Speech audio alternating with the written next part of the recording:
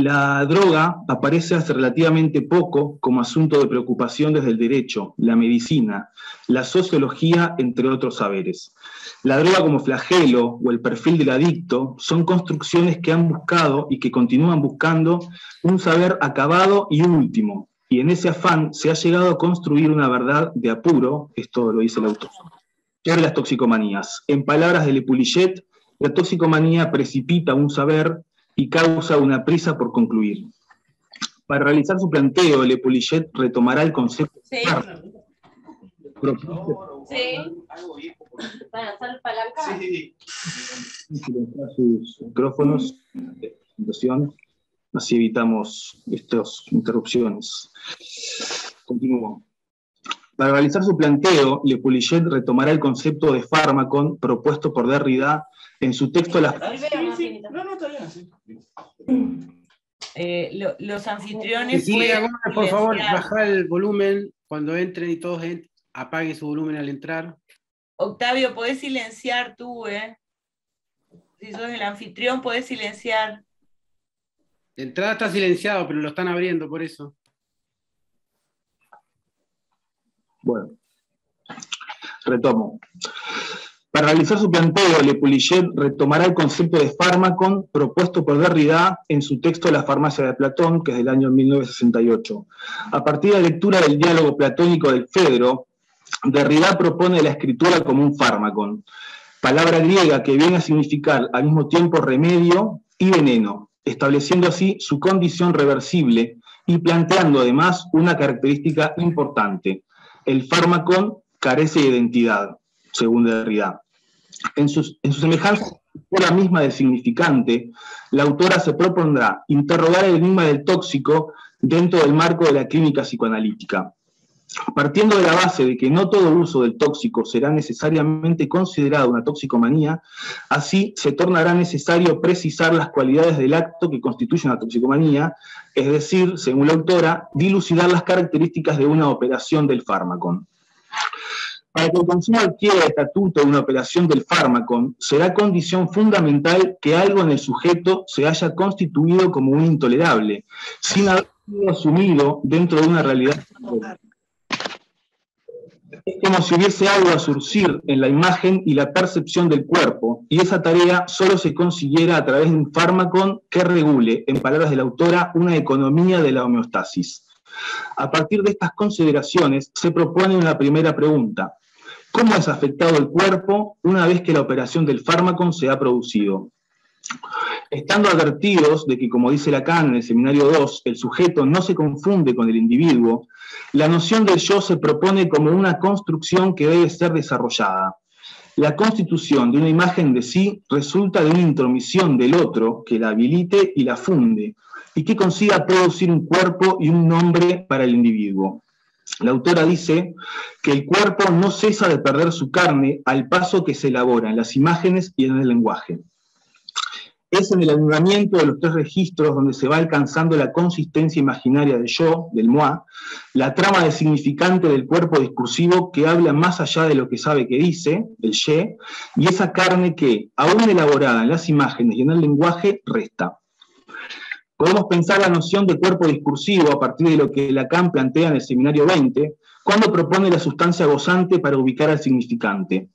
La sustancia gozante constituye una tercera sustancia, además de la res extensa y la res cogitans cartesianas, ya que el significante no podría ser ubicado en ninguna de ellas. Dice Lacan en este seminario, que la sustancia gozante es sustancia del cuerpo, a condición de que ella se defina solamente por lo que se goza solamente propiedad del cuerpo vivo, sin duda, pero no sabemos lo que es ser viviente, sino solamente en cuanto que un cuerpo no se goza más que por corporizarlo de manera significante. Entonces, que el cuerpo del que se trata en psicoanálisis, el cuerpo que se goza, que es gozado por el otro, es el cuerpo significante. Lo que hay de natural en un organismo desaparece al ingresar el significante, conformando así un cuerpo en el discurso. Con estas puntualizaciones resulta pertinente destacar que Le Poulichet entiende que la formación de una toxicomanía se propone subsanar, paradójicamente, algo que emerge y resquebraja la consistencia del sujeto, posibilitando una especie de ilusión de completud. Es decir, la operación del fármaco se inscribe de manera radical como solución a la defracción que el lenguaje le propone a todo sujeto hablante. La autora dice que consiste finalmente, la operación del fármaco, en un tratamiento del cuerpo que en su lazo anula una división, burla una esquicia propia del sujeto hablante. Esta operación del fármaco se presenta como un medio de moldear un cuerpo nuevo, donde no se inscribiría pérdida alguna entre el yo, el ye, del enunciado que lo toma a su cargo y lo real de lo cual da testimonio. Habiendo ya mencionado el carácter de reversibilidad propio de la operación del fármaco, cabe destacar que una vez el fármaco opera, la dialéctica entre dependencia y abstinencia tiene efectos diferenciados para el sujeto y su cuerpo. Para pensar los efectos del fármaco en la abstinencia, proponemos la siguiente viñeta clínica. Podría pensarse que las primeras palabras de la ya lo ubicaron discursivamente dentro del entramado representacional y nominal en torno al tóxico y al consumo. Al llegar a la consulta, dijo, me presento, mi nombre es Margarita, soy consumidora de cocaína, soy abogada y soy mamá de una preadolescente. El proceso con ella comenzó en un tiempo en el cual se encontraba abandonando un consumo de cocaína que había iniciado y sostenido desde hacía más de 20 años. Contaba con el apoyo de un grupo de narcóticos anónimos. Durante los meses de trabajo, en reiteradas ocasiones, aseveró que desde hacía mucho tiempo ya no consumía para pasar bien, ya que bajo el efecto del tóxico o luego de la dosis, lo que le sobrevenía era insomnio, llanto y malestar corporal. Su adolescencia transcurrió marcada por una dificultad en el lazo con sus pares y una exclusión que asocia a las consecuencias de su cuerpo, excesivamente obeso en ese tiempo. En ese momento comenzó a frecuentar la casa y el entorno de su empleada, pasando parte de su tiempo libre en el barrio donde vivía. Es en este ambiente y como parte del lazo social que se inscribe el consumo de cocaína. En el inicio del mismo aparece una marca del padre por su ausencia, ella dijo que, a pesar de saber de su consumo, no hubo palabras que intentaran detenerla. Lo que daba era dinero, sin exigir facturas. Como recuerdo de ese tiempo, cuenta haber encontrado una vez en su mesa de luz un folleto sobre el consumo de drogas, a la vez que una cantidad estimable de dinero para el consumo de alimentos, la ingesta de esos días. En relación a su cuerpo, relata haberse realizado un bypass gástrico para adelgazar. Además, la cantidad significativa de años de consumo lo transformaron y lo dañaron. Pasó a estar excesivamente delgada y con problemas en la deglución y la cicatrización de heridas. Luego de unos meses de iniciado el proceso, volvió a consumir en algunas ocasiones. Pero el consumo se detuvo y en este tiempo de vuelta a contar los días limpia, se dio un acontecimiento sensitivo relacionado con la Me saltan los monos, dijo, refiriendo a que le sobrevino la ansiedad de consumir. Relató que en ese momento terminó desnuda frente al espejo con la sensación de piel en todo el cuerpo. Luego de esta experiencia, llamó a un compañero de Narcóticos Anónimos y le contó lo que estaba sintiendo. Relató que él se rió al comprender las sensaciones que tenía, ya que se debían había recomenzado el proceso de abstinencia. Bueno, hasta, hasta ahí la viñeta recorte, nos preguntamos, ¿qué es lo que le sucede corporalmente a Margarita ante el fenómeno de la abstinencia? ¿Cómo concebir el cuerpo en esa comisión insaciable y en la búsqueda de una imagen propia que retorne desde el espejo? Le Pouliget plantea que en el tiempo de la abstinencia, el tóxico ausente crea la figura de un miembro o de un órgano doloroso, poniendo directamente en juego la investidura de sus corporales. La emergencia de un miembro fantasma hace que el cuerpo moleste y se imponga a través del dolor y la incomodidad. Se trata de una forma de urgencia corporal, en palabras de la autora, en la que la falta del fármaco parece dar una incompletud del cuerpo que anteriormente quedaba velado por la presencia del tóxico. En algunos casos de abstinencia es el propio cuerpo el que le vuelve al sujeto a través del límite designado por el dolor. De este modo, sería posible, el fenómeno alucinatorio de la picazón en el cuerpo de Margarita como la emergencia de un miembro fantasma? Para plantear otra escena y sirviéndonos de la poesía en tanto forma privilegiada de jugar con el significante a través de la metáfora y la finalizamos citando un fragmento del poema Descripción de un estado físico de Antonio Artaud. Una sensación de quemadura hacia los miembros, músculos retorcidos e incendiados, el sentimiento de ser un miedo, una retracción ante el movimiento y el ruido, un inconsciente desarreglo al andar, en los gestos, en los movimientos, una fatiga de principio del mundo, la sensación de estar cargando el cuerpo, un sentimiento de increíble fragilidad que se transforma en dolor, un estado Perdón que trae el chat.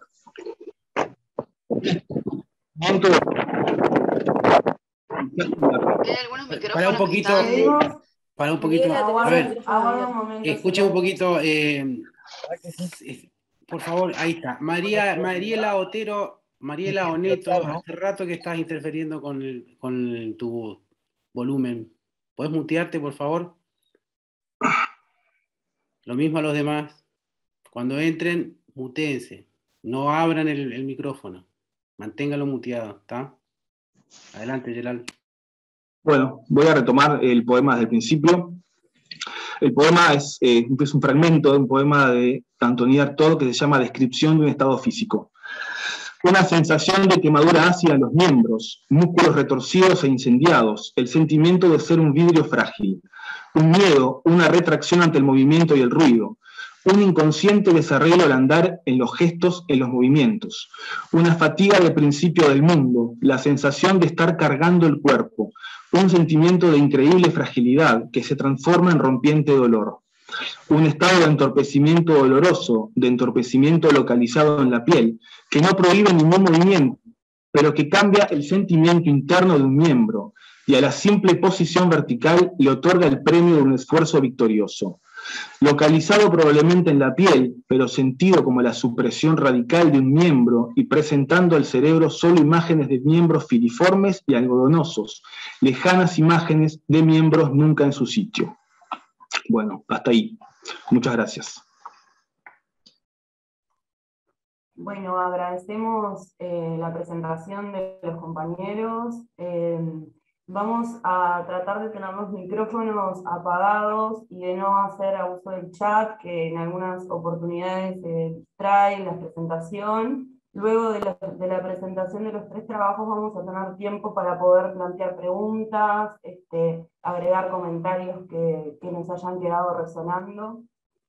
Bueno, y a continuación eh, pasamos a presentar el trabajo de los pasantes psicólogos Lucas Cabrera y Serrana Masner. Eh, son, eh, como ya dije, pasantes de la Clínica Psicoanalítica de la Unión y forman parte del equipo eh, que lleva adelante el EFI Psicoanálisis y Comunidad. En el día de hoy van a presentar su trabajo titulado La construcción de la demanda del psicoanálisis, una articulación epistemológica, ética y clínica a partir de dos experiencias en el marco de la Clínica Psicoanalítica de la Unión. Les damos la bienvenida y bueno, que comiencen este, su presentación. Bueno, buen día. Muchas gracias por estar. Gracias, Ana Paula, a la gente que coordinó también las jornadas. Y bueno, como mencionó Ana Paula, este, nuestro trabajo se articula en función de tres ejes. Un eje teórico epistemológico, un eje ético clínico y por último una articulación este, eh, teórico-clínica para pensar el problema de la construcción de la demanda. Bueno, comienzo a leer el trabajo. La construcción de la demanda en la clínica psicoanalítica es una cuestión ardua y compleja para el analista que tiene como tarea recibir un hablante atravesado por pedidos y encargos, tanto de padres, familiares y referentes cercanos, como de instituciones que lo alojan, sean estas educativas, judiciales, hogares de madres, etc. Cabe señalar aquí que estos pedidos y encargos dirigidos a la persona, al analista, nos llevan una serie de expectativas sobre su accionar que entran en tensión con la dirección de la, cura psicoanalítica. A partir de aquí, Se plantea la necesidad de distinguir la demanda con respecto al pedido y al encargo para pensar la construcción de una demanda de análisis. Se entiende por pedido o encargo de intervención o encomienda en términos del análisis institucional la emergencia de un grupo de demandas que tienen un lugar privilegiado con respecto a otras que son desplazadas, negadas, acalladas o silenciadas. Esta emergencia es resultado de tensiones y disputas que son inherentes al campo de fuerza que compone una institución. De igual modo, esta situación también este, sucede en el ámbito familiar, donde se coloca una persona como el portavoz del malestar en la dinámica familiar, esto según lo que plantea Pellón Rivière. ¿no? Eh, la cuestión en relación a los pedidos y encargos no deja lugar a una problematización acerca del lugar desde el cual se los enuncia. Si el analista se queda aquí, su trabajo queda restringido al servicio de lo que se le pide y encarga. Tal vez sea por esto que, a propósito del caso de la joven homosexual, Freud consideró que, y abro citas, no se puede hacer un análisis por encomienda. Cierro citas. Esta cita es de Michel Faría, de Introducción a la Clínica Psicoanalítica en lugar de los padres. Entonces, el proceso analítico se sitúa en las antípodas de responder unívocamente a un pedido o un encargo institucional y o familiar. La tarea del analista consiste en intentar, abro citas, deconstruir el encargo hacia las múltiples demandas contradictorias que le dieron origen. Cierro citas. Por lo tanto, puede considerarse que los pedidos y o encargos pueden ser condición necesaria, pero no suficiente para que surja la construcción de una demanda. Esta cuestión plantea una serie de precisiones teórico-epistemológicas acerca de qué entendemos por la construcción de la demanda en la clínica psicoanalítica, y para ello nos serviremos de los aportes teóricos de Lacan acerca de la distinción entre necesidad, demanda y deseo. Lacan planteó la constitución del sujeto en el registro simbólico del significante a partir de la distinción entre necesidad, demanda y deseo, mediatizada por la construcción del grafo del deseo. Este grafo parte del sujeto mítico y la necesidad lugar del que parte la demanda del sujeto dirigida al otro, ya que este sujeto no se basta a sí mismo, para arribar en el ideal del otro. A pesar de que aún no articule el lenguaje, el sujeto ya se encuentra introducido en él y es en él y desde, este, desde el lenguaje que dirige su demanda al otro. Desde aquí, el otro como tesoro del significante tiene como función sancionar retrospectivamente un mensaje que le otorga un sentido a lo que supone que le demanda el sujeto. Es por ello que al comienzo de ese proceso, dice Lacan, la necesidad del sujeto se articula primordialmente en términos de alternativa significante y se instaura todo lo que más adelante estructurará esa relación del sujeto consigo mismo denominada deseo. Esta cita se encuentra en el seminario 6, en la clase del 13 de mayo de 1959. En relación a la pregunta por la demanda, Lacan responde diciendo que es lo que, de una necesidad, por medio del significante dirigido al otro, pasa al orden del sentido. Lacan advierte que la demanda no puede confundirse con la satisfacción de una necesidad porque el propio ejercicio de todo significante transforma la manifestación de dicha necesidad. Dicho de otro modo, en toda satisfacción de la necesidad se exige otra cosa. Esto en el seminario 7, la ética del psicoanálisis, en la clase del 20 de junio de 1960. Es por ello que la demanda es intransitiva, dado que quien demanda recibe de forma invertida la significación de su propia demanda desde el discurso del otro. Como consecuencia de esta operación, la falta se produce al hacer pasar la necesidad por la cadena significante, resultando de este pasaje la inscripción del sujeto del campo del otro como sujeto dividido en relación al objeto a causa de deseo. Lacan sitúa el deseo en una separación esencial con respecto a la dirección imaginaria de la necesidad, necesidad que la demanda introduce en un orden distinto, el orden simbólico, dirá Lacan en la clase del 4 de diciembre de 1957. Por lo cual, el deseo no puede confundirse con la necesidad, debido a que las necesidades no nos llegan sino refractadas, quebradas, despedazadas, y están estructuradas precisamente por todos esos mecanismos, ¿no? como condensación, desplazamiento, etc. Y más aún porque ser objeto de deseo es esencialmente que ser objeto de cualquier necesidad. Esto lo dice en el seminario 6, en la clase del 22 de abril de 1959. En el seminario 6. Tampoco puede confundir que cada vez que el deseo intenta ser significado en las vueltas de la demanda, algo se escapa. y este algo es denotado por Lacan como objeto A. De modo que, al estar el deseo articulado a la cadena significante, mediante desplazamientos metonímicos, se produce una pérdida de sentido, ya que la metonimia es ese efecto lingüístico que designa que no hay significación que no remita a otra significación. Esto es lo que va a decir en la dirección de la cura. Así, entonces, el deseo es la metonimia de la carencia de ser. Ahora bien, ¿de qué se trata esta carencia en ser? No? Lacan va organizarla en función del objeto A, ya que a partir de él puede pensarse el deseo articulado a la pérdida que se produce en la cadena significante. Dada la definición del significante, que en tanto tal no significa nada, es necesario pensar su articulación a otro significante para que se establezca una significación. Es por ello que el, el deseo está ligado a la interpretación y solo es posible interpretarlo si se lo lee a la letra. Puede concluirse entonces que el deseo del sujeto es el deseo del otro en la medida en que el analista ponga en juego la hipótesis del inconsciente. Es a partir de aquí que abordaremos la construcción de la demanda no solo como una cuestión técnica, sino ético-clínica, ya que implica al analista en una respuesta que coloque la centralidad del deseo.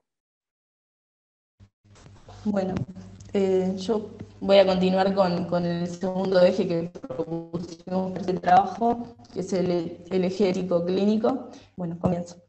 Si entendemos que la construcción de la demanda en la clínica psicoanalítica abarca una dimensión ético-clínica, cabe preguntarnos lo siguiente, ¿cuáles son las implicaciones éticas que están en juego en la construcción de la demanda? ¿Y qué consecuencia tiene para nuestra praxis responder a esta cuestión en función de la centralidad del deseo? A partir de la dirección de la cura y los principios de su poder, así como el seminario 7, la ética del psicoanálisis, podemos decir que la ética del psicoanálisis coloca el deseo como cuestión central en la dirección de la cura. Ahora bien, ¿qué quiere decir esto? En primer lugar, que la cura psicoanalítica no está dirigida en función de un bien supremo común a todos, sino que se dirigirá en función del deseo, del deseo del sujeto como deseo del otro. En segundo lugar, el psicoanalista, en tanto que es quien debe dirigir la cura y no el paciente, no puede pretender el bien para el analizante, sino que deberá hacer emerger la verdad del deseo del sujeto, que en tanto hablante articula su discurso. ¿Cómo hacer emerger la verdad de ese deseo? ¿Será por la vía de la urgencia del pedido o de un encargo? ¿Qué implicaría ir por esta vía? ¿Sería pretender el bien para el sujeto? Responder a un pedido o un encargo concreto supone una relación de intersubjetividad, en la cual el analista estaría desde aquí dirigiendo al paciente hacia un bien supuesto, por la vía de la comunicación unívoca. Por lo tanto, se obtura toda posibilidad de emergencia del deseo inconsciente y con ello la emergencia de una palabra que vaya más allá del registro del pedido y, del, o, del encargo. Si el deseo es obturado, ¿de qué cura estamos hablando? ¿Cómo saber cuál es el bien del sujeto? ¿Y para quién y en función de quién es ese bien? Con esto no decimos que el analista no debe escuchar los pedidos o encargos provenientes de, padres, familiares, referentes, instituciones, incluso del, incluso propio paciente, sino que lo que está en cuestión aquí es el posicionamiento ético desde el cual se debe responder. Este posicionamiento ético debe estar en relación al deseo. Y esto no se sostiene en una relación de intersubjetividad entre analista y analizando, sino que en la dinámica de la transferencia y en la, y en la disparidad subjetiva que ella implica.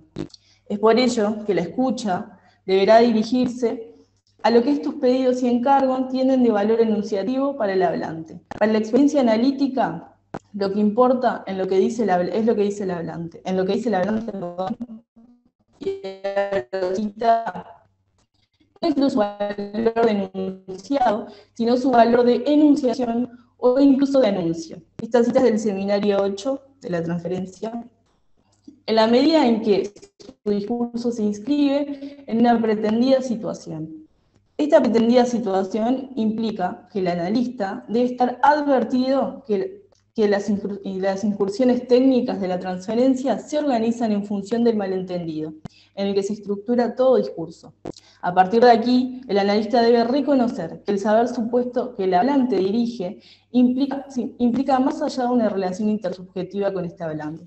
Entendemos que la, la instalación del sujeto supuesto saber como condición de posibilidad para el análisis implica también la suposición de un deseo. ¿De qué se trata ese deseo? El analista, en tanto que está ubicado en el lugar de, gran otro, en lugar de otro, encarna el lugar del semblante del objeto A, por lo cual el deseo del analista aparece aquí como una incógnita para el hablante. Entendemos que la función del deseo del analista es servir de revelo para que el sujeto se pregunte por el deseo que lo constituye. Se trata de la posición que el analista ocupa en relación al deseo constitutivo del analizado, que es aquello en lo cual se compromete allí el sujeto. ¿Qué es, lo que quiere? En consecuencia, el deseo del analista no se corresponde como un deseo de hacer el bien, pues no, es, un, saber a priori, eh, pues no se sabe a priori cuál es ese bien para el analizante. Así como tampoco puede dar una respuesta universal y totalizante bajo el supuesto de que hay comunicación unívoca. Entonces, ¿cómo debe responder el analista a la demanda? En, el texto Función y Campo de la Palabra y del lenguaje en psicoanálisis, Lacan sostiene que, abro, abro cita, Toda palabra llama una respuesta. Cierro cita, puesto que, vuelvo a abrir cita, no hay palabras sin respuesta, incluso si no encuentra más que el silencio, con tal que, se, que tenga un oyente y que, este, y que este es el meollo de su función de análisis. Si la palabra que se dirige al analista llama una respuesta, es porque en ella algo se demanda, aunque lo que se demanda no coincide con lo que se está demandando, ya que se trata de una demanda que no supone ningún objeto. De este modo, la respuesta del analista debe orientarse en función de una ética, que como se dijo antes, involucra el deseo. Por lo cual entendemos que el analista debe responder a la demanda de tal modo que no obture el deseo inconsciente que en ella se articula. Desde aquí se introduce otra parte fundamental de la demanda. El analista otorga, abro cita, una respuesta que da su significación, Cierro cita. Pues él también participa de la construcción de la, de la demanda de análisis. Esta demanda de análisis que se constituye en una experiencia analítica no le pertenece al paciente o al analista. De ser así, supondría una relación de intersubjetividad. Para Lacan la demanda es intransitiva, pues constituye un núcleo de la experiencia analítica en que el sujeto de la demanda es transitivo. Esto se debe a que, abro cita, su demanda presente incluso no es suya, porque después de todo, soy yo quien le ha ofrecido hablar. Bueno, para concluir, entendemos que una ética del psicoanálisis es aquello que tiene como eje el deseo. Y esta ética nada tiene que ver con la bondad y con procurar una disciplina de la felicidad, sino, sino más bien con permitir, a ver cita, perdón, al sujeto ubicarse en, una, tal posición que la cosa misteriosamente y casi milagrosamente vaya bien. Y por ahí cerraría el, eje crítico clínico. Bueno, muy bien. Y ahora pasamos a la parte clínica. Este, vamos a trabajar ahí como brevemente dos situaciones donde se presentan los obstáculos y desafíos en el camino hacia la construcción de la demanda. La situación 1 eh, le pusimos caso Viviana.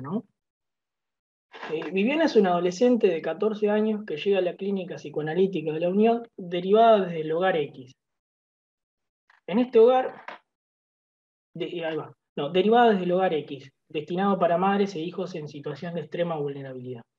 En este hogar vive junto a su mamá, sus cuatro hermanas menores que ella y un hermanito bebé.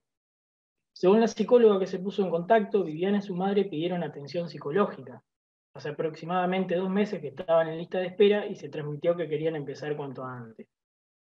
Durante el tiempo que duró el contacto, solo fue posible agendar dos encuentros presenciales con Viviana y su mamá. Estos encuentros estuvieron marcados de malentendidos y desencuentros que hicieron imposible la construcción de la demanda. Por una parte, el escepticismo que manifestaba Viviana por el espacio.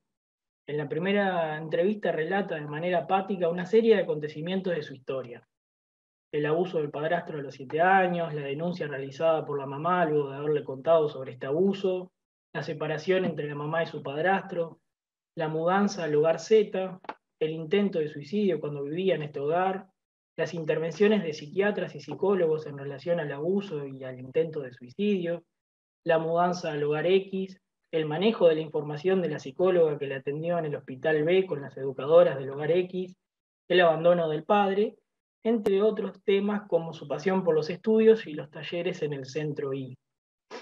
Por otra parte, a propósito de las dificultades para coordinar los encuentros, las insistentes llamadas de la psicóloga del hogar, ya sea para saber si Viviana estaba concurriendo o para avisar que no podía ir, o para explicarme la incapacidad de la madre y la vulneración de esta familia, así como sus dificultades para mantener compromisos y las resistencias que puede generar empezar un tratamiento terapéutico. No obstante, Viviana y su mamá se dirigieron a la Comisión Fomento para pagar el bono colaboración, tal como acordamos en la segunda entrevista. En esta entrevista pautamos una frecuencia quincenal para que Viviana pueda concurrir a la clínica y no faltar a las actividades en el centro I. Aún así, las ausencias de las consultas y las postergaciones insistían.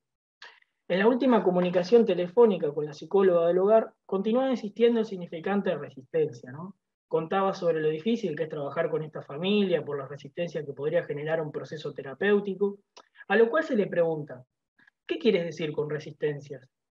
Y ella contesta, que le cuesta mantener una rutina, cumplir horarios y sostener un compromiso de ir semanalmente al psicólogo. Ella manifestó que no necesitaba ir más, fue dos veces y se sintió mejor, y eso era suficiente para ella. Además decía, refiriéndose a Viviana, ¿no? que no se sentía cómoda hablando con un varón y que quería ir con una mujer. Cierro este, lo que dice la psicóloga, ¿no? A lo cual se le responde que es importante escuchar qué se quiere decir con resistencia y que Viviana tiene el derecho a manifestarlas.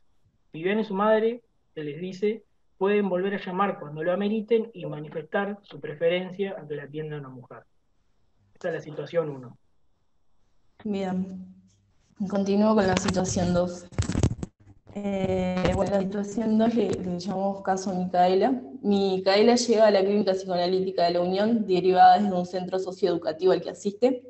Bueno, Micaela es una niña de 10 años que vive con su madre y uno de sus hermanos. A partir de que, bueno, de que recibí el contacto de la mamá, me comunico con ella y concertamos una primera entrevista.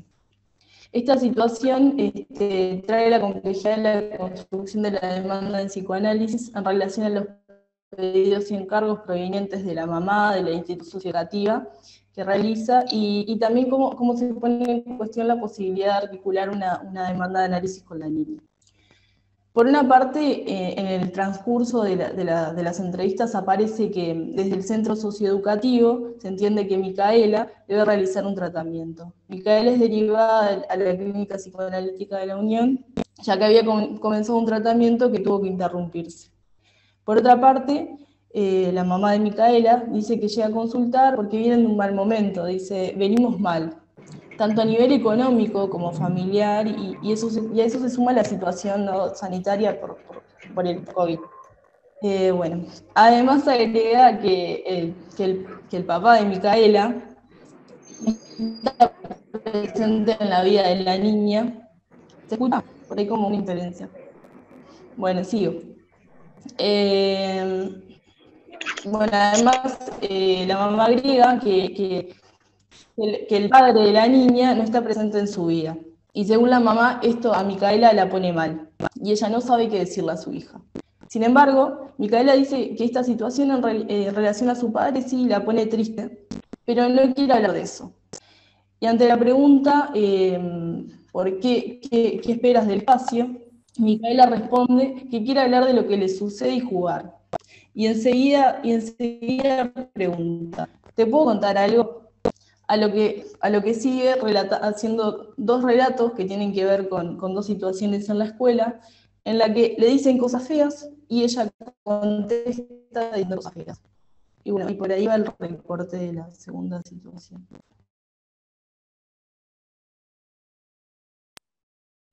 Bueno, agradecemos a los compañeros la presentación de su trabajo. Eh, luego vamos a tener un espacio de, intercambio y de preguntas y eh, le damos la bienvenida a, a los practicantes Marcia Alonso y Sofía Bertolotti, que son estudiantes próximos al egreso de la licenciatura y hoy nos acompañan con su trabajo Psicoanálisis y Virtualidad. Gracias, Ana. Bueno, buen día para todos. Somos Sofía y Marcia, estudiantes, como nos presentó Ana, de la práctica en la Clínica Psicoanalítica de la Unión. Y agradecemos la invitación del profesor Carrasco para, participar en esta instancia. La pregunta eh, acerca del psicoanálisis y la virtualidad que nos convoca hoy, entre muchas de sus posibilidades, quizás nos instala una duda en cuanto a si hay psicoanálisis posible en estas condiciones. Nos permitimos para iniciar hacer un breve relato. Hace más de 20 años atrás, un amigo me comentaba que iba a encontrarse en un bar a tomar un café con Jorge, su psiquiatra, cosa que hacían dos por tres, lo mismo que caminar por la rambla otras veces, para charlar, como él nos decía. Mi amigo señala que padece esquizofrenia, la cual le fue diagnosticada por aquella época cuando estábamos en sexto de liceo. Jorge, el médico psiquiatra, era por nosotros conocido por haber sido además nuestro profesor de biología en el liceo. A nosotros que conocíamos a Jorge, no nos sorprendía esa práctica, aunque claro está, desconocíamos radicalmente si eso estaba bien o mal. Hoy Jorge ya no está, pero mi amigo tiene de él los mejores recuerdos, y entre ellos siempre están esas charlas fuera del consultorio, al aire libre, y como dice él, mi amigo, Jorge siempre supo que me costaba mucho salir. Él siempre estaba ahí para proponerme algo distinto. Hoy sospecho que Jorge era de una escuela de psiquiatras que no se había despegado del modelo psicoanalítico. En aquel momento teníamos menos conocimiento del que hoy nos permite aproximarnos a saber qué es y qué no es psicoanálisis. Pero en este relato y esta humilde afirmación, tratamos de acercarnos a la idea de que quizás en el área que nos compete, un determinado dispositivo o determinada práctica, tal como la conocemos, tal como se enuncia y ejerce, muchas veces requiere o se ve obligada dependiendo del caso o la situación, a generar algún movimiento, algún giro o incluso algún salto abismal a como venía realizándose. La validez de este acto no puede medirse de una forma única, no solo por su ajuste a la norma, no solo por sus efectos, no solo por sus buenas intenciones, no solo porque es la única opción o la necesaria. Nosotras iniciamos nuestra experiencia práctica en un contexto de intensos sobresaltos mundiales, en donde nuestros primeros contactos del ejercicio de la escucha se ponen en juego a través de dispositivos virtuales. Incluso el espacio de clase donde pensamos de manera conjunta la complejidad de cada experiencia clínica que estamos llevando a cabo. Nos encontramos así siendo parte de esta experiencia de la práctica psicoanalítica que nos supone habilitar la palabra, ejercitar la escucha, poner el cuerpo, generar encuentros y con ello la obligatoria tarea de pensar. Nuestro primer paciente nos llega en estas condiciones de virtualidad por la pandemia y gracias a que docentes profesionales de nuestra facultad ya validaron de alguna manera la permanencia del dispositivo a través de dicha modalidad, es que pudimos tomar contacto con él. En estas condiciones virtuales, entonces, pudimos continuar nuestra formación y brindar atención a quienes lo solicitaron en la Clínica de la Unión. Desconocemos los mecanismos por los cuales se llegó a acordar esta decisión, pero felizmente para nosotras y los pacientes, la balanza se orientó hacia este lugar. En base al código de ética profesional que rige a la psicología, podemos pensar que uno de los argumentos fuera quizás mantener la identidad del psicólogo como ser social convocado por necesidades de esa misma sociedad a la que pertenece y a la que le brindará su preparación específica. Esto no implica, sin embargo, que su tarea sea utilitaria o conforme a una reglamentación institucional o al cumplimiento de un objetivo específico. Algunos estudios demuestran que el sufrimiento por aparición de la pandemia se incrementó. En algunos casos, esta situación fue disparadora del aumento de la demanda de atención o consultas y puso en evidencia lo singular latente de dicho sufrimiento, la confirmación ya inevitable que causaron los modos de alienación actuales, que para algunos se volvió insostenible. El psicoanálisis aborda el sufrimiento a través de la escucha y la palabra, mediante un método y de forma oportuna y singular. La virtualidad quizás altera alguno de estos parámetros que el psicoanálisis encuadró para explorar el inconsciente, pero desde nuestra experiencia actual, la palabra no se interrumpió. La palabra siguió circulando, desplegándose y tomando el espacio que la habilita, un espacio psicoanalítico. El desafío para nosotras es mantener ese espacio más que nunca en forma simbólica. Estar allí frente a un otro lugar físico, la pantalla, el Zoom o el WhatsApp, todo puede cambiar, pero no la idea de tener ese encuentro. Y más que nunca mantener ese espacio en forma real, que no falle el Internet, que el celular esté cargado. Quizá lo que importa es cómo internalizamos cada uno de los involucrados ese encuentro lugar, ese estar allí de esa forma. Así lo vivimos nosotras y así nos lo ha manifestado nuestro paciente. Con sus palabras, abro comillas. es problema de la batería. Estuve todo el día con el, celular apagado, enchufado, Ahora está, ya tiene 70%, así que creo que dará. De este posicionamiento entendemos que lo que está allí no es una alteridad más, ni para uno ni para el otro lado de la pantalla. Y aún en lo, mínimo y aséptico, el recuadro de una pantalla, intentamos acercarnos a través de la escucha y la habilitación de las expresiones verbales a lo afectivo del sujeto, a su conflictivo inconsciente. En este sentido es que nos parece pertinente no caer en esencialismos de la forma de hacer lazo con otros, en especial de esta forma virtual de enlazarnos con otros, extendida hoy a la práctica clínica. Abro comillas de nuevo. Paciente. Creo que si no lo hablaba todas las veces con ustedes no hubiera hecho nada. La estudiante le responde. Quizá el espacio lo está ayudando. El paciente asiente con la cabeza y dice, cada semana, de otra forma no me comprometería. Sé que veo a alguien que me escucha una hora a la semana y me costó mucho generar un compromiso conmigo. Creo que me siento más comprometido con ustedes al venir en vez de conmigo. Ahora intento hablar y todo porque es lo que siento y sé que lo necesito. En relación a la pregunta inicial, si hay psicoanálisis posible en estas condiciones de virtualidad, nos preguntamos, ¿es del orden de la incompletud lo que nos preocupa? Lo que aparece como incompletud allí, ¿sería el cuerpo? La transferencia es a nuestra práctica ese vínculo particular que hace lazo, y esta, al igual que las resistencias, seguirá estando allí donde pueda aparecer el inconsciente, que no tiene una, una base material corpórea, sino que lo hace a nivel de una materialidad distinta, el lenguaje. Sin embargo, no nos atreveríamos a afirmar que para el psicoanálisis se trata solo de decir, sin cuerpo y pensamos en miles de cuerpos, en sus imágenes y en sus voces. El anoréxico, el tatuado, el mutilado, el que se exhibe, el que se oculta, el que finalmente sale de la pantalla, sabiendo que aún este no lo dice todo un sujeto particular. Nuestra experiencia clínica puso algo de esto en juego. Percibimos algo en relación al cuerpo que no veíamos claramente y que fue tomando cuerpo en el discurso del paciente se nos reveló lentamente, a diferencia de cómo podría haberlo hecho quizás en un instante, una sola imagen presencial. En un juego con el tiempo, no nos habló la inmediatez del cuerpo, sino que se tradujo gradualmente eso del cuerpo en palabras.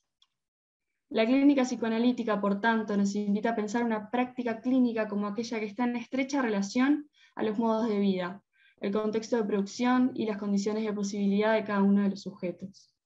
Dentro de la precariedad, dentro de las desigualdades que nos atraviesan como sujetos inmersos en lógicas actuales de mercado y dentro de una pandemia, nuestra práctica tiene una posibilidad de hacer lazo y creemos que es lo que se ha privilegiado desde la propuesta de la Clínica Psicoanalítica de la Unión. La psicología desde esta perspectiva es para nosotras, entonces, una práctica crítica, transformadora, capaz de pensar y de hacer por fuera de estándares categóricos, morales totalizantes y normalizadores. Como dice la psicoanalista argentina Graciela Brodsky en su texto llamado El elogio a la virtualidad, disponer de un objeto, le hace para este caso la pantalla de computadora o de celular, que mantenga al otro a distancia puede ser el único recurso de muchos para sostenerse en un lazo posible. Estamos muy comprometidas como practicantes y como futuras psicólogas para afrontar y embarcarnos en la tarea de pensar los desafíos que como la virtualidad hoy sigan interpelando al psicoanálisis mañana. Sin más, celebramos la instancia y agradecemos nuevamente la posibilidad de seguir pensando juntos y juntas. Gracias. Bueno, muchas gracias por, la presentación de su trabajo. Eh, cabe una aclaración que los compañeros que presentaron el primer trabajo eh, son integrantes del grupo de investigación clínica y lazo social, construcción del caso clínico desde el psicoanálisis. Eh, había, estuve leyendo los chats para ver si había alguna apreciación. Y, y, bueno, invitarlos a que, a que compartamos preguntas, ideas que nos hayan quedado, comentarios sobre los trabajos presentados. Adelante.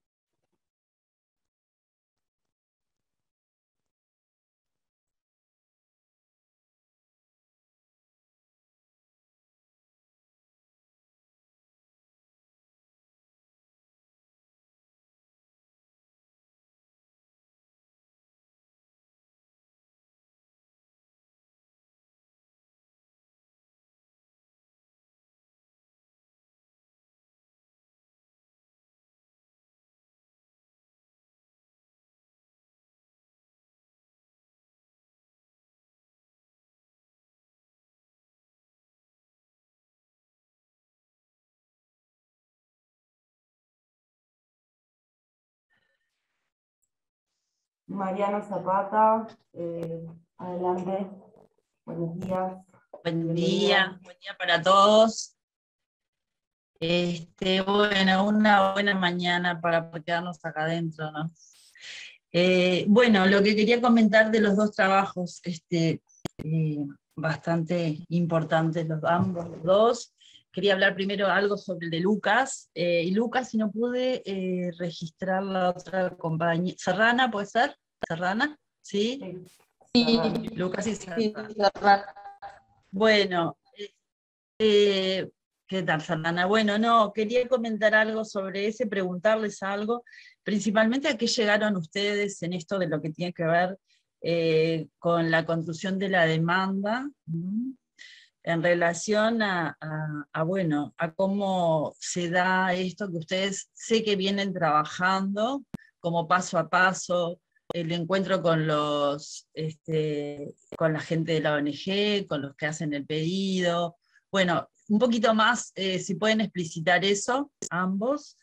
Y después, eh, después le hago la pregunta al otro grupo. Empezamos por acá.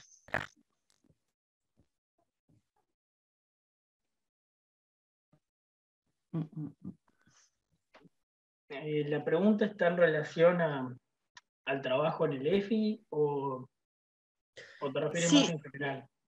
Eh, no, principalmente me parece el trabajo del EFI, porque me parece que es importante como difundir un poco al grupo, ¿no? Porque es algo que está muy interesante en el trabajo que ustedes vienen haciendo ahí, como para poder eh, abrir esta parte que también es muy enriquecedora para, para la clínica. Bueno, lo que puedo decir así como una, cuestión como para introducir es que mm, este, este, trabajo consiste como en un primer tirón para poder pensar teóricamente esta cuestión de la construcción de la demanda, ¿no? nos, metimos como a hacer una, investigación y, y, una condensación también, porque es un, un tema muy denso, complejo, para pensar, bueno, tipo, todas estas tensiones que están en juego, ¿no? Este, institucionales, este, que hay pedidos, que hay encargos que a veces van como, que entran en tensión con lo que uno entiende, ¿no? Desde el psicoanálisis, lo que tiene que ver con la construcción de la demanda. Este, particularmente es como, bueno, como una primera tirada teórica, así, por ser un una primera tirada de línea, como para ir pensando también en relación al EFI, cómo vamos a, habitar el territorio, ¿no? Tipo, desde qué lugar vamos a pensar esto, ¿no? Tipo, eh, ¿qué más podría decir? Bueno, todo, todo lo que tiene que ver con la importancia del análisis del discurso, eh, de pensar, tipo, a partir del análisis del discurso, bueno, cómo vamos a responder también desde una posición ética a lo que se nos impide, se nos encarga o se nos demanda, ¿no? Tengo más preguntas que respuestas, en realidad no, no tengo respuesta aún porque, ¿qué pasa? También como que estamos en un momento como muy exploratorio, este, por, porque la propuesta, bueno, empezó hace muy poco, en este segundo semestre, entonces como que hay muchas dudas, este, cuestiones, pero igual son preguntas, dudas y cuestiones que no nos paralizan, sino que, bueno, estamos, este, nos mueve, nos mueve a poder pensar eso y a estar advertido de esos, de esos movimientos, ¿no? Tipo, esos juegos de poder, ¿no?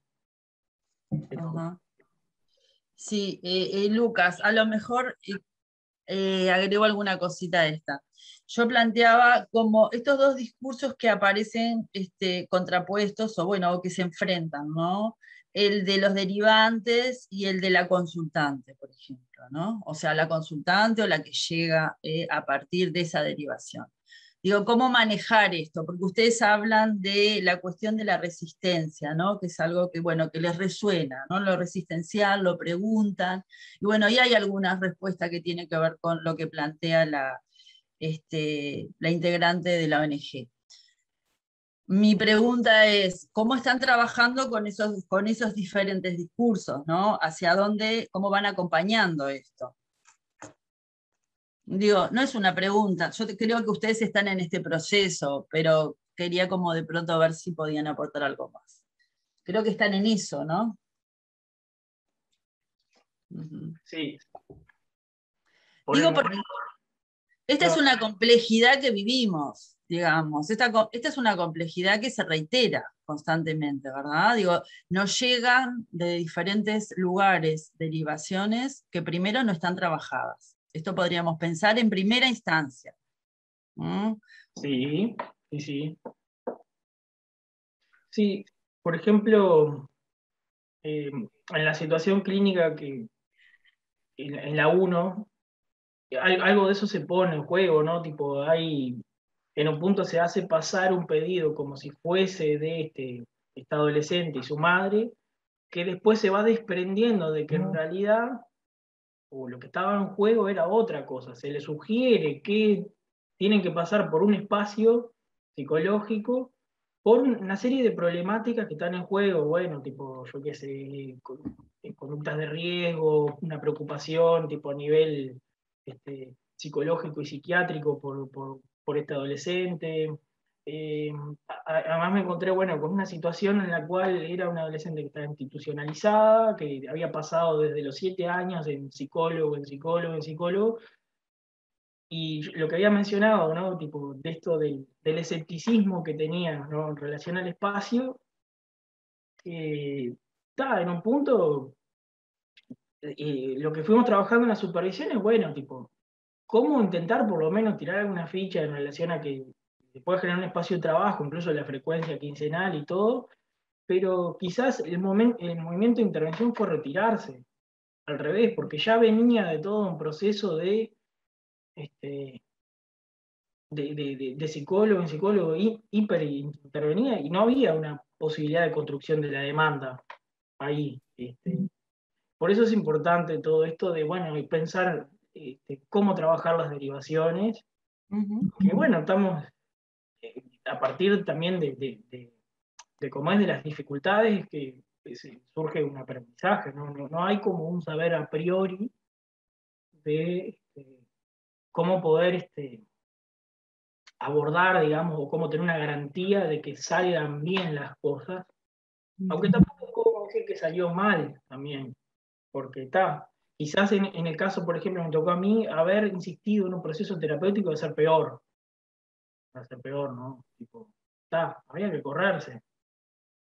Y hay que hacer ese movimiento, porque uno está, tipo, supone que el que viene a consultar va, tiene que hacer un proceso terapéutico y no necesariamente es así. pero está, eso es una, la neurosis de los analistas que tenemos que, también trabajarlo, ¿no? Este, porque no, todo pasa por, por el análisis. Yo diría eso para dejar la, la palabra. Bien. Paola, Paola Betty, a ver, ¿dónde está pidiendo la palabra? Yo, quería decir algo en torno a esto que, está planteando Mariana. Bueno, buenos días para todos. Gracias por, estar acá. y, este, muy buenos los trabajos, todas las elaboraciones y producciones.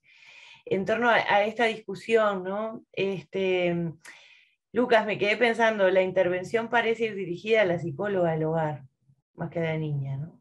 Hay un nivel del asunto donde cuando se le pregunta, bueno, ¿y qué entendés por resistencia? ¿Qué es resistencia?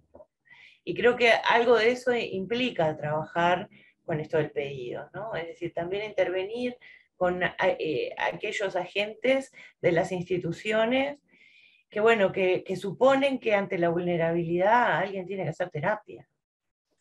Me estaba acordando de, mm, un artículo que leí hace un tiempo que se llama ¿no? la, la, psicologización del sujeto como construcción del objeto vulnerable, que habla un poco de esto, ¿no? es decir, como, bueno, si, ciertas poblaciones están este, eh, vulneradas o cierta familia tiene un cierto problema, bueno, está, tiene que ser derivada a terapia. Hay algo con lo que nos tenemos que manejar que es como eh, que, nos estamos como, como ayornando en eso, que tiene que ver con, con el como ser un depósito del malestar. ¿no? O sea, el malestar institucional este, muchas veces va a parar a, eh, se transforma en este pedido de, de terapia. ¿no? Y creo que hay que poder escuchar eso y también intervenir eh, analíticamente en ese punto. ¿no? Bueno, ¿qué, ¿qué, entienden por resistencia? ¿Qué quiere decir resistencia? ¿no? O sea que también este, con esos agentes institucionales eh, es, posible eh, plantear una, situación donde, bueno, algo se diga que no siga esa lógica, sino que sea disruptivo con esa lógica del encargo. También para que, bueno, pueda habilitar. No es fácil, ¿no? No es fácil. Las instituciones dan por sabido, entendido, eh, que nosotros vamos a recibir y que esta cuestión que decían del bien, me parece que, está ahí. Y me, parece muy buena el recorte de Serrana que, que tú traes de la segunda situación, donde el centro quiere que la niña se atienda, la madre viene diciendo otra cosa, no, venimos mal, este, la habla de la ausencia de un padre, ¿no? Y la niña te termina planteando cómo ella, ante las cosas feas que le hacen en la escuela, reacciona con cosas feas y parece que ese es su problema y no todo lo demás que vienen planteando los demás. ¿no? Entonces vieron cómo hay niveles del asunto. Entonces poder este, deslindar, despejar, ¿quién dice qué? Porque esa es la pregunta en realidad, ¿quién dice qué? ¿Quién pide qué? Este, bueno, es parte del asunto. ¿no? Ah, eso eh, para terminar, le damos la palabra a Amparo Basterrica, y, bueno, luego de los comentarios eh, vamos a pasar al siguiente mesa. Amparo, adelante. Voy, voy a bajar la mano. No, después está. Buen día. ¿Cómo andan? Buen día para todos. Este, bueno, antes que nada, la verdad, eh, muy buenos todos los trabajos realmente. Eh, uno sería como ingrato, porque yo me quedé también pensando en ese trabajo, ¿no? Tal vez, digo, porque a veces uno hace figuras sobre ciertas cosas que también tienen que ver con los temas en los que anda, ¿no? Este, y bueno, y este tema de, del encargo, de la encomienda y este tipo de temas justamente también eh, me, me, me, toca en, lo profesional, en lo que voy a plantear en, el trabajo eh, posterior, ¿no? ¿Verdad?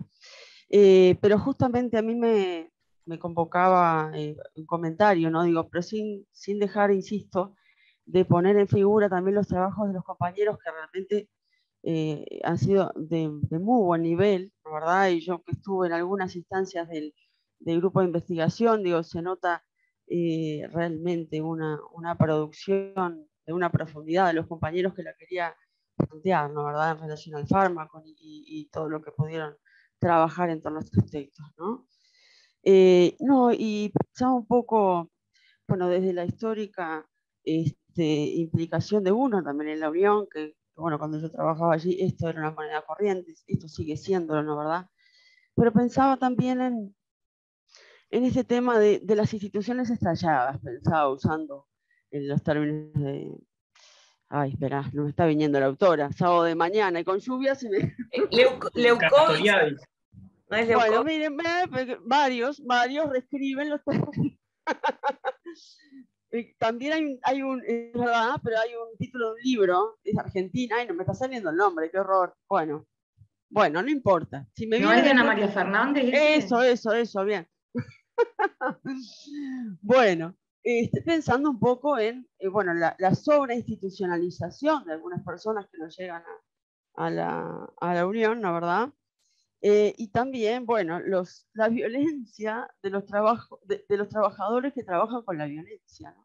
Porque a lo que voy es como, bueno, complejo este tema, ¿no? Porque viene eh, inscripta en algo, ¿no? Que a mí me parece tan saludable que se haya podido justamente, bueno, dar lugar a, al no al lugar también, ¿verdad? Que prácticamente la derivación parece que tiene que ser un hecho, ¿no? Y una insistencia, ¿no? Que eh, la pregunta esa por la resistencia me parece interesante, además, ¿no? Pero este, lo traigo porque, eh, bueno, las derivas de las derivaciones a la mente, ¿no? Y creo que en la Unión esto ha sido una, una constante, ¿no? Digo, desde la historia, ¿no verdad? Que este, de la que también fui parte, este, esto de, bueno, de poner en cuestión estas, estas derivaciones, ¿no? Estos eh, disciplinamientos, ¿no verdad?, que producen las instituciones, ¿no verdad? este, que bueno, que por suerte los sujetos eh, se encargan también de subvertirlos, ¿no? Bueno, quería este, plantear esto nomás. Muchas gracias a todos.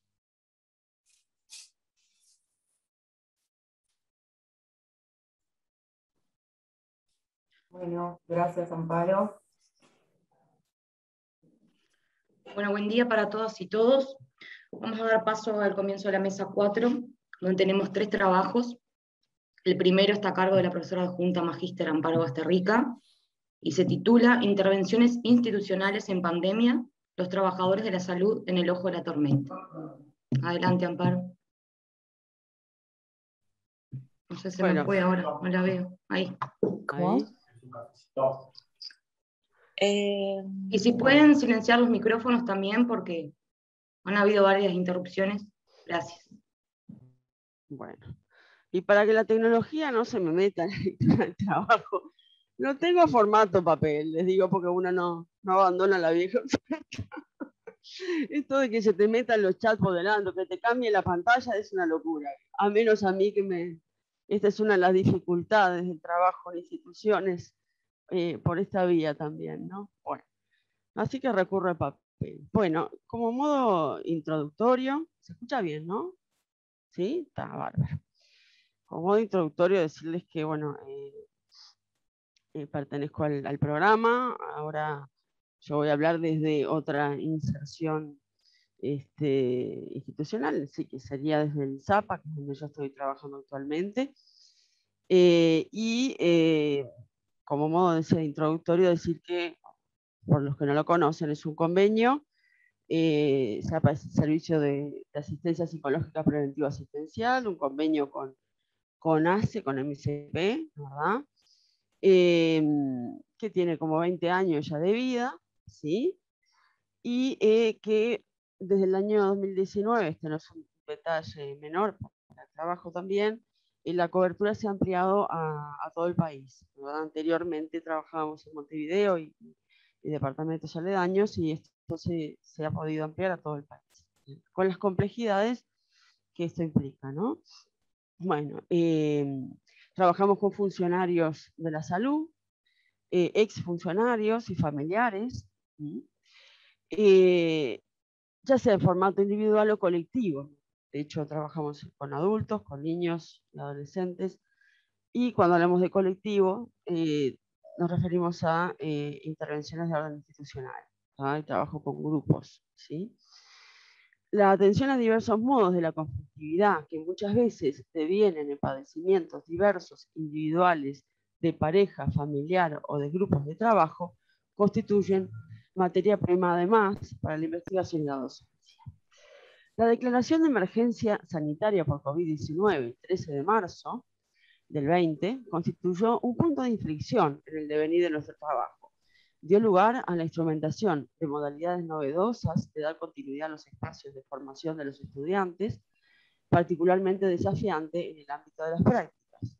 También conmocionó nuestra praxis, generando desafíos, límites y también posibilidades. Eh, el cierre abrupto de la sede del servicio, porque esto fue como de un día para otro, los cierres abruptos de, los establecimientos, trajo aparejado numerosos inconvenientes, la pérdida de vías de comunicación, de infraestructura, así como la interrupción en la llegada de expedientes, por ejemplo, de solicitud de atención, que anacrónicamente continuaban siendo de formato papel como esto, y un largo etcétera. Tensiones y cuellos de botella diversos en un servicio extrapresupuestado que subsiste en base a las consultas realizadas en un contexto de incertidumbre sanitaria y social en la que todos estábamos inmersos, y estamos, de hecho. El trabajo con personal de la salud, particularmente asediado por su implicación en la crisis sanitaria, imponía condiciones aún más difíciles, tanto para los abordajes psicoterapéuticos, vertiente que desborda el alcance de esta presentación, como para los abordajes grupales de las intervenciones institucionales. Como les decía, a ellas va a hacer referencia este trabajo. Eh, de esos primeros tiempos al día de hoy, hemos acumulado un bagaje de experiencia entre marchas y contramarchas de dispositivos clínicos y tecnológicos puestos a prueba para continuar trabajando constituyó también una oportunidad de ampliar nuestro radio de acción y poder así dar respuesta a solicitudes de policlínicas de la red de atención primaria de ACE, así como hospitales distantes de Montevideo. El trabajo a distancia se fue constituyendo en una condición de posibilidad no exenta de limitaciones. Em, la declaración de emergencia sanitaria por COVID-19 dio inicio a nivel de las organizaciones de la salud a múltiples movimientos en respuesta a la crisis, en un nuevo escenario político de recambio de autoridades. En ese panorama de elevada incertidumbre comienzan a llegar los primeros vientos de la tormenta. El hospital buque insignia del gobierno anterior es nominado Centro de Referencia para Pacientes COVID-19, lo que impactó en los modos de funcionamiento instituidos, prácticas profesionales, infraestructuras, equipos de trabajo especializados que vieron desdibujarse sus roles incorporación de personal de otros hospitales, en suma, una conmoción en las referencias identitarias de la institución. Fuimos convocados por el equipo de dirección de dicho centro, constituyendo esta nuestra primera intervención en el contexto de crisis. Es de destacar que el equipo ZAPA ya había trabajado en otras oportunidades en el hospital, en intervenciones con equipos de trabajo específicos. El pedido, encomienda, diríamos, tomando las palabras de Lucas y de la compañera que se me fue el cuadrito, bueno, perdóname porque no me acuerdo tu nombre. Serrana, Serrana. Serrana, Serrana, vale, vale. Bueno, el pedido de encomienda radicaba en la necesidad de prepararse para lo que iba a venir, en comillas, ¿no? Poniendo el foco, en principio, en el personal de primera línea de atención, que comenzaba a recibir los primeros pacientes COVID-19. Estos requerían de aislamiento, lo que solo implicaba particularmente al personal a cargo. También hacían referencia a conflictos entre sectores que culminaban siempre en reclamos de respuestas de, de la dirección, tomando la forma de relaciones radiales. En contextos turbulentos afloran modalidades regresivas de funcionamiento y otras, ¿no? A pesar del pedido inicial, a partir del pedido inicial, a pesar del pedido inicial interesante, comienzan una serie de reuniones vía Zoom con la dirección, las jefaturas, los equipos, en lo que constituyó una intervención transversal en la que se construye la demanda colectivamente, dando voz a diferentes participantes. Desde sus inicios, el ZAPA ofrece intervenciones grupales con equipos de funcionarios de la salud que lo solicitan. Constituyen espacios para pensar y analizar las prácticas y las tramas discursivas en las que se abordan diferentes formas del malestar, sufrimiento, y la conflictividad de los equipos, producto del sufrimiento institucional de los sujetos inmersos en las organizaciones. el contacto permanente con la enfermedad y la muerte, así como con las violencias cotidianas diversas asociadas a las condiciones de trabajo, atraviesan el desempeño de la tarea y los modos de relacionamiento. Como decía anteriormente, tras la solicitud inicial se comienza a trabajar convocando a los diferentes actores, grupos implicados a fin de, de ir problematizando y eventualmente construir una demanda. Este proceso es parte constitutiva de la, intervención y se procura dar voz a diferentes colectivos a lo que estos definen como problema. Las organizaciones constituyen entidades complejas en las que se articulan recursivamente diferentes dimensiones, aspectos de orden organizativo, dimensión histórica, modos de gestión, aspectos políticos, normativos, económicos, simbólicos, deseantes, libidinales, aspectos procedimentales también, que involucran racionalidades diversas de las diferentes disciplinas que conforman los equipos de trabajo, y un largo etcétera, todo ello que se pone en juego en los encuentros grupales. Trabajamos también con todo aquello que se constituye en un analizador, aquello que hace hablar a la institución, ¿no? esto lo plantea Luro, que la define como lo que revela la estructura de la institución. Así como las formaciones del inconsciente, los síntomas, los lapsus, los actos fallidos, ponen de manifiesto el sufrimiento psíquico de un sujeto, los analizadores en las instituciones tienen valor de denuncia, de visibilización, poniendo en juego elementos también para su comprensión. Eso es, es el doble juego. ¿no?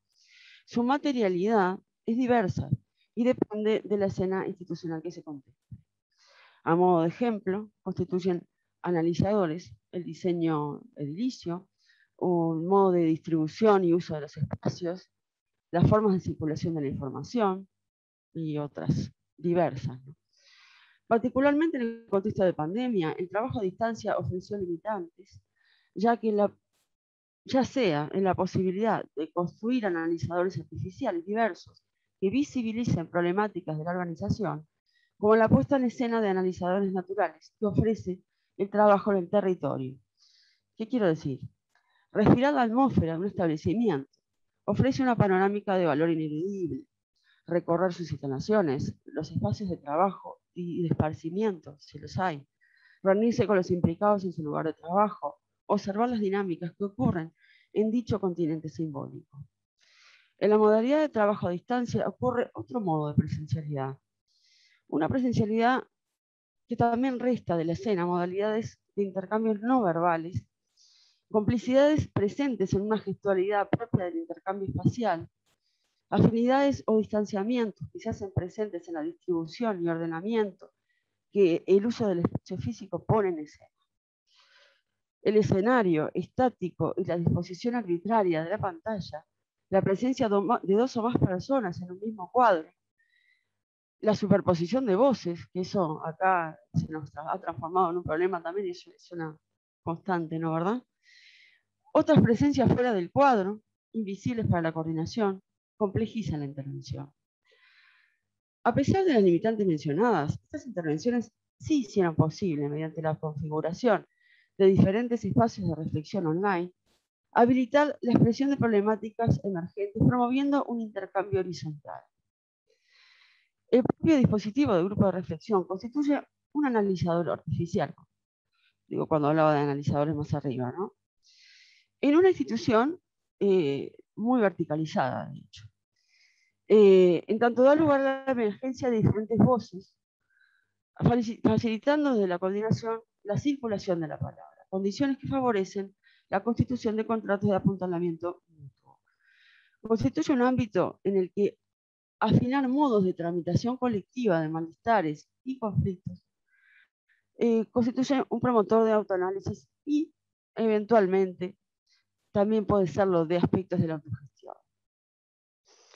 Esta modalidad virtual hizo posible también la presencia del encuentro de funcionarios de diferentes sectores del establecimiento, en tiempos en que la circulación de los trabajadores se circunscribía a zonas sucias y zonas limpias de COVID, con las múltiples resonancias que trajo aparejadas. Por ejemplo, ¿no? aquellos incluidos y aquellos excluidos de la circulación de la información, por ejemplo, de los protocolos sanitarios, que en esta fase, estamos hablando de la primera etapa de, de la crisis, diríamos, sanitaria, en esa fase eran permanentemente cambiantes. ¿no? Esta diferenciación mencionada es producto de la decisión entre trabajadores asistenciales y no asistenciales, constitutiva de las organizaciones de la salud, que diferencian jerarquías de tareas, franjas salariales, asimetrías diversas, productoras de malestar, que se hicieron visibles en las instancias de trabajo. Las convocatorias transversales procuraron, cuando fue posible, sortear dicha brecha cotidiana, promoviendo un intercambio incluyente acerca de diferentes saberes en torno a las prácticas, todas ellas fundamentales en su diversidad para el sostenimiento de la organización y el funcionamiento hospitalario, dando lugar a reconocimientos mutuos. Los modos de organización del trabajo de los trabajadores, valga la redundancia, de la salud, que en tiempos de paz son medianamente funcionales, visibilizaron sus reveses en pandemia. Por ello, la pandemia en sí misma puede considerarse un analizador, en tanto deja al descubierto y agudiza problemáticas previas de orden estructural. Las organizaciones hospitalarias revisten una estructura verticalizada que se conmociona ante la necesidad de diseñar escenarios cambiantes y dinámicos que exigen de articulaciones interinstitucionales diversas, reordenamientos internos a la organización, rediseños edilicios y funcionales. Esto trajo aparejado diferentes niveles de resistencia en un contexto de temor e incertidumbre en los funcionarios de la salud. La mirada, creo que me queda poco tiempo, voy medio rápido. La mirada institucional procura desde una práctica colectiva problematizar, desnaturalizar, interrogando diferentes niveles de significación que se expresan en lo individual, interpersonal, grupal e, y organizacional. El enfoque de la psicología institucional articula discursos de la economía, la sociología, la antropología, el psicoanálisis, entre otros, desde una epistemología interdisciplinaria. El psicoanálisis en tanto edificio conceptual, acerca de la constitución del sujeto psíquico y sus avatares, de las que se desprenden conflictos, síntomas y padecimientos, contribuye a comprender diversas formas de la conflictividad que pueden tener expresiones individuales o grupales. Estas formas de la conflictividad son producto también de la subjetividad de nuestro tiempo. Cada época y cultura constituye subjetividad, producción histórico-social que implica modos de ser, de sentir, de existir, de ser y de estar con otros. Un discurso constituido por un sistema de prescripciones y proscripciones que definen el lazo social. Esta función reguladora de la ley reviste nuevas formas en nuestros tiempos y, y ello conlleva nuevos contratos vinculares. Las lógicas capitalistas alientan el individualismo promoviendo diversas formas del desencuentro en los vínculos u otras formas de encuentro que atraviesan las organizaciones. Volviendo a las intervenciones institucionales y ya desatada la tormenta, fuimos convocados por diferentes direcciones de hospitales para trabajar con equipos de CTI, particularmente desbordados por una realidad para la que no se hallaban preparados. Ingresos masivos, rápida desestabilización de pacientes y elevado número de fallecimientos. El trabajo en el fin umbral entre la vida y la muerte convoca estrategias colectivas de defensa. Al decir de Gers, estas ideologías defensivas del oficio pueden de considerarse también formas del pacto de negativos, según Caes, un pacto inconsciente común a diferentes modos del vínculo, pareja, grupo, familia o instituciones. Constituyen operaciones de represión y desmentida, efectuadas por los sujetos a fin de mantener la organización de dicho vínculo. Ya desde la formación de los profesionales de la salud, de hecho, se promueven prácticas de insensibilización frente al dolor. Estas maniobras defensivas colectivas que también separan a los que asisten de los asistidos, se vieron desafiadas por la pandemia. Han sido muchos los funcionarios que enfermaron gravemente y debieron ser asistidos por sus propios compañeros. La posibilidad de la propia muerte impacta fuertemente en los equipos. Constituye en estos momentos de eclosión de la angustia que el dispositivo de trabajo permite alojar, acompañando los vaivenes defensivos que imponen el imperativo de la urgencia. Acompañar estos procesos en esta lógica de mundos superpuestos, al decir de Janine Puget, requiere también espacios de autoanálisis y apuntalamiento mutuo del equipo interviniente. Y simplemente para decir, utilizar el dicho aquel de que, bueno, por suerte, como dice el dicho, siempre que llovió, no sé si es paro, pero al menos ama y no, y ahí, ahí andamos. Da, por acá quedo. Gracias. Gracias, Amparo. Bueno, pasamos al segundo trabajo, que es presentado por la pasante psicóloga Natalia Splanato, y se titula Reflexiones sobre la presencia del analista en tiempos de pandemia. Adelante, Natalia. Hola, buenos días, muchas gracias. Bueno, me pongo a leer. Bien. La pandemia virus COVID genera un golpe traumático que conmueve la vida cotidiana de los sujetos, alterando el lazo y las formas de percibir a los otros. Las y los psicoanalistas nos vemos desafiados a interrogar e inventar nuevos modos de saber hacer ahí frente a un real desatado. El presente artículo pretende reflexionar sobre la presencia del analista como creación poética y subversiva para sostener la práctica clínica a través de las tecnologías de la información y la comunicación. En los albores del, del 2020, el virus de COVID-19 irrumpió en Uruguay y el mundo generando conmoción. En la historia y la literatura universal encontramos que no es la primera vez que un virus se disemina en y a través de personas. Para las generaciones contemporáneas en Latinoamérica, sin embargo, es una situación sin precedentes. Como una distopía, ciencia ficción, la irrupción de lo real desatado coloca a las personas en una escena alarmante, como en la guerra. ¿Será posible trazar un paralelismo entre la pandemia y la guerra? En 1930 Freud habla acerca de las tres amenazas que generan malestar en la cultura, ellas son la naturaleza, el propio cuerpo y el lazo con nosotros. En este sentido, los tres elementos que generan malestar en la cultura son conmovidos por una pandemia como agentes del orden de la naturaleza, que impactan los cuerpos, cambiando las formas de vida como las conocíamos y en las formas de establecer los lazos. La transitoriedad de la vida es aquí cuestionada, interrogando a cada sujeto con sus recursos frente a lo real. Freud, al observar y escribir sobre la posguerra, se pregunta, ¿hay dos lados? ¿Quién es el enemigo? Es entonces que el semejante se percibe como tal, en tanto suponemos que podemos prever sus dichos y acciones como características de un imaginario. En tal contexto, el otro como en la guerra se erige como una potencial amenaza que inscribe un real en el cuerpo. El otro semejante, amigo, familiar, deviene no familiar. Lo visible y diferente se torna siniestro, virando el modo en el que se hace el lazo. Así pasamos a percibir al otro semejante como prójimo. El prójimo, además de auxiliar, dice Freud, y objeto de satisfacción, es una tentación para satisfacer en la agresión. En este sentido, el prójimo comprende esta cercanía familiar del semejante, pero también cierta extrañeza, que hace presente lo extraño en uno mismo. De este modo, se sitúa más allá de lo reflejable, más allá de donde se hace posible reconocerse, en tanto encarna la posibilidad de volvernos objetos. Las consecuencias de la pandemia en la actualidad nos conmueven en, las expectativas. ¿Cuánto podemos ante la muerte? Lo traumático de la pandemia significa para el sujeto el límite de la vida en la Tierra. Trasluce su no saber ante la muerte, como en la guerra. Multitudes de individuos mueren, ya no es posible sostener, nada me puede suceder a mí.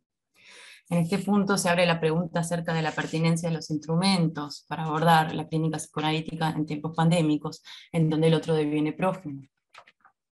Desde hace algunos años el avance de las tecnologías de la información y la comunicación, TICs en delante, planteaban la posibilidad de incorporar al ámbito analítico de la clínica. Los debates confluían por escabrosas derivas que por lo general concluían en fundamentalismos acerca de la relevancia del análisis de cuerpo presente.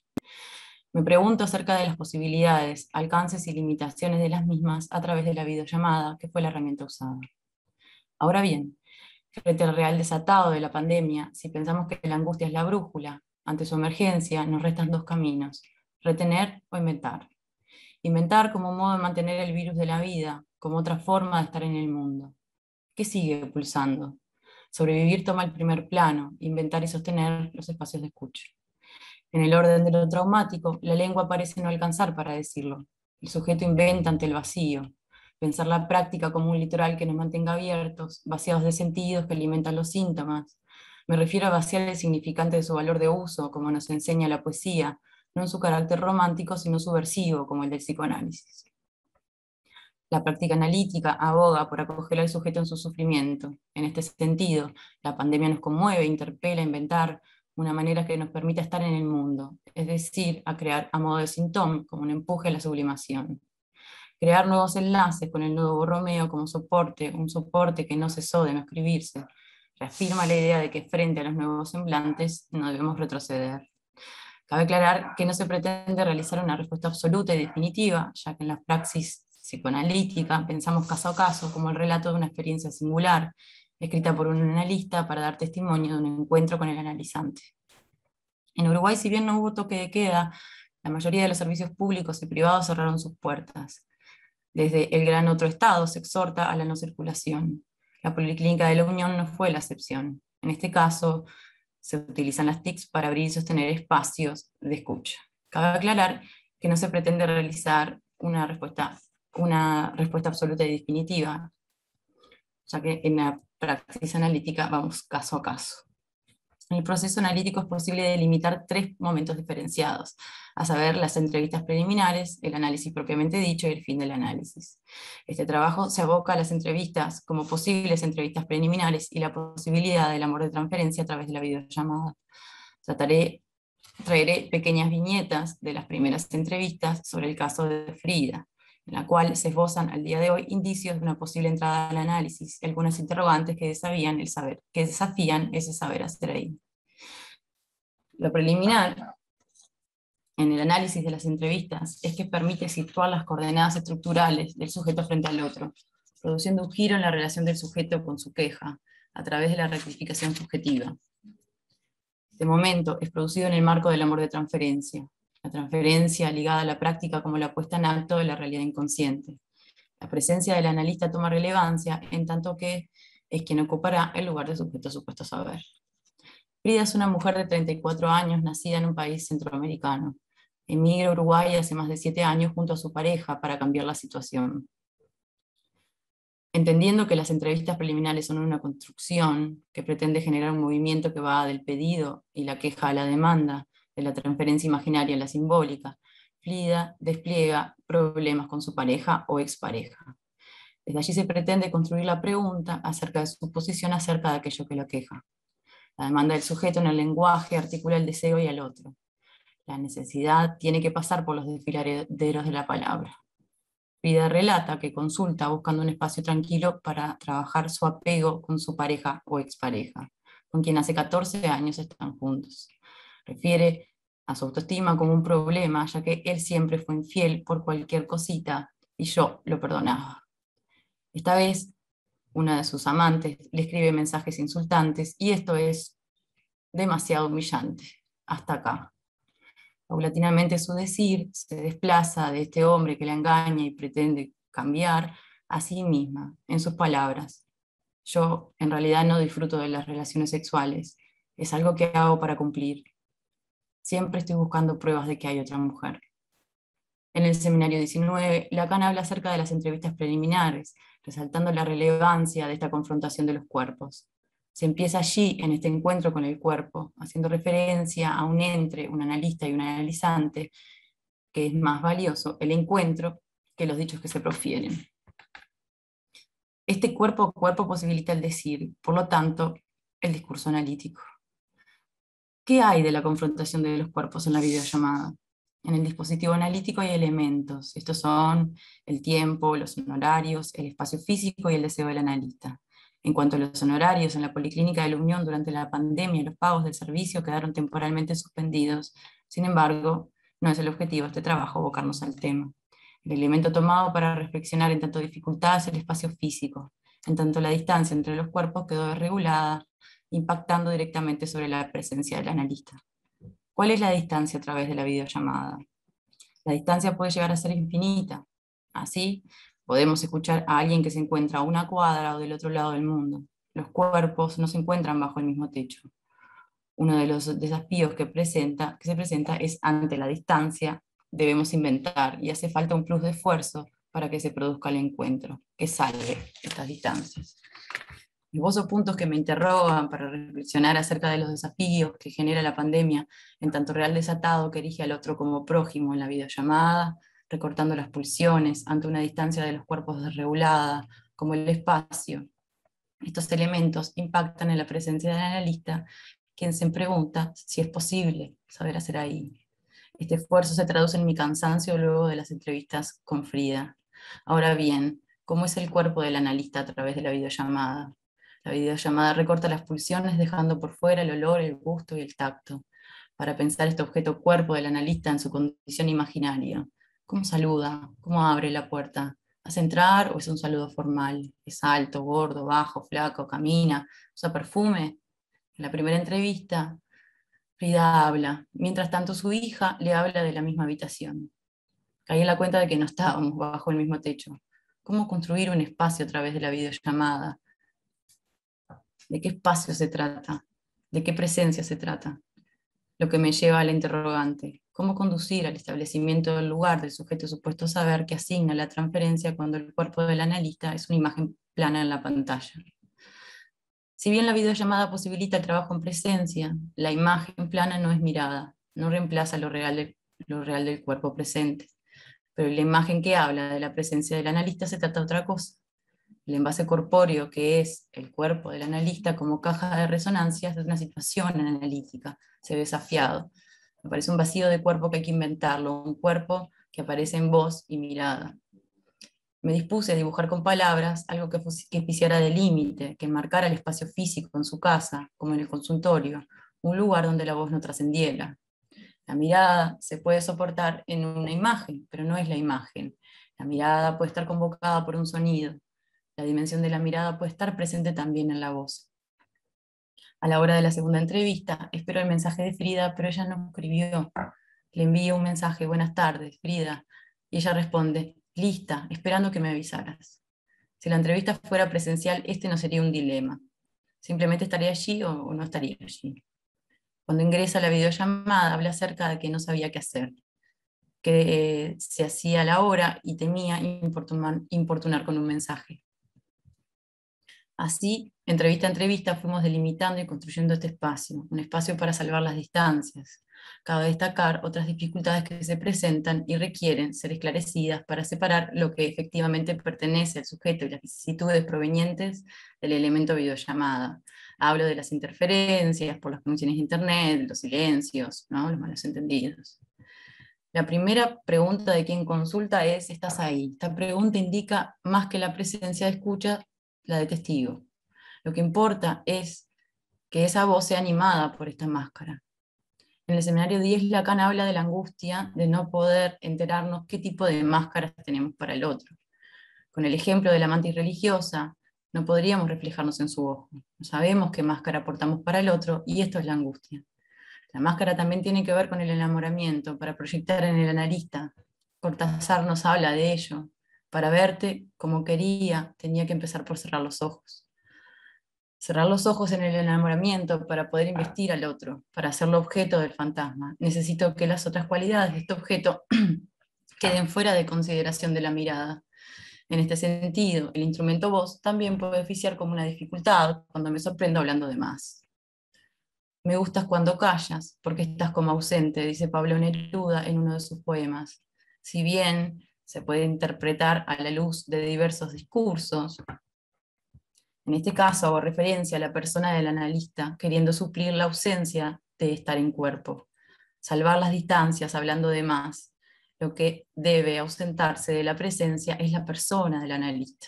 En este sentido, la angustia que precipitó este no saber ante la distancia de los cuerpos también debió ser interrogada. La neutralidad del analista supone poder ponerse esa máscara. La neutralidad es poder soportar la máscara, la persona, que la persona del analista se ausente detrás de esta máscara. Hay dos sujetos y una sola palabra. La palabra del analista le presta la voz. La pregunta, ¿estás ahí? se complejiza. ¿Estás ahí con esa máscara? Me pregunto, ¿será posible la entrada en análisis a través de la videollamada? Muchas gracias. Gracias, Natalia. Bueno, damos paso al último trabajo que es presentado por la pasante psicóloga Ana Paula Guerrero y se titula Vicisitudes del pasaje a la atención virtual en la Clínica Psicoanalítica de la Unión. Adelante, Ana. Bueno, muchas gracias. Este, comienzo a, leer el trabajo. Como ya dijo Maricel, eh, se titula Vicisitudes del pasaje a la atención virtual en la Clínica Psicoanalítica de la Unión. El escenario de inicio de la emergencia sanitaria en marzo de 2020 motivó que el dispositivo psicoanalítico tuviera que adaptarse a las modalidades de atención virtual. Esto nos hizo enfrentar distintas realidades que fue necesario contemplar. Este pasaje tuvo que ser pensado caso a caso y suscitó efectos novedosos. En algunos de los tratamientos en curso, la virtualidad habilitó el despliegue de decires inéditos, de aspectos relevantes que no habían sido traídos con anterioridad a la consulta presencial. En otros casos, se suscitaron hechos que fueron considerados riesgosos o inadecuados y se optó por suspender las consultas virtuales o en algunos casos se requirió volver a la presencialidad y bien fue posible. Entiendo que el pasaje a la virtualidad requiere la problematización e investigación que le son, que les son intrínsecos al psicoanálisis y que deben ser repensados en función de las particularidades que encuentran en dispositivos clínicos de este tipo. Partimos de la presentación de un caso clínico para pensar algunas cuestiones en relación al cuerpo y a la presencia del analista en esta modalidad de atención.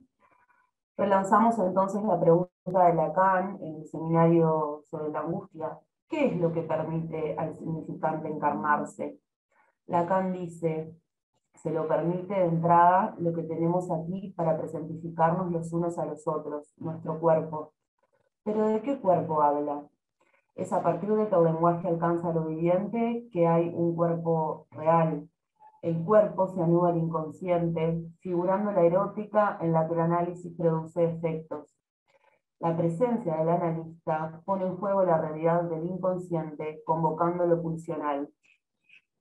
El trabajo con él duró siete meses. Llega a la consulta diciendo, necesito ayuda psicológica urgente por mi discapacidad. Desde su nacimiento está diagnosticada por eh, una discapacidad motriz a causa de una hemiparesia derecha. Vive con su padre, su madre abandonó el hogar cuando todavía era una bebé. Asistió a una escuela especial hasta los 17 años. El día en que cumple 18 años y mientras realizaba tareas de jardinería junto a su padre, este le dice que lo está haciendo mal y que lo va a seguir haciendo él.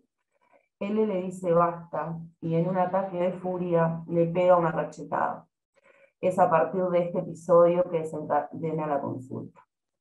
El trabajo con él giró en torno a un significante que marcó su vida, discapacitado, desplegando su decir y su sentir acerca del abandono de su madre, de su posibilidad de relacionarse con otros, de su deseo de estudiar, de su sexualidad y de su cuerpo, pero sobre todo de descubrir cómo era nombrada por los otros y cuestionarse cómo ella se había apropiado de esa condición.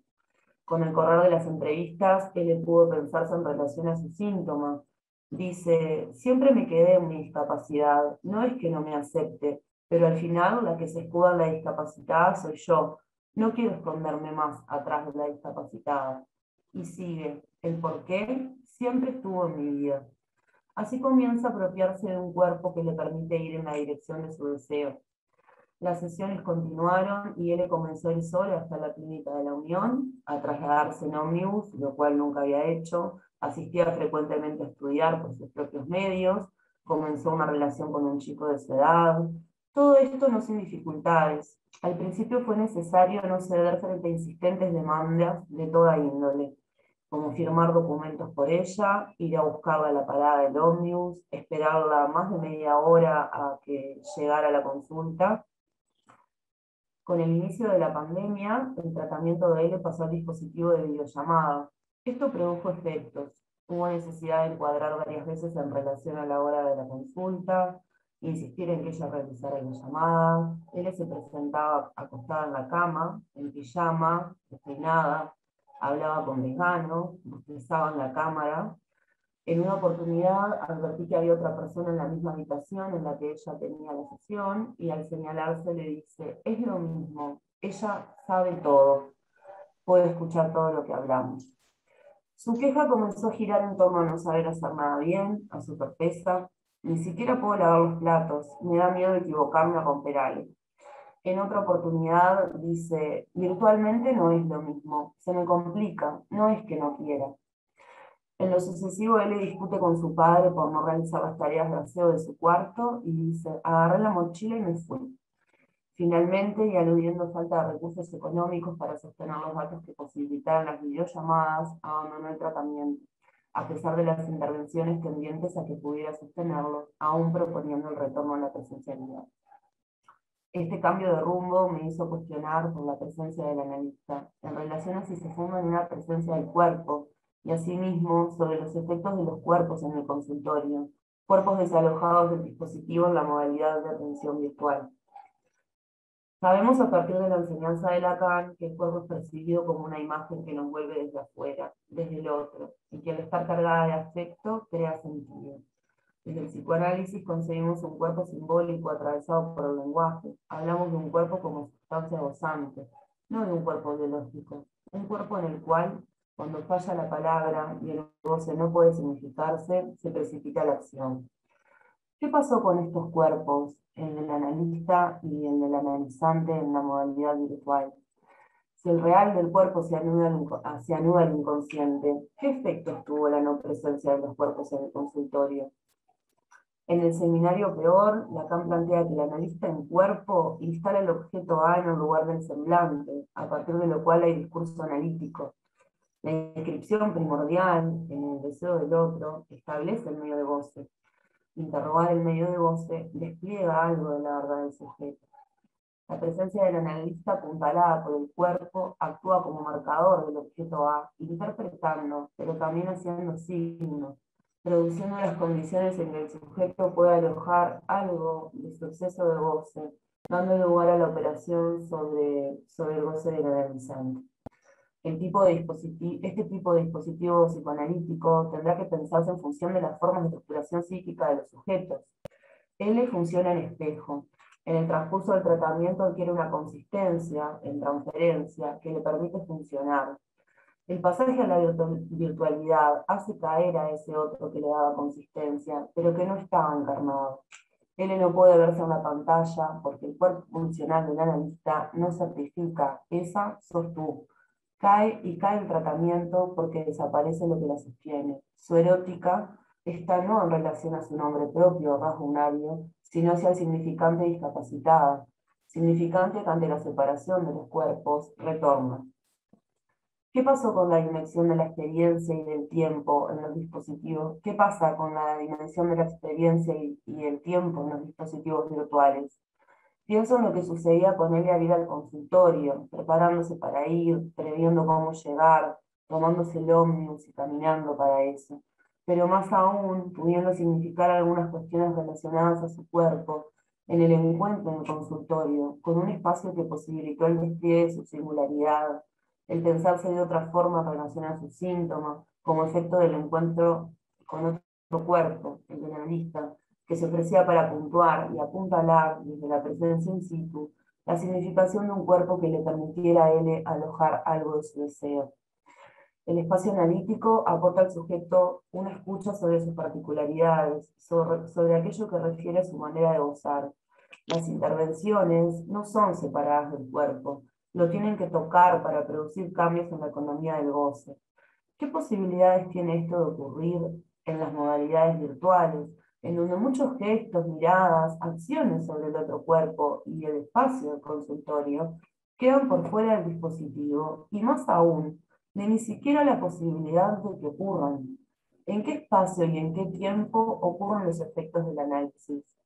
Lacan, al referirse a las pulsiones, en el seminario El síntoma, dice, las pulsiones, eso es el eco en el cuerpo del hecho de que hay un decir, pero para que ese decir resuene, para que consuene, es preciso que el cuerpo sea allí sensible, y que lo es, es un hecho.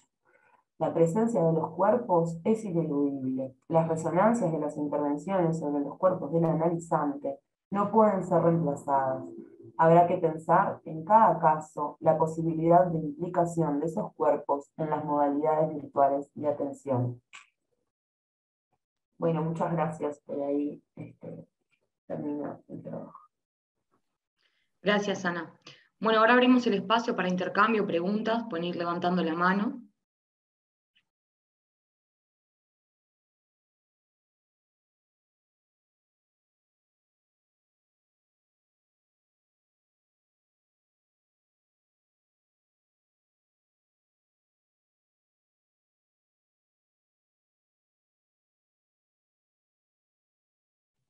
Yo me voy a autohabilitar y me quedé con algo de, tu trabajo, Ana, eh, en esto que traías ¿no? de esta paciente y el significante de la discapacidad, ¿no? que es como lo que la marca.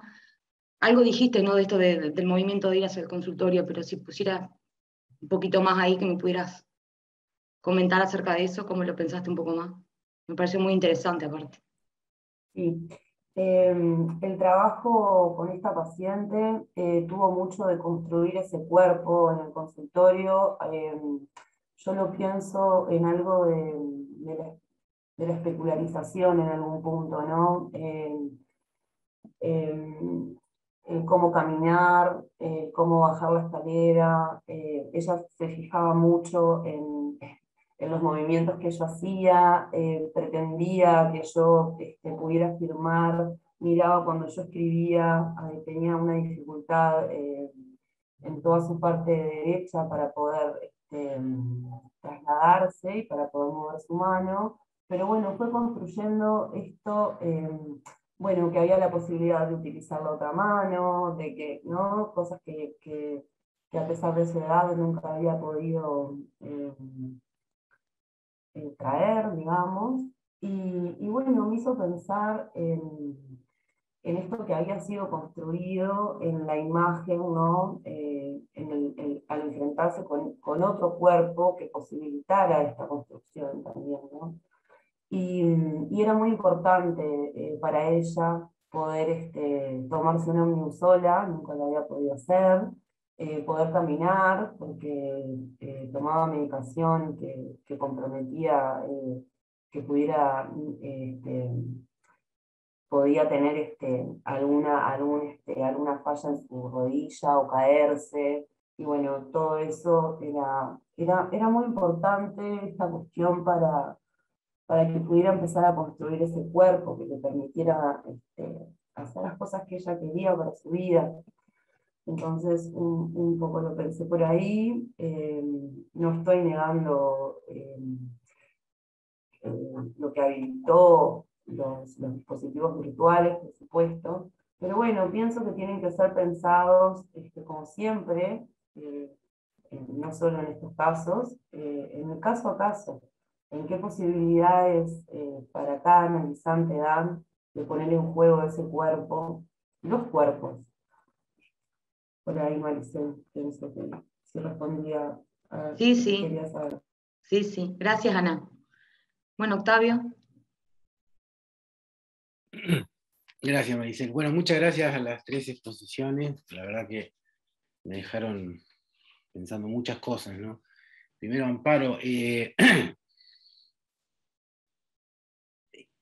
este, este mm, lugar común que vos enunciás y que se pone más en evidencia, ¿no? tomando en cuenta también lo que decía Natalia en esto de que, bueno, em, lo que nos eh, complica en la naturaleza el propio cuerpo y las instituciones y lo social. Entonces, en, ese, en esa lectura que vos hacías de, la institución demandada, altamente demandada, este, este lugar común, antiguo, que es eh, la desmentida de la muerte, la insensibilidad, la insensibilización, perdón, más que la insensibilidad, la insensibilización como parte de la rutina eh, formativa, pero en el sentido de la formación del inconsciente, ¿no? en el sentido de una formación académica, de eh, el personal de la salud que está más ahí.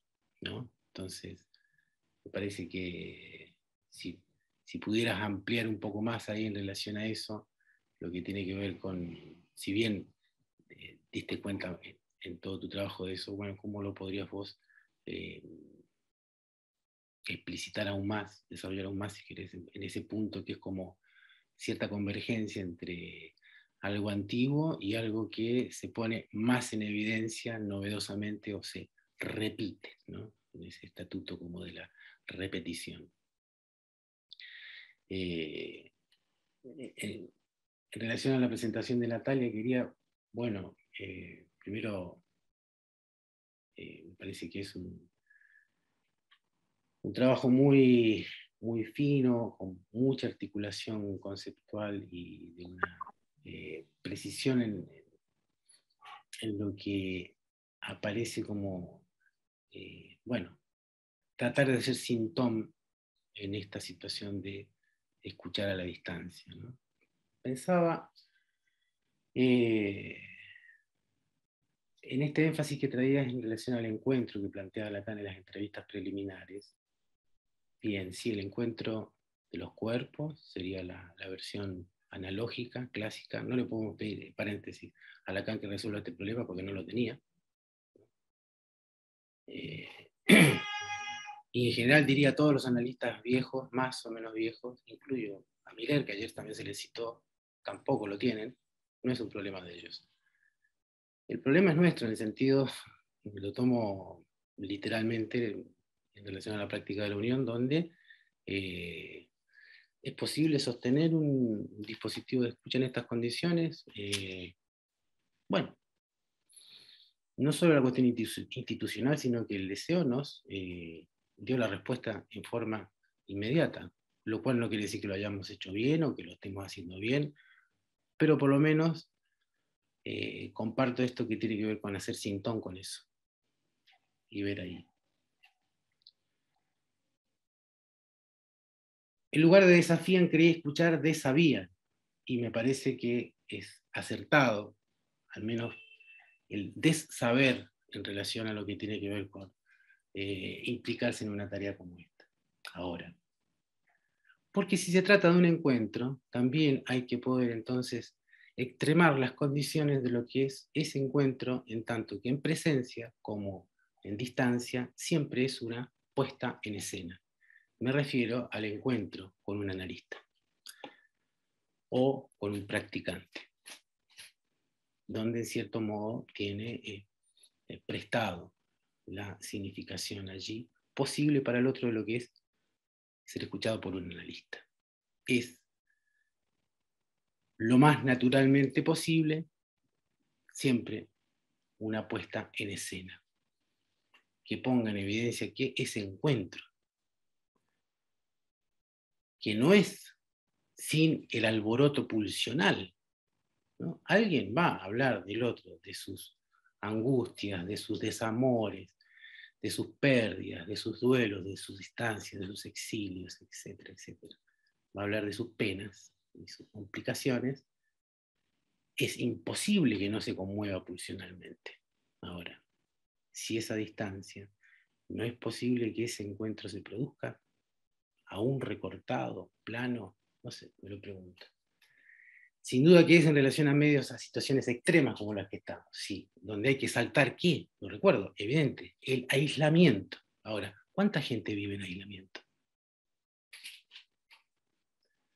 O dicho de otro modo, ¿acaso este dispositivo no, no nos permite acercarnos a personas que, a las cuales no llegábamos? En ese sentido, me hacía pensar tu trabajo, Ana Paula, que justamente tiene también ese, punto, digamos, de, de, costura muy fino entre lo que es una lectura analítica, un proceso de formación allí, y la escucha clínica. Pero acá fue al revés, es decir, vale la pena la pregunta, y me pregunto, ¿cuánto del resto de lo presencial, de ese encuentro, llamémosle, clásico, tradicional, cuerpo a cuerpo, que eh, por mi naturaleza analógica voy a defender hasta morir, pero también tengo que darme cuenta que hay otras cosas. Entonces, ahí ocurre al revés, el resto pulsional en presencia pareciera que no toleró el paso a la pantalla. Que es al revés del proceso de Natalia, donde empezó en virtualidad. No sabemos qué va a pasar. Pero en este sí sabemos tenemos la película completa en ese sentido. Y tomando en cuenta siempre que eh, la formación de un analista es a partir de frustraciones clínicas. Si ¿para qué sirvió el ejemplo de Dora, de Freud? ¿no? Una ilustre fracaso. Eh, fracaso está por ahí nomás, pero para las expectativas del sí, que es el punto donde uno dice, la pucha, esta persona venía trabajando bien, viene esta pandemia de mierda y esto nos corta el, trabajo y tenemos que hacer esto. Y ahí me parece que pesa ese punto y nos atraviesa y nos sacude. ¿Cómo te sacudió a vos y a ella también? Entonces, el, el proceso al revés de cuál resto de lo corporal presencial no pudo pasar a la pantalla es la pregunta que me parece, me hace surgir tu, muy, muy buen trabajo. Eh, por último, me hizo pensar una pregunta, y en relación a este tema de, la, de lo cuánto de real hay en lo virtual, cuánto de encuentro real se puede producir en lo virtual. y me hizo pensar en algo anterior, antiguo, preanalógico, que es el tiempo de los cuadros. Cuando uno mira un cuadro, cualquier cuadro, pongamos de las meninas, el clásico que trabaja Foucault y Lacan, por ejemplo. Cuando uno mira un cuadro, les pregunto, ¿hay ahí un cuerpo? Al menos uno hay. El que mira. ¿Qué quiero decir con eso? Cuando uno está en el encuentro virtual, también hay que poder reconocer que en el otro también la pulsión está actuando, aunque estés a 10 kilómetros o 100 kilómetros, y solamente haya un reflejo más o menos fiel de la imagen y un reflejo muy, muy, muy aún precario tecnológicamente de la reproducción de la voz. Estamos acostumbrados, acostumbrándonos mal a escuchar pésimo, lleno de interferencia, lleno de ruido, lleno de, de porquería.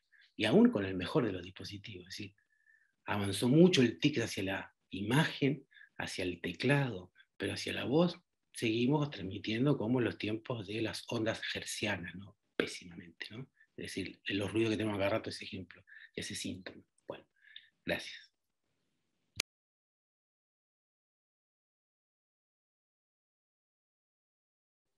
No tienen la palabra las expositoras para responder. Si pueden ser breves, les agradezco. Ah. Eh, bueno, cortito, porque en realidad eh, dijiste muchas cosas interesantes, Octavio, y me quedé en una nube de otras cosas, pero bueno, intento retomar algo cortito que tiene que ver con, con bueno, eh, si bien estas modalidades ofensivas, estos modos del encuentro, diríamos, desde lo de negativo, ¿no? han sido una constante y son parte de, bueno, del acuerdo del vínculo, diríamos, ¿no? Bueno, justamente eh, esto, esa pandemia que pone al, otro eh, en, prójimo, como dijeron, ¿no? En semejante, o sea, y sobre todo este tema de las eh, internaciones en las muertes de compañeros, ¿no verdad? En los equipos de, de salud que son de un enorme impacto, ¿no verdad? Este, creo que bueno, esto ha sido eh, un signo, una marca de, este, de, este, tiempo y de esta pandemia, ¿no? Digo, bueno, eh, el impacto en algo donde, bueno, estamos todos del mismo lado, diríamos, esto que decía, del asistido y el asistente, que constituye una defensa eh, histórica, diríamos, bueno, es, subvertida. ¿ah? Por ahí, pero me quedé con otras cosas, pero la dejo a las compañeras.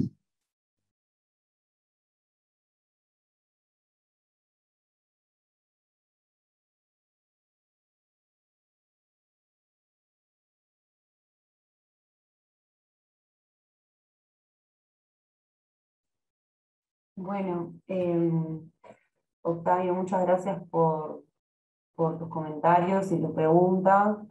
Em, a mí me queda, em, esto justo fue una pregunta que, me queda circulando, esto del resto que no puede pasar a la virtualidad, ¿no? Y, me parece que en este caso eh, me, me, interpela sobre, sobre el espacio eh, y sobre el tiempo que, tienen que ver en, este, en, este, en este contexto de atención a través de la pantalla. Em, había algo de eso que no pudo ser transmitido, eh, resignificado por, por él, que no pudo ser apropiado, que estaba en construcción, eh, quedamos como en una etapa anterior a esa y se suscitó la virtualidad y, lo que estaba en construcción cayó. Y, bueno, me quedo con esa pregunta en realidad eh, para seguir pensando. Este, pero bueno, más que, más que nada quería como, como este, traerla y, pensar en esto del espacio, del espacio en donde en donde también desde su casa, desde donde ella tenía las consultas, había sido significada este, como discapacitada y donde estas, estas personas que formaban parte de su vida, estos otros cuerpos también circulaban por allí por, por donde ella estaba teniendo la consulta. Y bueno, ¿qué, qué de ir al, al, consultorio hacia un corte con eso? Y, y le posibilitaba eh, en el encuentro con, otro cuerpo que, que, le daba la posibilidad de alojar todas esas interrogantes, este, construir otro, otro que fuera, que fuera ella, eh, eh, pensándose con otras posibilidades. Bueno, muchas gracias por ahí.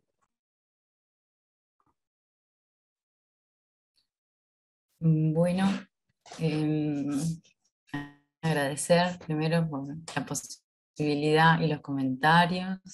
La verdad que me, quedé pensando en, en algunas de las cosas que, trajeron en cuanto a esto de, cuánto del cuerpo real se pone en juego ante eh, las videollamadas. Me parece que es, un punto que, falta ahondar todavía y, y, sobre todo conectándolo con esta dificultad que, genera, ¿no? Y mm, otro punto que me parece reinteresante de los comentarios que hiciste, Octavio, es esto de, sobre el cuerpo, ¿no? Si hay un cuerpo, justamente, eh, si, partimos de la idea de que el analista eh, puede mirar, ¿no? Y partir de esta idea de que por lo menos hay un cuerpo, ahí también se abre como otra, otra vertiente para, para pensar todo esto de la posibilidad de la entrada en análisis. Y, lo último es esto mismo que traía Ana Paula, me pareció reinteresante, de, de esto de qué resta del cuerpo, ¿no? No, lo había pensado así. Eh, y me, bueno, me quedo pensando. Así que muchas gracias. Bueno, muchas gracias a todos. No sé, Octavio, si te parece, como estamos un poco pasados, hacemos un, un corte de 10 minutos. Volvemos 11 y 20, si les parece. 15, 15 igual. Bueno. 25, bueno, 15. Dale. Dale. Eh, 25, ahí está. Dale, gracias.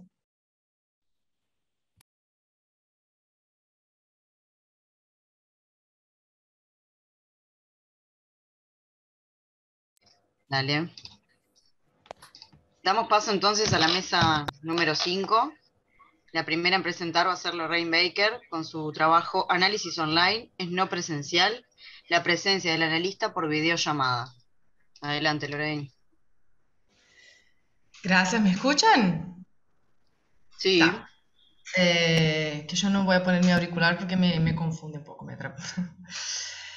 Eh, bueno, gracias por, por la oportunidad. Y bueno, empiezo. Empiezo con una citación de una canción de Carmen Miranda y voy a hablar en portugués. Anunciaram e garantiram que o mundo ia se acabar. Por causa disso, a minha gente lá em casa começou a rezar. E até disseram que o sol ia nascer antes da madrugada. Por causa disso, nessa noite, lá no morro não se fez batucada. Para iniciar minha charla de hoje, quero recordar-lhes por que começamos com essa modalidade de análise online, por lo menos em la generalização de dicha prática. En marzo de 2020, una enfermedad global que ha afectado casi 250 millones de personas hasta la fecha y ha cobrado más de 4.5 millones de vidas. Llegó a Sudamérica e impuso una cuarentena que conlleva la separación total de cuerpos en el contexto social. Es un virus que se propaga por la boca o la nariz de una persona infectada, en pequeñas partículas líquidas que son expulsadas al toser, estornudar, hablar cantar o respirar. Lo que sale de nuestras bocas, al igual que las palabras, las que escuchamos a diario en nuestros consultorios, se han convertido en portadoras de las amenazas más temidas de los últimos tiempos. Estamos viviendo uno de los momentos históricos más traumáticos de nuestra generación, similar a guerras y dictaduras, donde el duelo se acumula y aún no sabemos los efectos que tendrá esa pandemia que aún no ha terminado. Como psicoanalistas, más importante que padecer, nuestro rol era tomar la posición ética que tuvimos muchos de, los que hoy estamos acá reunidos, para seguir escuchando a nuestros analizantes. No fue posible retroceder ante ese horror ni rechazar al paso, el paso al remoto para continuar con la escucha, bien como la transmisión del psicoanálisis, esa misma que estamos haciendo acá, remotamente, online, cada uno en su casa, pero estamos. No debemos dejar que el psicoanálisis se debilite en ese escenario de malestar social. Es nuestro deber en el mundo hacer que el psicoanálisis exista y es un deber ético estar al lado del sujeto, no solo en su malestar individual, sino también estar presente en ese escenario de malestar social y avances tecnológicos. Lacan dice que el psicoanálisis es un síntoma del malestar en la cultura. Mientras exista el malestar, el psicoanálisis existirá y debe existir como una forma de tratar ese malestar del sujeto y de la cultura. La pandemia nos ha, atravesado a todos. Escuchamos a nuestros pacientes siendo nosotros mismos y nuestras familias amenazados por el COVID.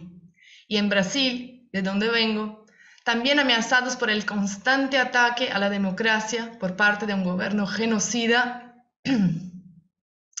y aún amenazados por la imposibilidad de seguir sosteniendo nuestra clínica de manera virtual o online, o sería no presencial. Todavía no estoy segura de cómo llamarla. ¿Se puede realizar un análisis de esa manera? ¿Es necesario volver a los fundamentos y la ética del psicoanálisis para que podamos afrontar y adaptar el dispositivo heredado por Freud al funcionamiento online, excepcionalmente o no.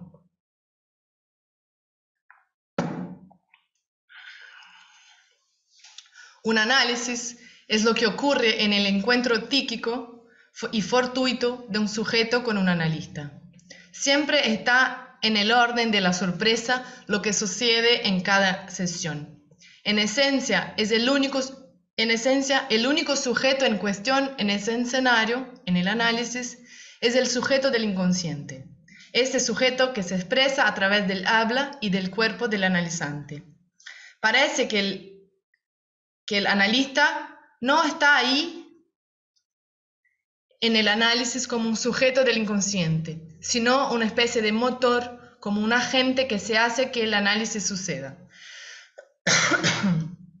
es decir, el analista se propone mantener y sostener el enderezamiento de la libre asociación hacia el analista. ¿Es posible sostener ese enderezamiento en un análisis online? Si el primero eje del enderezamiento se encuentra en el ámbito de lo simbólico con la cadena significante, el segundo eje es el encuentro con la presencia del analista, algo de lo real. En otras palabras, ese es el encuentro con el analista en lugar de objeto precioso como causa de la transferencia. Por tanto, un análisis no es posible sin la presencia del analista. El analista no está presente en una reunión virtual, no es presencial cuando el encuentro es online. Freud dice que un análisis no se puede hacer en ausencia.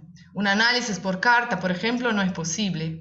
Hubo peticiones a Freud de esa orden, pero él pedía a los candidatos que fueron a Viena a consultarse. En ese momento no, no había la posibilidad de lo online, en directo, en pantalla. Una sesión analítica es como, es como el teatro que requiere la presencia de cuerpos, tanto de personajes como de público. El análisis por videollamada no es como una carta o una película o una foto, donde la presencia del artista o modelo ya no está más ahí. Es sí en vivo y en directo.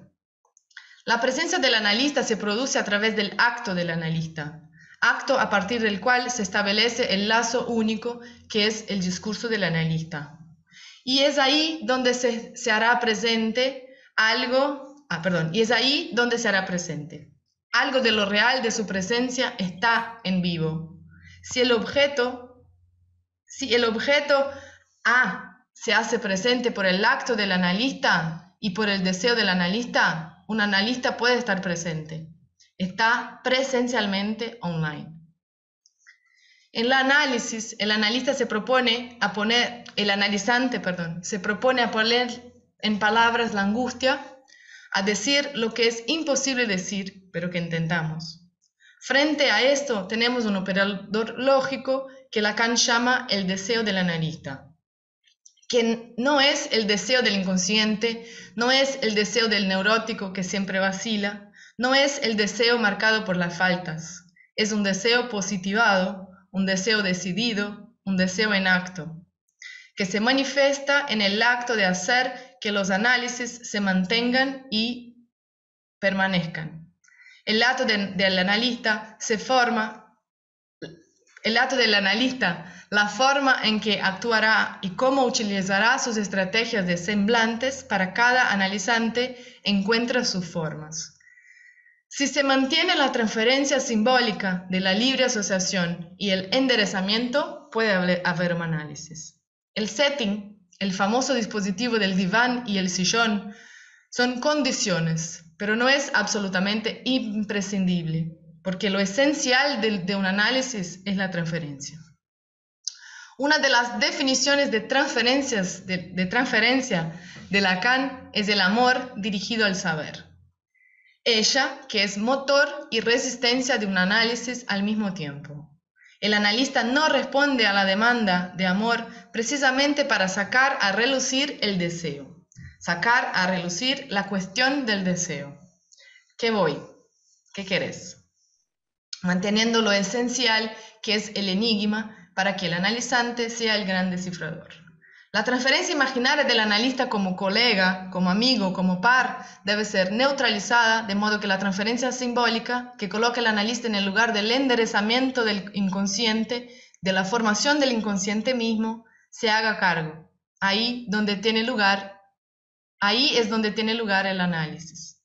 El inconsciente se manifiesta en el análisis a través de la asociación libre, en el deslizamiento de significantes que se dirigen al analista. La única regla del análisis es la libre asociación, el resto es una condición. Y son esas condiciones las que debemos pensar en ese momento de pandemia o en cualquier escenario que proponga un análisis online. El, uso de la asociación libre en el contexto del tratamiento no ocurre de forma espontánea y sin obstáculos. E, exige un trabajo psíquico del analizante para superar fuertes resistencias y exige una observación constante del analista. Asociar, asociar es acompañar con el habla lo que viene a la mente, como un, viajero que observa pensamientos en forma de paisaje a través de la ventanilla de un tren y va describiendo lo que ve. Dejamos que, dejemos que el habla acompañe el pensamiento para que uno pueda sorprender, sorprenderse con algo que habla. Imagínense, imagínense en un viaje de tren, sentados junto a una ventana, mirando el paisaje en constante cambio. Las imágenes evocan impresiones, emociones. Un pueblo evoca una escena de la infancia, interrumpida por la entrada repentina del tren en un túnel y la aparición de pensamientos inquietantes. Sin comprender que lo que lo, aterrorizaba, salir del túnel es reconfortante y en anhelo, en un tiempo incierto, lo inquieta. En ese momento recuerda una conversación que tuvo lugar el día anterior y requiere un, y repara un malentendido. Esa fue una situación de Christopher Bola, que fue traducida libremente por mí. El habla del paciente transforma las escenas en cadenas significantes. Es un determinado significante de una escena que la traslada a otra escena, que nos retrotrae a escenas fantasmales, escenas primitivas. En ese sentido, no importa tanto la escena que se ensambla el análisis, sea virtual o físicas, ya que se trata siempre de otra escena. El analista está atento a escuchar, más allá del sentido, lo que viene del sonido de las palabras, de los significantes, atento a escuchar las pausas, juegos de palabra, vacilaciones, donde, donde el habla tropieza, para dónde van las asociaciones, escuchar el goce que se expresa a través de la enunciación y el enunciado del analizante. Nuestros actos fallidos son actos bien sucedidos. Nuestras palabras que tropiezan son palabras que confiesan. Una situación de Lacan del Seminario 1. Escuchar los fallidos de palabras, los lapsus, lo que pertenece al orden de la lang, es decir, la suma de errores y juego de palabra que hace que el lenguaje en asociación libre sea también poética.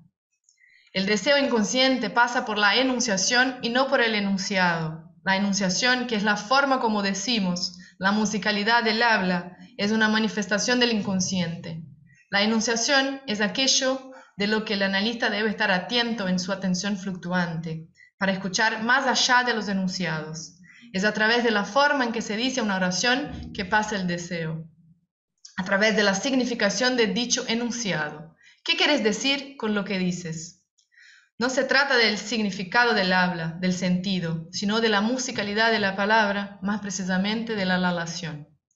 Otra forma de manifestación del inconsciente es la enunciación corporal. Hay que tener en cuenta lo que dice Lacan en el seminario 20, llamar al sujeto cuerpo hablante, el sujeto habla a través de la palabra, pero hay algo que realiza en, su cuerpo, que también es una enunciación. Actos performáticos que están dentro del lenguaje, que no son del orden del habla, sino del orden del lenguaje. El inconsciente también está en el cuerpo. En los análisis online, ¿qué lugar daríamos a la enunciación corporal? ¿Es importante mantener el video encendido debido a eso? ¿Cómo escuchar la enunciación corporal con cuerpos separados por una pantalla. Sabemos por Freud que el cuerpo no se limita a lo que es, sino que el cuerpo humano tiene esas emanaciones que Freud llamó libido, que emana pseudópodos para agarrar sus objetos libidinales. Por tanto, nuestro cuerpo nos transciende a nosotros mismos. Si transciende lo físico, puede trascender a lo virtual, lo que está presente en una videollamada es la voz y la mirada, que son emanaciones de la pulsión, son parte del cuerpo, es también cuerpo, es no todo cuerpo. Por lo tanto, los cuerpos están presentes en ese encuentro, en lo que se ve o no en la pantalla. En el paso de las entrevistas preliminares, en el paso de las entrevistas preliminares al diván, hay una ruptura en el imaginario una ruptura en la paridad, en el eje imaginario, cara a cara, a, a línea, a línea. Y la posibilidad de colocar una disimetría necesaria para el análisis. El análisis y el analizante, el analista, perdón, el analista y el analizante no están en la misma posición, no hay simetría. Esa disimetría es absolutamente necesaria para que ocurra el discurso del analista. El análisis no es un diálogo, pero es posible plantear esa disimetría de varias formas. Es el acto que hace que se, produzca, que se produzca el discurso. ¿Qué es una presencia física o una presencia virtual? ¿Qué es un cuerpo en el encuentro virtual?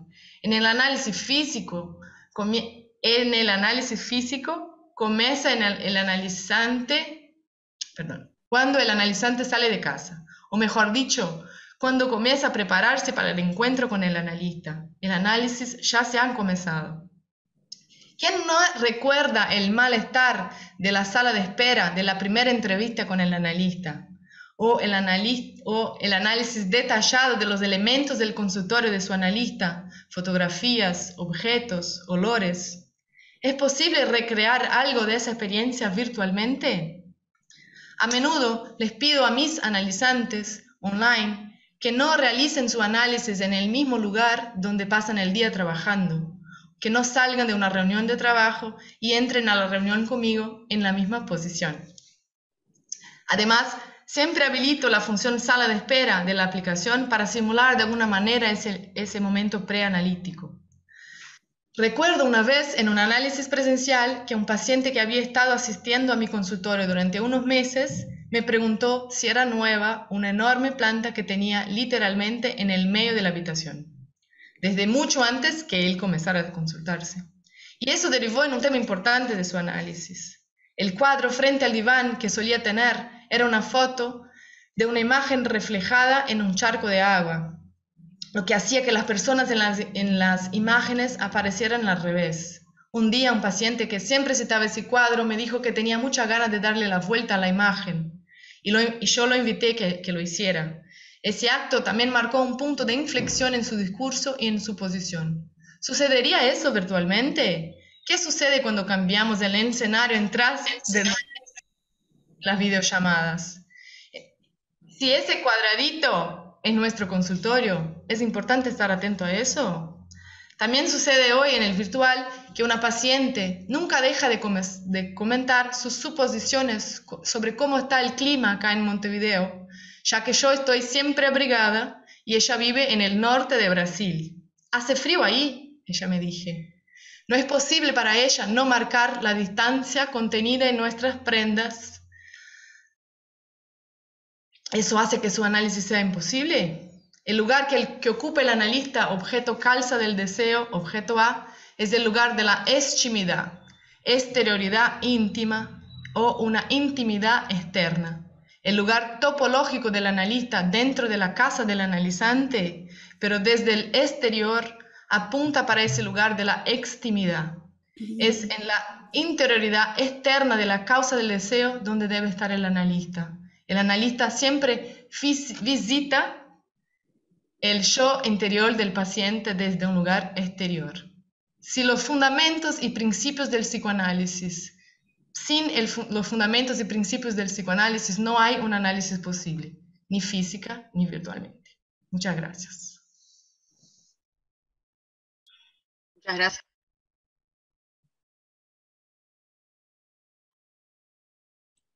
Está silenciada, Flor. Ah, muy bien. Gracias, Lorraine. Ahora damos paso al siguiente trabajo de Soledad Mott y Florencia Sánchez, que se titula Un reino intermedio, virtualidad, cuerpo y transferencia. Bueno, eh, hola, buen día a todas y todos. Eh, es un gusto para mí la posibilidad de compartir con ustedes lo que ha sido y es la experiencia del pasaje por la Clínica Psicoanalítica de la Unión y, lo que, y compartir lo que hemos estado reflexionando con mi compañera Soledad, a quien le agradezco por compartir este tiempo para pensarnos y, repensarnos. Eh, bueno, en principio lo vamos a hacer como una suerte de asociación libre, no tan libre, eh, sobre lo que hemos estado reflexionando eh, en el ente. En principio, pensando acerca de la situación que nos ha habitado en los últimos tiempos en torno a las producciones por COVID-19, eh, los medios masivos de comunicación despliegan un discurso o imperativo de felicidad, productividad en exceso,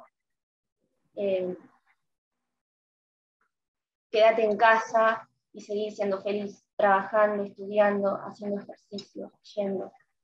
Infinidades de recomendaciones que de, alguna, que de alguna manera no habilitan la angustia que puede generar la situación disruptiva y de incertidumbre eh, que es siempre del orden de lo traumático y que, y que por tanto nos interpela y es necesario integrar en nuestra escucha y quehacer clínico.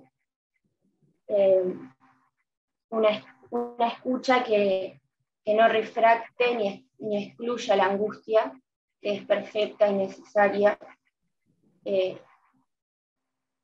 como una perfecta y necesaria oscuridad que nos habita y que quizás en esta situación las heridas que ya estaban eh, se profundizan. Entonces, no es algo menor en el, sentido de la escucha. En este sentido, estuvimos pensando algunas preguntas, como por ejemplo, cómo ha sido posible la continuidad y el sostén de los tratamientos más allá de los cambios profundos en el encuadre que esto suscitó y cómo es que se pudieron ver movimientos psíquicos o cambios en la posición subjetiva a lo largo del, proceso. Eh, entendiendo que el sujeto no es el mismo que aquel que fue previo al proceso, o ciertamente es el mismo, pero es también otro. Eh, y para esto pensamos en la asociación libre como eso que eh, entre tanto que hemos perdido, no se perdió, y que además eh, tiene la particularidad de ser la regla fundamental. Entonces pensábamos eh, cómo, se integra esta escucha sin poner en tela de juicio lo que el otro tiene para decir y por supuesto a partir de la, de la, de la atención flotante, una escucha parejamente flotante. Eh, y en esto pensábamos, escuchar el inconsciente en el encuentro analítico, ahí donde se despliega la transferencia, que a su vez permite la acción del despliegue del inconsciente, entendiendo que la palabra como eso que pega, eso que sutura y que puede producir un otro entramado psíquico. Y, también pensando eh, en el cuerpo como eso que va más allá de lo biológico, un cuerpo funcional, erogenizado, un cuerpo simbólico, que está habitado por la palabra y que, bueno, como que desde ahí no, nos agarramos con eso, que no, que no perdimos, eso que quedó. Eh, después también surgía la, la, pregunta por las tecnologías de información y comunicación, que como propone Levi, eh, producen nuevas velocidades e inducen a cambios contundentes. En este sentido nos preguntamos qué, qué pasa cuando no tenemos las TICs a disposición, cómo vivimos la pandemia y si hubiera sido posible la pandemia tal como se nos fue presentada eh, sin ellas. En relación a, a la virtualidad, eh, pensábamos que quizás resultó posible porque ya teníamos contacto con ella en tanto movimiento integrador del psiquismo, pensando al espejo como fundante en la constitución psíquica y que esa imagen que nos devuelve el espejo es una imagen también virtual. Y entonces desde ese lugar pensamos la pantalla como un espejo. Eh, y siguiendo los planteos de Lacan, eh, en cuanto a que a reconocerse mediante la imagen visual es determinante para la estructuración psíquica, ya que configura eh, la integración del yo. Entonces, pensando y haciendo esta analogía con que de alguna manera en la pantalla nos podemos ver, eh, abordamos una situación clínica en la que, bueno, en cierto momento la atención pudo ser presencial, fue presencial y se puso de manifiesto eh, cierta dificultad de la paciente para poner límites eh, en relación a la madre. Y después pasamos a la virtualidad, bueno, por, las razones que, ya sabemos, eh, y entonces la madre empieza a aparecer en pantalla eh, interrumpiendo las sesiones, saludando, eh, y ella en ciertos momentos apagaba el micrófono, por ejemplo, si la madre le hablaba, y como pensábamos en esto de que ahí, en, en ese escenario, se pone en acto lo que cuando estábamos en presencialidad se ponía en palabras. se puede como ver algo más eh, como una puesta en acto. Y entonces, en ese sentido, surgía la pregunta, en, esta relación con el espejo, eh, sobre que si la imagen integra el yo, ¿qué significa que la madre esté en este espejo, que además tiene la particularidad de que es compartido con quien está en posición de analista? Entonces, eh, ahí surgió otra situación clínica de, la misma paciente en la que, bueno, por, por razones de, tener muchas clases por Zoom, inglés, portugués, sesiones de terapia, eh, donde todo surgía ahí, en ese mismo lugar, que también es algo interesante de pensar, cómo, cómo en un momento todo empezó a surgir quizás en un cuarto todas las actividades a hacer. Eh, ella menciona que, no le dio el tiempo porque tuvo muchas clases y por este motivo eh, llega a sesión recién bañada y peinándose y mirándose en este espejo. tomando eh, este espejo literalmente como un espejo porque se peinaba. Entonces, bueno, ahí surge también esta pregunta por, por la intimidad y, y, todo lo que suscita este nuevo escenario. Y en este sentido, reflexionamos sobre esto de que la cuestión, como propone Levi, no es, no, es solo examinar la utilidad de los dispositivos, sino que eh, en qué dirección vamos a orientar este proceso, que por el momento es irreversible, entendiendo que a partir del uso de estos dispositivos se, se va a elaborar una cantidad infinita de secuencias e interacciones nuevas. Y bueno, creo que este es un espacio importante para eso, para poder eh, ver en qué dirección se va a ir orientando este proceso y, y, acompañar y dar sentido a la virtualización también, y no perder de vista, eh, en relación a todo el trabajo en sí mismo, la premisa que propone Freud cuando dice que toda psicología individual es también psicología de masas. Así que bueno, eh, mucho por pensar y repensar y les, le paso la voz a mi compañera. Gracias por el espacio. Muchas gracias, Flo. Es un gusto compartir eh, con ustedes. Estábamos pensando en la virtualidad y las TICs y nos este, preguntábamos cuál es eh, la etimología de la palabra virtual y encontramos que es una fuerza o, una voluntad de poder hacer algo, aunque no lo realice. Y es como que ahí lo vinculamos con el espejo, eh, que es una situación que no podemos este, tocar en sí, pero sí existe y está ahí. Entonces, este, en este sentido, también nos preguntábamos por el cuerpo y teníamos otra viñeta para compartir que para, para seguir pensando en la virtualidad y las TICs, y cómo se relacionan con el espacio psicoanalítico o con el encuentro psicoanalítico. Y es un paciente que veníamos trabajando mm, de manera por Zoom, o sea, videollamada, y un día de consulta que mm, pide para cambiar a WhatsApp por llamada, sin el espejo, digamos, este, sin el video. Entonces, este, bueno, al aceptar y, estar con la escucha abierta para el encuentro, este, empieza a contar que estaba haciendo mandados, que estaba caminando y que no quería cancelar la sesión. Bueno, entonces, este, después de un silencio, eh, al preguntarle mm, de qué le, gustaría decir, eh, él dice que, que no, que, que mejor la próxima, que estaba bloqueado. Bueno, la sesión este, después de un momentito te termina y nos vemos a la siguiente semana. Em, bueno, esto nos dio para pensar eh, qué pasa con este bloqueo que el paciente sintió. De alguna manera él estaba caminando, se estaba moviendo y esa situación no le permitía eh, prestarse en cuerpo y en totalidad para el movimiento psíquico, si es que en algún momento tenía lugar. Entonces nos preguntábamos, ¿es posible este, eh, en, la sesión online o en línea no estar presente en cuerpo?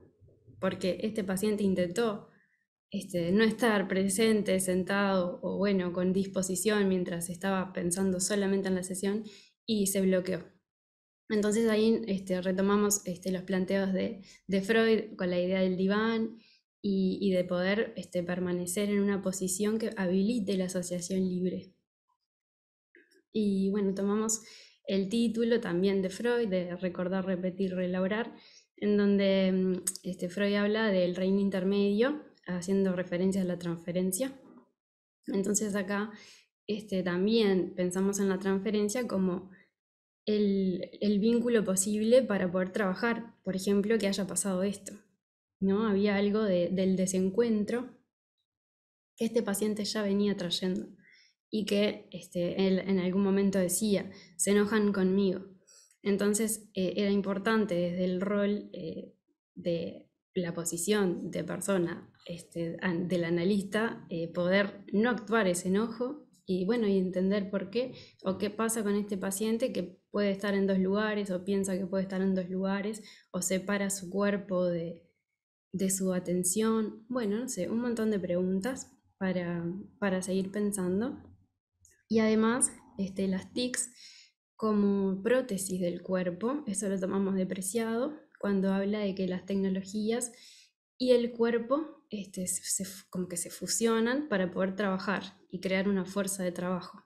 Entonces, este, ahí, bueno, también nos preguntamos, prótesis de qué puede llegar a ser esta situación con las laptops y el Zoom o bueno, el dispositivo y, y cómo esto se juega en la sesión psicoanalítica. Y ahí también enmarcamos en la posibilidad de actualizarnos y actualizar nuestra clínica con los conceptos y también con estas formas que se nos presentan un poco imperativas en un principio y que ahora estamos como pudiendo eh, acondicionar para hacerlas habitables y humanas, porque bueno, acá estamos, ¿no? Y les agradecemos mucho eh, a seguir pensando. Bueno, muchas gracias Florencia, Soledad. Ahora, si les parece, entonces damos paso al último trabajo. Lo va a presentar Rosina Giuliani y se llama Entrevistas preliminares con padres. ¿Una especificidad del psicoanálisis? Adelante, Rosina. El trabajo se llama Entrevistas preliminares con padres, una especificidad del psicoanálisis con niños. Ah, con, niños. Tengo una versión anterior. Dale. hubieron versiones del programa. Dale, dale. Pasó eso, pero. Disculpa. no, tranqui. Este, bueno, como, indica, digamos, el buenos días. buenos días a todas, todos, gracias por, estar. Em, bien, como indica, digamos, el, título del trabajo, este, la idea es desplegar algunas interrogantes en relación al trabajo con los padres en las entrevistas preliminares, eso por un lado, y por el otro, problematizar la especificidad del psicoanálisis con niños. Para pensar estas cuestiones voy a tomar tres situaciones clínicas que se presentaron en un mismo grupo de supervisión de la pasantía de la Clínica de la Unión. Este, bueno, son situaciones que se dieron en el grupo que, coordinó la docente, que coordina la docente Paola Betti.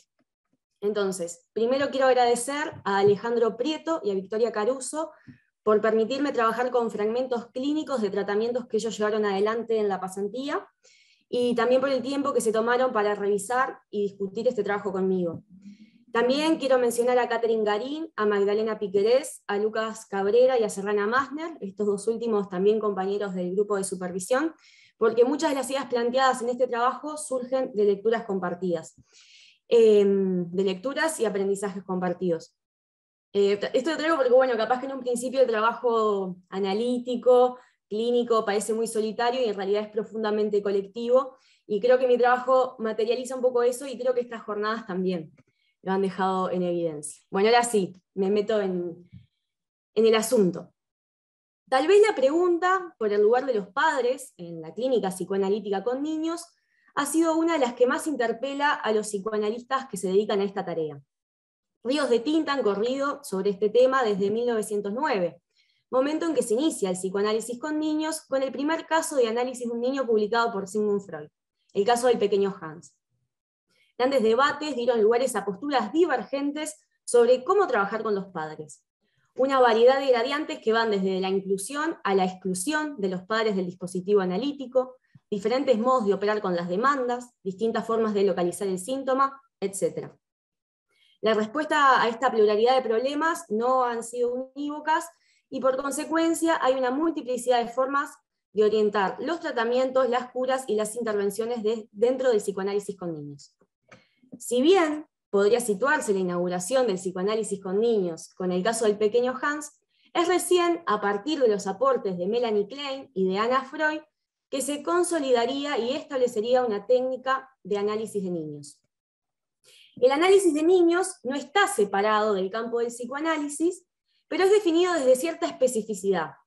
Se dice psicoanálisis con niños o de niños, entonces, ¿cuál es el sentido de desmarcar un campo teórico práctico bajo esta categoría? La cuestión de la especificidad del psicoanálisis con niños protagonizó uno de, los mayores conflictos dentro de la IPA, dentro de este, la, Asociación Internacional de Psicoanálisis.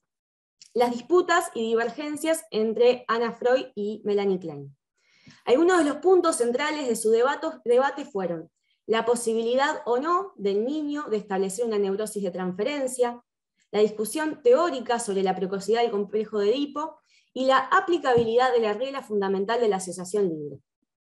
La propuesta de Anna Freud sería crear una técnica propia del psicoanálisis de niños, más cercano al campo de la pedagogía y bajo el dominio de los padres. Mientras que Melanie Klein sería la primera dentro del freudismo en proponer un análisis de niños directamente con los niños, pudiendo realizar con él un verdadero psicoanálisis. Los debates en torno a la especificidad del psicoanálisis este, con niños no se agotó en la polémica entre Anna Freud y Melanie Klein. Muchos psicoanalistas han llegado a afirmar de que no existe un psicoanálisis de niños. Esta afirmación podría implicar en un principio dos sentidos diferentes. En primer lugar, que no se podría analizar niños, que el trabajo que se puede realizar con ellos no sería un auténtico psicoanálisis. Y si a alguien le interesa, tengo una cita de Vaperó en esta línea. En segundo lugar, podría implicar otra cosa, ¿no? Es decir, que el psicoanálisis eh, de niños no existe, podría suponer que sí se puede analizar niños, pero que esto no implicaría una especificidad para el psicoanálisis.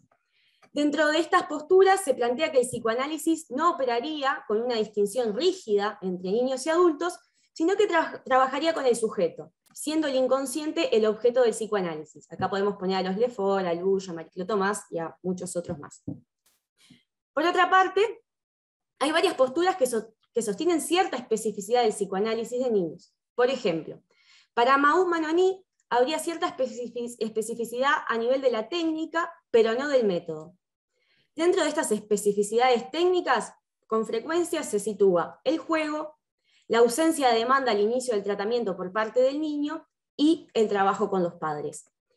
En esta línea hay perspectivas que definen de forma más tajante una especificidad del psicoanálisis con niños donde estas cuestiones, más que una mera particularidad técnica, exigirían conceptualizaciones específicas. Como hemos visto, eh, el trabajo con los padres podría considerarse una especificidad del psicoanálisis con niños. Esto sería así ya que su presencia se impone desde el inicio del análisis del niño y el trabajo con ellos se sostiene a lo largo de los tratamientos. Son quienes demandan inicialmente, quienes coordinan los horarios, con quienes se coordinan los horarios, quienes pagan los honorarios, etc. En cómo trabajar con los padres tampoco habría consenso. A grandes rasgos habrían dos posiciones. Las que consideran fundamental incluir y escuchar a los padres para la comprensión de la problemática del niño, y acá podemos a Ana Freud, a Winnicott, a Freud, a Dolto, a Manoni. Eso, es una postura, ¿no? Y por el otro lado, los que creen necesario analizar a los niños independientemente del discurso de los padres, y en consecuencia excluirlos del dispositivo analítico. Acá está Klein, Averasturi, los Lefort, etc. Ahora bien, sigamos la línea de los que proponen trabajar con los padres y pensemos brevemente su lugar en las entrevistas preliminares. ¿Cómo tener la primera consulta? Hay quienes afirman que primero es necesario entrevistar solo a los padres antes de iniciar el tratamiento con el niño. En primer lugar, habría que escuchar a quienes demandan, por lo que se suele citar a los padres solos sin el niño. Esto permitiría decidir si se va a trabajar con los dos padres, con uno de ellos o con el niño. También en las entrevistas preliminares, el analista decidirá cómo manejar las quejas de los padres y se establecerán las condiciones necesarias para el tratamiento. Por otro lado, hay quienes afirman que habría un riesgo de que el analista debería estar percibido. Según Blechmar, al escuchar a los padres se podría producir una fascinación de la historia que ellos cuentan y esto podría constituir luego un obstáculo para escuchar al niño. Si bien podría afirmarse que hay una tendencia en el psicoanálisis con niños a recibir primero solo, a los padres, hay otras posturas que dejan la posibilidad de que la primera consulta sea de otro modo. Bien, dicho esto, vamos a las tres situaciones clínicas para, pensar estas cuestiones. Fragmento 1. Menos mal que quedé con la abuela. Recibo la derivación de una niña de 8 años. Su madre, que se encuentra recibiendo atención psicológica en otro servicio público, solicita atención para su hija. La única información que tenemos es que estarían transitando un duelo. La primera interrogante surge. ¿Con quién tener la primera consulta? ¿Solicitarle a la madre que venga sola o con su hija? Dado que la madre ya contaba con un espacio terapéutico y no sería necesario evaluar la posibilidad de atenderla, acordamos tener la primera consulta con las dos. Llegan juntas a la primera entrevista. Al preguntarles por qué consultan, la madre cuenta que a partir de un duelo su hija ha cambiado radicalmente su comportamiento hacia ella.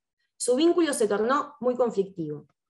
La consulta se desarrolla principalmente a partir del discurso de la madre.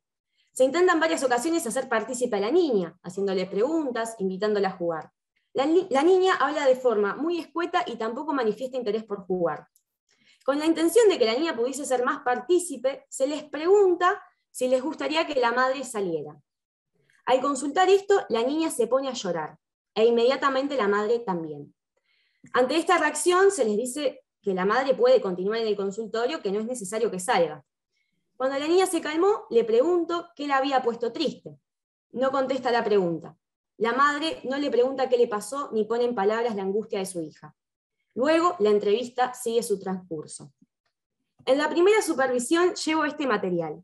Intercambiamos sobre lo acontecido. También discutimos sobre con quién tener la primera consulta cuando se trata de niños.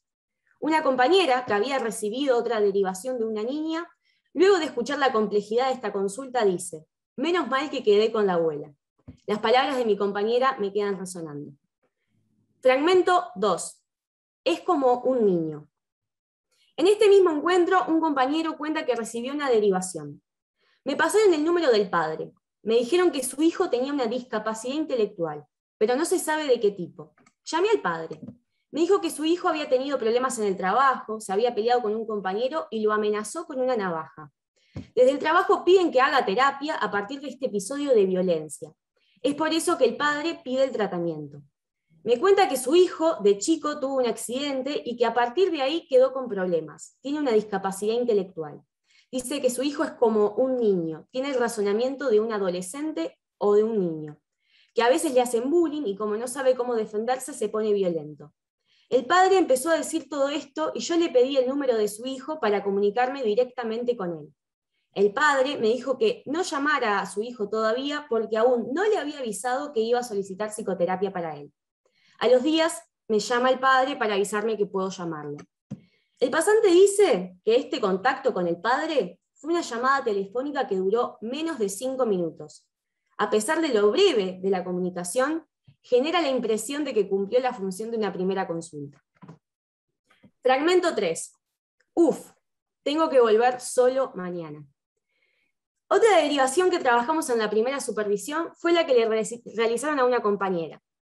Me dieron un número, me dijeron que es una mujer que había llamado por el hijo. Llamé a la madre y agendé con los dos. Al final me volvieron a llamar para avisarme que ese horario no les quedaba bien porque su hijo trabajaba. Me llamó la atención. ¿Cómo que trabaja? Igual agendé con los dos. La pasante recibe en la primera consulta a madre e hijo. Dos personas de edad adulta, adulta, adulta, suben la escalera del local de la comisión de fomento. Nuestra compañera comenta, me sorprendió. Les pregunté, ¿por qué vienen? Y la madre dijo que su hijo estaba muy depresivo, que quería que él tuviera un espacio para hablar, lo que le estaba pasando. Hay un ruido, cierren los micrófonos, Valeria Marín. Valeria Marín, ahí va. Vuelvo. Me sorprendió. Les pregunté, ¿por qué vienen? Y la madre dijo que su hijo estaba muy depresivo, que quería que él tuviera un espacio para hablar lo que le estaba pasando, para sentirse bien. Ocupó todo el espacio, hablaba ella sola prácticamente. Intenté preguntarle a él por qué venía. Comentó algo de un engaño con una mujer y enseguida le interrumpió la madre, que seguía hablando. Mientras los escuchaba me preguntaba quién precisaba el tratamiento, él o su madre. Tal vez no había por parte de su hijo una demanda. En un momento la madre menciona que ella está en un proceso terapéutico en otro lugar. Entonces les expliqué cómo era este espacio y le propuse a él que viniera al otro día, pero solo. La madre preguntó por el pago y dijo que ella lo pagaba. Cuando me voy, veo que ellos estaban preguntando algo en la recepción. Escucho que él dice, uff, tengo que volver solo mañana. La pasante nos cuenta que no podría creer la situación. Nosotros tampoco. Los tres fragmentos eh, muestran distintas situaciones donde al inicio de los tratamientos hay una fuerte presencia de los padres. Al igual que en el psicoanálisis con niños, en los tres casos quienes solicitaron el tratamiento fueron los padres. Por lo tanto, hubo que, uno, escuchar a los padres. Dos, indicar e identificar si el tratamiento lo iba a recibir los padres o sus hijos. Tres, reflexionar sobre la demanda de los padres y las que podrían surgir de sus hijos. Detengámonos en este punto en cada caso y lo que se desplegó en cada consulta. Eh, en el primer caso, desde el inicio se sabía que la madre ya estaba en un proceso psicoterapéutico, por lo que en la primera consulta se tendría que evaluar la posibilidad de atender a la niña. Por otro lado, si bien el tratamiento no continuó y fue una entrevista que tuvo sus dificultades, tener la consulta con las dos desplegó aspectos que de haberla tenido solo con la madre no se hubieran expresado, como por ejemplo la reacción espejada de la madre al, eh, al ver llorar a su hija en el momento en que se propone una separación. El caso 2 eh, se escuchó primero al padre y una demanda que venía del trabajo de su hijo. Rápidamente se entró en contacto directo con el hijo y se lograron las condiciones para generar un proceso analítico. En el caso 3, al contar la madre con un espacio terapéutico, la pasante le solicitó al hijo que viniera al otro día. En ese segundo encuentro, él sí pudo desplegar sus conflictos y al igual que, eh, eh, perdón, y al igual que el anterior caso, se lograron las condiciones para el desarrollo de un tratamiento. Veamos ahora el problema de la especificidad del psicoanálisis con niños. En los tres casos hubo entrevistas preliminares con los padres. En el caso 1, la presencia de la madre estaba dentro de lo esperable. Es imaginable que una niña de 8 años venga a la consulta acompañada de sus padres. Eh, en el caso 2, hubo una primera conversación solo con el padre, en la que él expuso los motivos por los cuales demandaba el tratamiento y habló sobre su hijo. Luego se agendó una primera consulta con el hijo. En el caso 3, se tuvo una entrevista con la madre y su hijo también adulto. Entonces, la idea de que las entrevistas preliminares con padres es algo propio del análisis de niños empieza a temblequear a partir del caso 2 y 3. En este punto podemos retomar una pregunta que se planteó anteriormente. ¿Por qué surge la necesidad de delimitar un campo práctico, psicoanálisis con niños, a partir de un aspecto cronológico que responde al orden de lo fenoménico, en este caso la edad del paciente. ¿Es con la idea de infancia de la cultura con la que opera el psicoanálisis? Ana Laura Prates plantea que desde el psicoanálisis no se podría tomar al niño como un objeto natural producido por las ciencias biológicas y la psicología del desarrollo. Su propuesta es diferenciar la fantasía de infancia que sería la fantasía que tiene el analista al recibir un niño, que estaría en relación con lo que Philippe Ariel llamó sentimiento de infancia, y que podría operar como obstáculo para el análisis, o sea que por un lado, la fantasía de infancia, y por el otro, hay un ruido, ¿no? ¿Alguien puede bloquear su micrófono? Bien. Entonces, dijimos que por un lado estaba la fantasía de infancia, y por el otro, plantea esta autora, lo infantil en la fantasía. Lo infantil como un lugar en la lógica de la fantasía, como posición que ocupa el sujeto. Desde esta posición habría entonces una diferencia entre la infancia como fase de la vida y lo infantil como un concepto operador de la clínica psicoanalítica. Esto iría en consonancia con los planteos de Ana María Fernández, donde lo infantil respondería al orden de lo subjetivo como una posición en el discurso que sería diferente a la edad cronológica. Se trataría entonces de preguntarnos de qué sujeto se trata en psicoanálisis y cuál es la relación de ese sujeto con lo infantil. En el caso 3, al tratarse de una madre que solicitaba el análisis para su hijo, en un principio todos asumimos que se trataba de un niño. ¿Por qué un adulto que puede asistir autónomamente a un espacio no solicitaría el mismo tratamiento? Al escuchar esto, automáticamente surge en nosotros una fantasía de infancia. Si una madre demanda un análisis para su hijo, este debería ser un niño. Y para nuestra sorpresa, esto no fue así. Eh, en el caso 2, el trabajo solicita el tratamiento a través del padre, casi del mismo modo que operan muchas veces los centros educativos con los niños, ¿no? que pide la escuela que, que vaya a atenderse, digamos.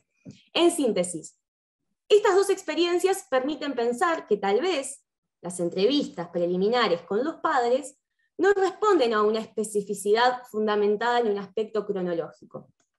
La discusión eh, planteada en este trabajo no pretende afirmar que en los casos 2 y 3 haya algo de lo infantil en juego, y en todo caso, eso solo podrá ser valorado a posteriori. Pero lo que sí nos habilita en estos casos es a interpelar nuestras formas de pensar, a revisar las perspectivas teóricas desde donde nos posicionamos. ¿Qué es un niño para el psicoanálisis? ¿Con qué tipo de sujeto operamos? Son preguntas cuyas respuestas orientan nuestra práctica clínica, determinan nuestras formas de intervenir y diagraman la dirección de los análisis. Por suerte, los efectos de sorpresa en la clínica nos provocan a volver sobre estas preguntas y a formularnos algunas otras. Gracias. Muchas gracias, Rosina, y al resto de las, de las compañeras que pusieron. Unos, unos cinco minutos capaz para comentarios, preguntas. Isabel Paz. Bueno, buenos días a todos. Este, saludo estas jornadas eh, sobre psicoanálisis bien interesantes en, la universidad, en nuestra facultad de psicología. Y bueno, me este, surgieron varias preguntas a partir de esta mesa que me resultó muy interesante, así como la anterior también. Este, pero puntualmente me gustaría preguntarle, eh, creo que fue Florencia, eh, bueno, Florencia, preguntarle, me, resultó súper interesante lo que planteó en relación al espejo y, pensé en esta función significante del espejo, ¿no? Que, estructura este, el psiquismo del, del, sujeto en los primeros tiempos y luego sigue cumpliendo una función y pensar en relación a esta cuestión de una, de, en relación a lo que planteó con el, con, con, el ejemplo clínico de este chico que no pudo ponerse, digamos, en la situación clínica porque estaba caminando por la calle mientras pretendía tener la sesión y que algo se lo impide, este, pensar un poco en la necesidad del armado de la escena, ¿no? que tenga esos efectos significantes. Y si puede este, hablar un poquito más sobre eso.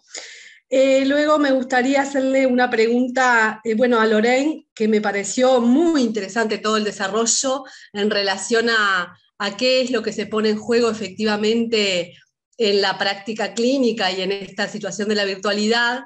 Y si puede hablar un poquito más de esta cuestión de la transferencia, que ya hace énfasis en que lo que verdaderamente lleva adelante el trabajo es la relación transferencial, este, más allá de la presencialidad o la virtualidad. Me resultó bien interesante esa puntuación. Este, y luego, con Rosina, este trabajo donde hace todo un, planteo sobre lo que ha sido la historia de la clínica del psicoanálisis con niños, este, bueno, donde ella plantea que, se ha hablado de psicoanálisis con niños, psicoanálisis, también se ha hablado de psicoanálisis en niños, hay algunos autores que lo plantean así, y este, me resultó súper interesante esta cuestión del tiempo y pensé que este, en esta cuestión de las entrevistas preliminares con padres, este, convocaron ¿no? a los padres, qué lugar para los padres en la clínica con niños, y esta extensión que ella hace en relación a, a la clínica con adolescentes o pueden ser adultos también, y pensar que el sujeto, este, más que edad, tiene tiempos de constitución subjetiva y esos tiempos, si bien van enlazados a los tiempos cronológicos, este, pero bueno, puede avanzar el tiempo cronológico y el tiempo del sujeto quedar detenido. Este, bueno, la invito a conversar un poquito más sobre eso. Muchas gracias, me parecieron muy interesantes los tres trabajos. Gracias Isabel. Capaz que puede tomar la palabra Paola y después contestan las compañeras, ¿les parece?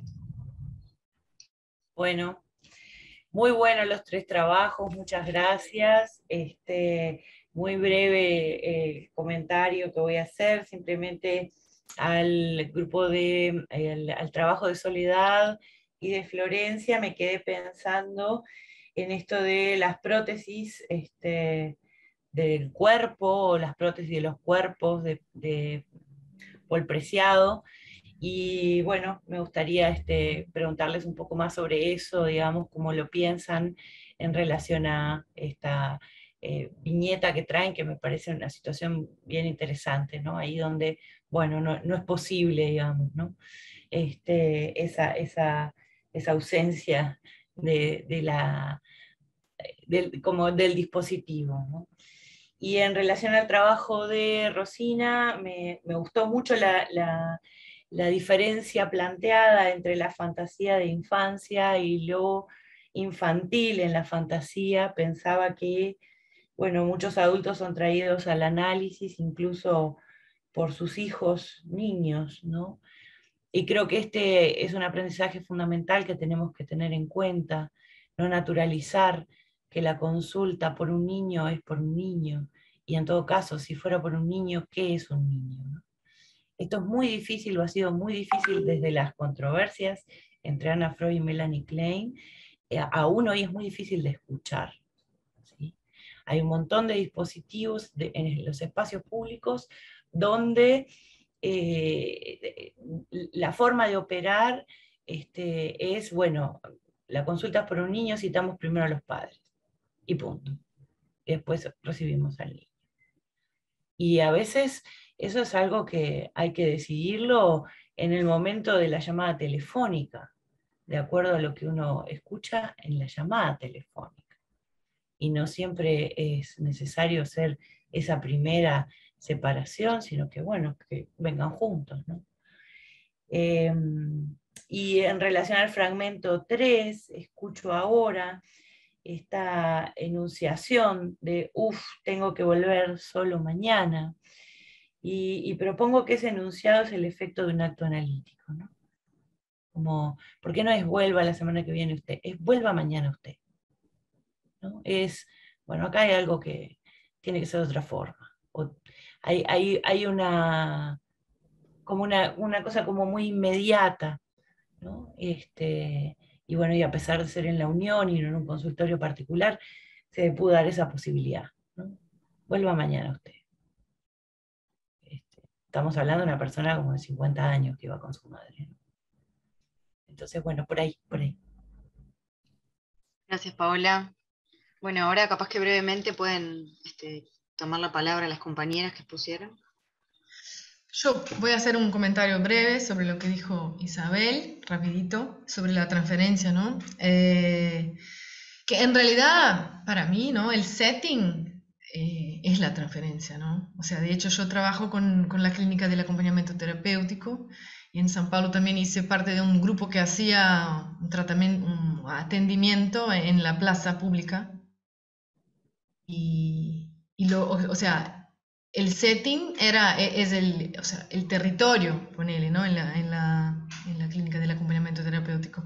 Entonces, lo que sostiene es la transferencia, ¿no? O sea, no importa mucho si eh, tiene el diván, tiene la silla, ¿no? lo que sostiene el, el tratamiento es la transferencia, ¿no?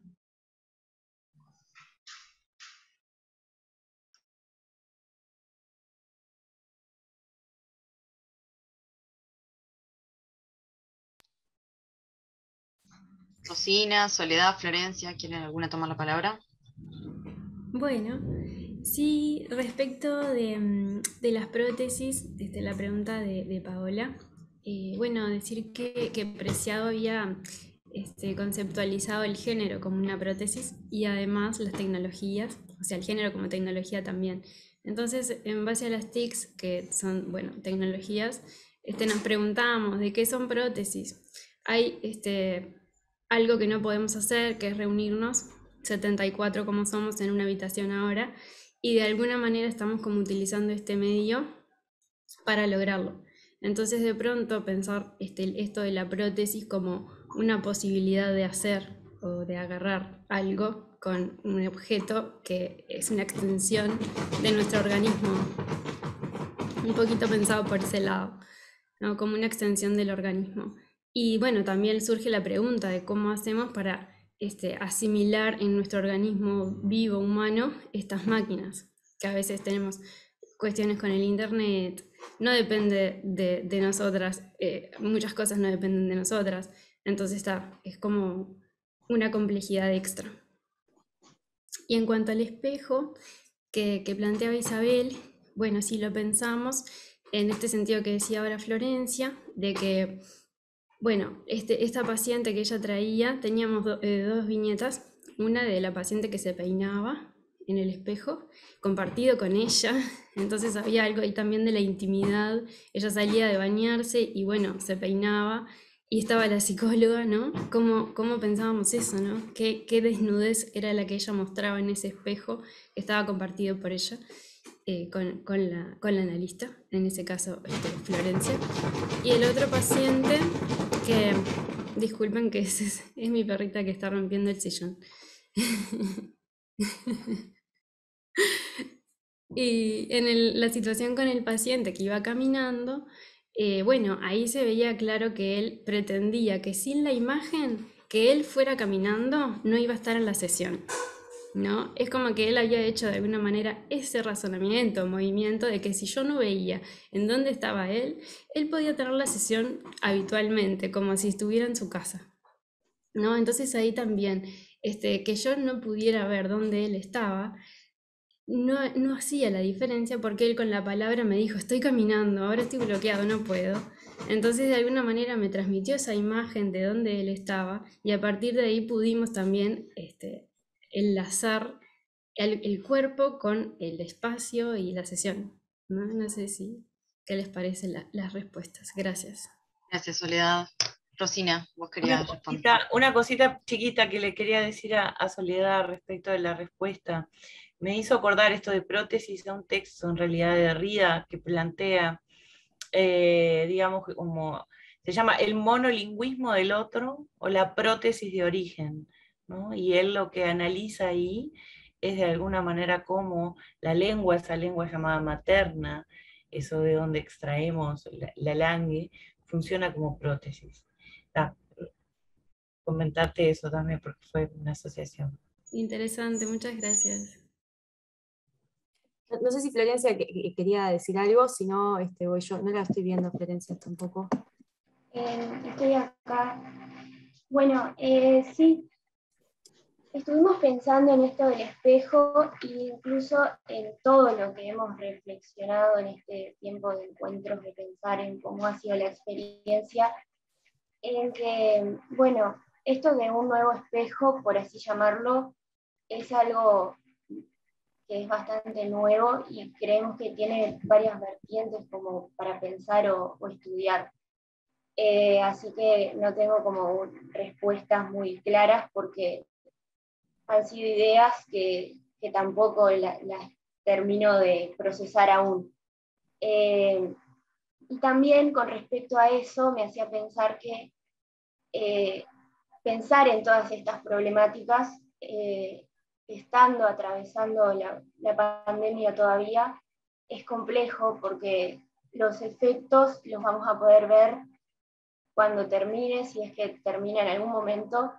Así que, bueno, agradecer también por tus palabras, Isabel, porque ayudan. Eh, y bueno, esto también que impactó bastante, pensarlo como un espejo y ver cómo quizás el otro está compartiendo ese espejo con, contigo y todo lo que eso involucra y todo lo que se pone en acto. Todo eso que está en palabras eh, un poco se pone en acto y es como bastante fuerte pensarlo así. Así que, bueno, gracias por este espacio para, para intercambiar y para seguir pensando. Y en cuanto a lo que mencionó Paola, bueno, eh, realmente no tengo en este momento en mi, cabeza eh, el autor, pero recuerdo en algún tiempo de leer un texto que hablaba del celular como una extensión de la mano, del brazo. Eh, es de Donna Haraway, ¿no? Sí. Eh, cuerpos cyborgs, cyborgs, no me acuerdo, algo así. Sí, sí este, lo, lo habíamos visto en algún momento en facultad y me acuerdo que me impactó bastante pensarlo así, pensar el celular como una extensión del brazo. Eh, pero bueno, es una realidad un poco compleja y no sé, un poco feliz o, o cómo llamarlo, pero bueno, en, esto estamos y, y, y, está bueno para seguir repensando estas, estas complejidades. Gracias. Gracias, Florencia. cortito porque creo que ya estamos hiper contra en la, en la, en la hora. Este, gracias a Isabel y a Paola por los comentarios. Eh, la verdad que el, el, trabajo este que presenté es un resumen de otro trabajo. Eh, y no, no trabajé mucho esto de la, de la, constitución subjetiva, todo para pensar, pero sí está bueno este desfasaje ¿no? entre lo que podría ser la edad cronológica que nosotros tenemos este, y bueno, el sujeto como, como, como otra cosa, ¿no? Como que, bueno, hay, hay, un desfasaje ahí. Y lo que más me interesaba también era como, bueno, relativizar un poco de esto de que hay una especificidad, digo, en el sentido de que hay en, tres de las situaciones dos casos de adultos, adultos, o sea, no son adultos jóvenes, no, adultos, adultos, y hay entrevistas preliminares con padres, ¿no? Es, a mí, no sé, me parece sorprendente, una, una maravilla, este, descolocante, digamos. Así que agradezco pila y te no digo más nada porque entiendo que estamos ahí. Así que bueno, muchas gracias a los que estuvieron acompañando y a los que organizaron también, se pusieron al hombre la organización de las jornadas. Bueno, muchas gracias. Buenísimas las exposiciones. Damos paso entonces a la mesa número 6, ¿les parece? Sí, muchas gracias. Bueno, buen día. Eh, como decía Florencia, vamos a comenzar con la sexta y última mesa de estas jornadas.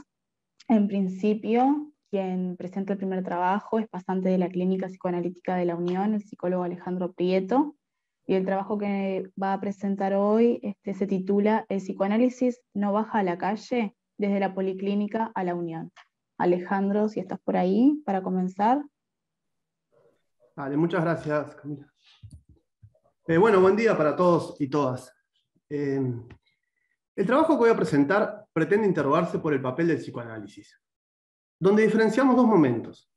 Un primer momento enfocado hacia un psicoanálisis de clínicas privadas y un segundo momento que pone el énfasis en las psicoterapias para las masas propuestas por Freud. Entendiendo que pensar es una actividad colectiva, o por lo menos que se da mucho mejor colectivamente, es en las composiciones de relación donde componemos junto al otro, siendo al mismo tiempo individuales y colectivos. Es allí donde se logra desplegar la libertad y la potencia, sostiene Spinoza. Este trabajo surge en conjunto con los compañeros de la Unión de los Viernes, de esa supervisión, de esa covisión. Surge del pasaje eh, por la práctica de grado con, Gonzalo Grau, también del trabajo que estamos llevando adelante en el EFI junto a la UTU de la Unión, con la propia Comisión de Fomento, con todos los compañeros y compañeras del colectivo de la Unión. Quiero agradecer también a Paola y a Rosina por, por sus ideas y por su lectura del trabajo. Bueno, arranco con el trabajo. El psicoanálisis no baja a la calle desde la Policlínica a la Unión. Comienzo con una cita de Fernando Montejo. En aquellos años los psicoanalistas miraron hacia afuera, el mundo desgarrado y sufriente que les rodeaba, y quisieron dar alguna respuesta. El presente trabajo se origina a través de ciertas interrogantes o vacilaciones que en mí despertaron al sumarme al equipo de la Clínica Psicoanalítica de la Unión. En la Unión, el trabajo propuesto es a partir de una posición ética.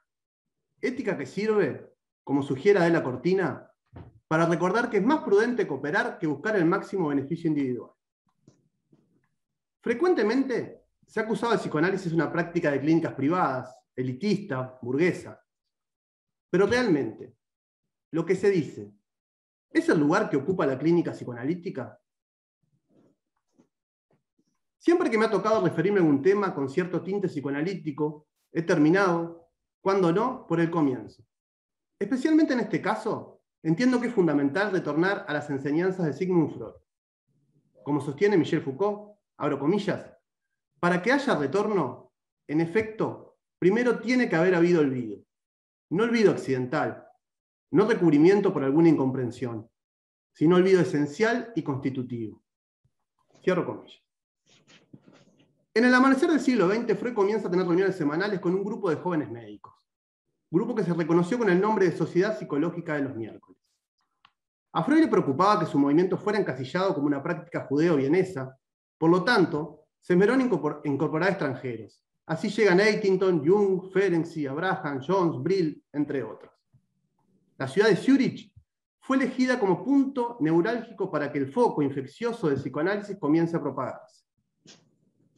En Salzburgo, en 1908, Freud se reúne con sus seguidores en un evento que desembocó en el primer Congreso Internacional de Psicoanálisis. Sandor Ferenczi y Otto Gross presentaron dos trabajos que denotaban un psicoanálisis preocupado por lo social. La, la, respuesta que recibe Gross frente a su presentación por parte de Freud fue fulminante. Freud le dice, somos médicos y queremos limitarnos a hacerlo. En esa época, Freud sostenía que los psicoanalistas estaban habilitados para enunciar los problemas sociales, pero debían abstenerse de presentar soluciones. Él dice, no es de resorte del médico presentarse con unas propuestas de reforma. En el Congreso de Nuremberg de 1910, donde data la fundación de la Asociación Internacional de Psicoanálisis, IPA, en el texto denominado Sobre iniciación del tratamiento de 1913, Freud pone en juego la importancia de los honorarios del analista. Indica que están en su derecho de negar la asistencia gratuita, la cual, por diversos motivos, es perjudicial para la cura. Muchas de las resistencias del neurótico se acrecientan enormemente. La ausencia de la regulación que el pago al médico sin duda establece se hace sentir muy penosamente. Sostiene que es educativo y sincero que el analista solicite una importante suma de dinero por sus servicios. El psicoanalista tiene derecho a adoptar la posición del cirujano. Cobrar caro porque dispone de tratamientos capaces de remediar. Freud pone en duda que la terapia psicoanalítica pueda llegar a los pobres. Abro comillas.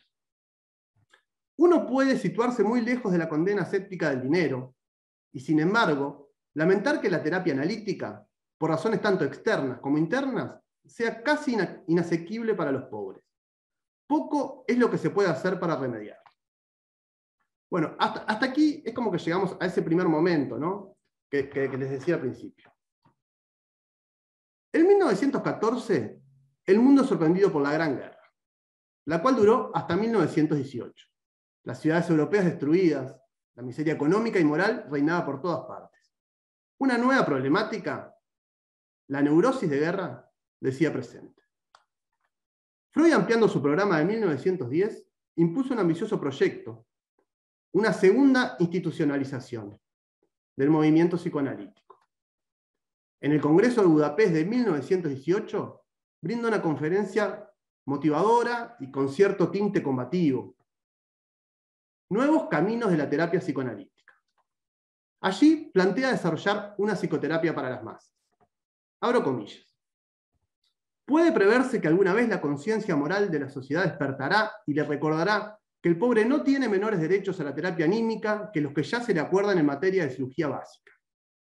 Más adelante dice, se crearán entonces sanatorios o lugares de consulta a los que se asignarán médicos de formación psicoanalítica, quienes aplicando el análisis volverán más capaces de resistencia y más productivos a los hombres.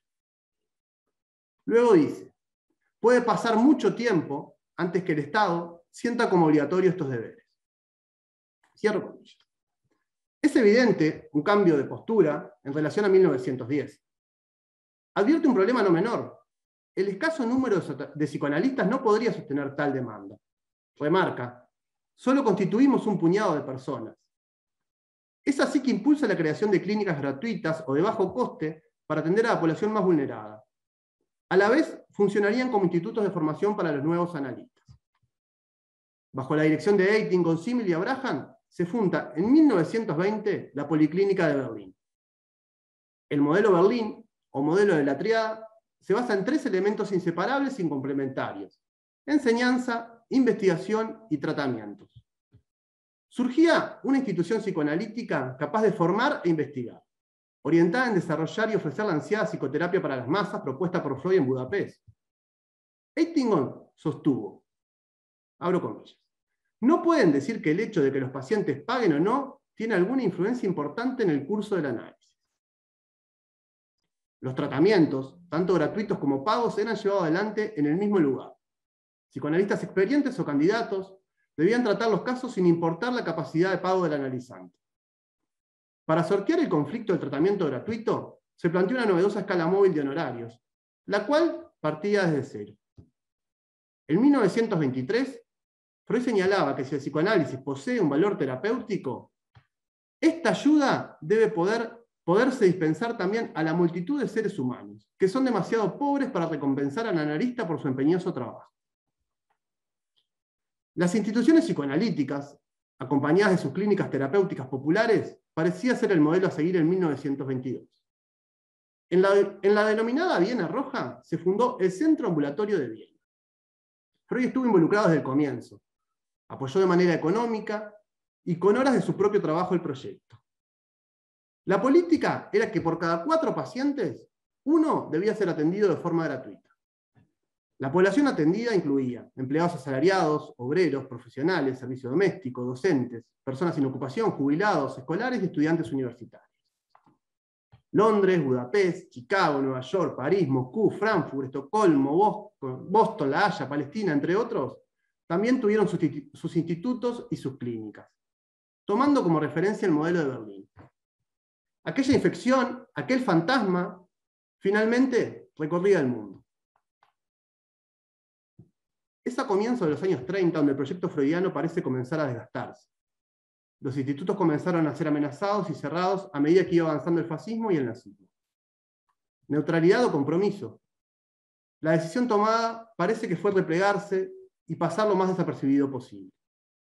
Jones, presidente de la IPA desde 1932, en su conferencia El futuro del psicoanálisis, presenta un nuevo proyecto que sustituye los objetivos propuestos por Freud.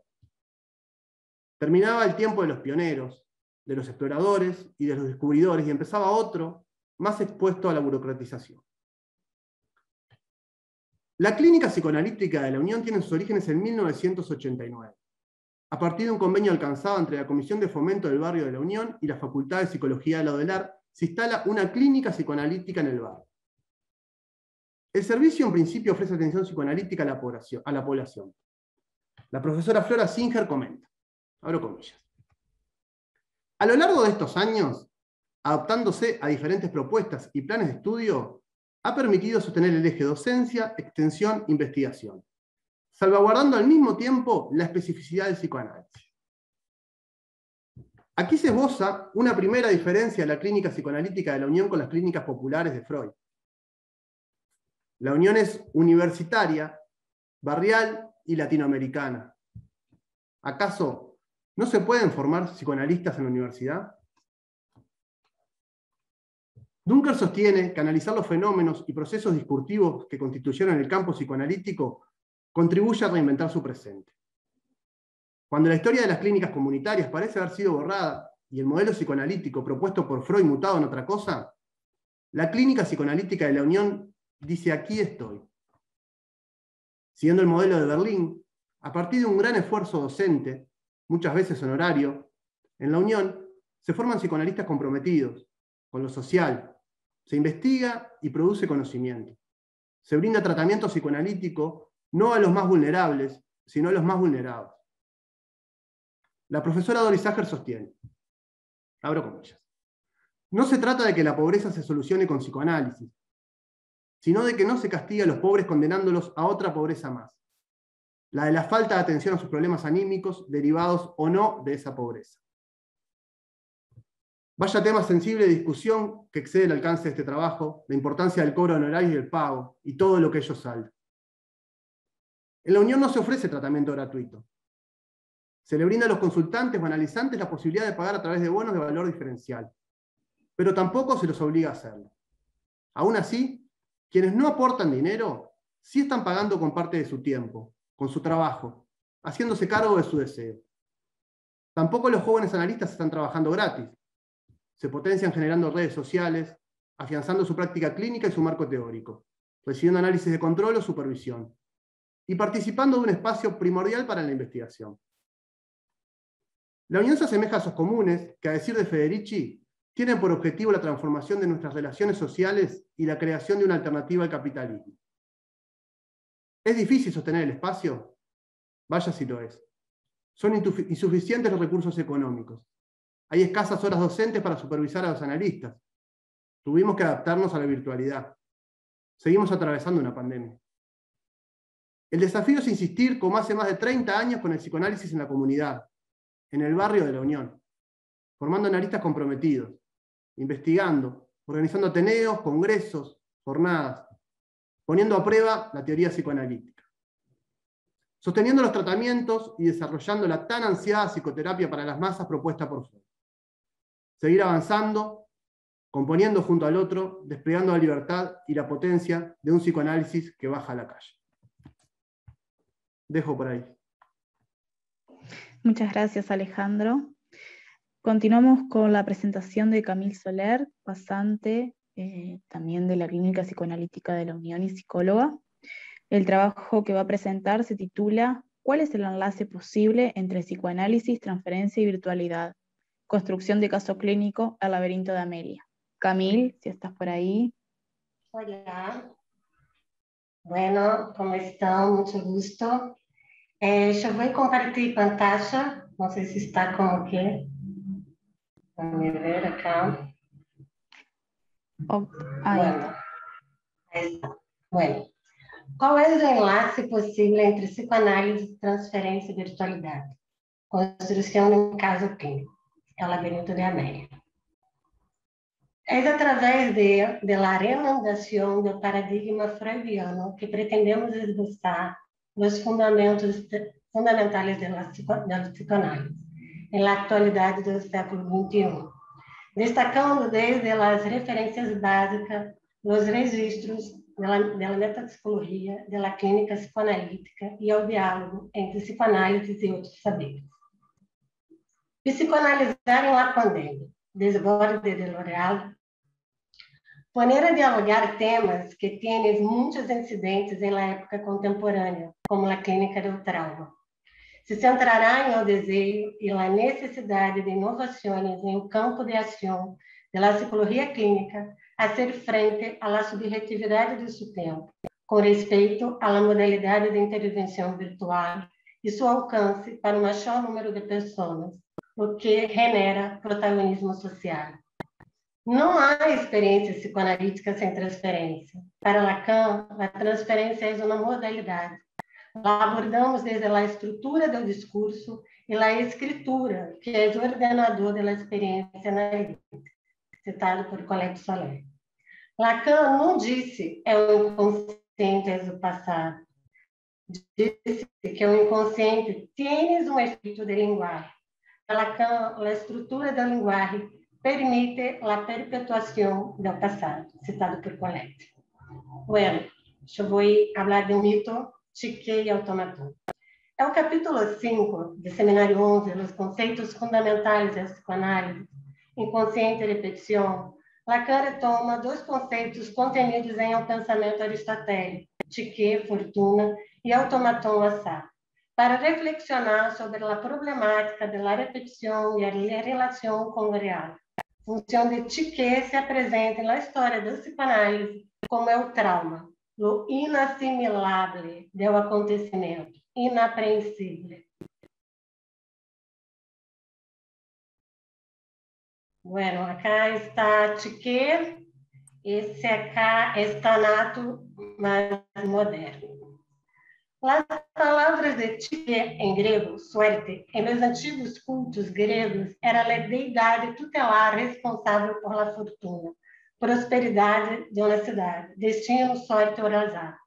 Lacan toma esse conceito de que, para equiparar um encontro com o traumático, contingente, impredecível, foi sorte ou azar, coincidência, aleatório, destino, assim como as grandes catástrofes, acidentes, enfermidades, epidemias, pandemias, guerras. Já o automatismo de repetição como uma determinação simbólica, onde a primeira tirada às vezes azarosa, e a partir de aí se estabelece uma lógica, como uma cadena significante em o discurso, uma regularidade de acontecimentos desafortunados. Todos temos táramos. Resulta que quando vai encaminhando é, sua vida, é o sentido que toma, é o sujeito, é bastante predecible. Um eterno releitor, lo repete uma e outra vez mais, por que sempre passa alunismo em nossas vidas? Isso também intrigou a Sigmund Freud, o inventor da psicoanálise. Analisando os veteranos da Primeira Guerra Mundial, Freud se deu conta que seus sonhos... Desculpa-me. Desculpa. Fue micrófono, eh, creo que ya quedó silenciado, así que puedes continuar, Camille. mi, mi micrófono estava silenciado? Tá. Todos temos trauma. Resulta que quando vai encaminhando sua vida, seu sentido que toma o sujeito é bastante predecível. Um eterno retorno. Lo repetes uma e outra vez, um pouco mais. Porque sempre passa o mesmo em nossas vidas.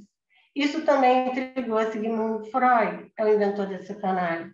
Analisando os veteranos da Primeira Guerra Mundial, Freud se deu conta que seus sonhos, esses homens, rememoravam a experiência da guerra, rememoravam uma e outra vez todo esse perigo iminente de morte.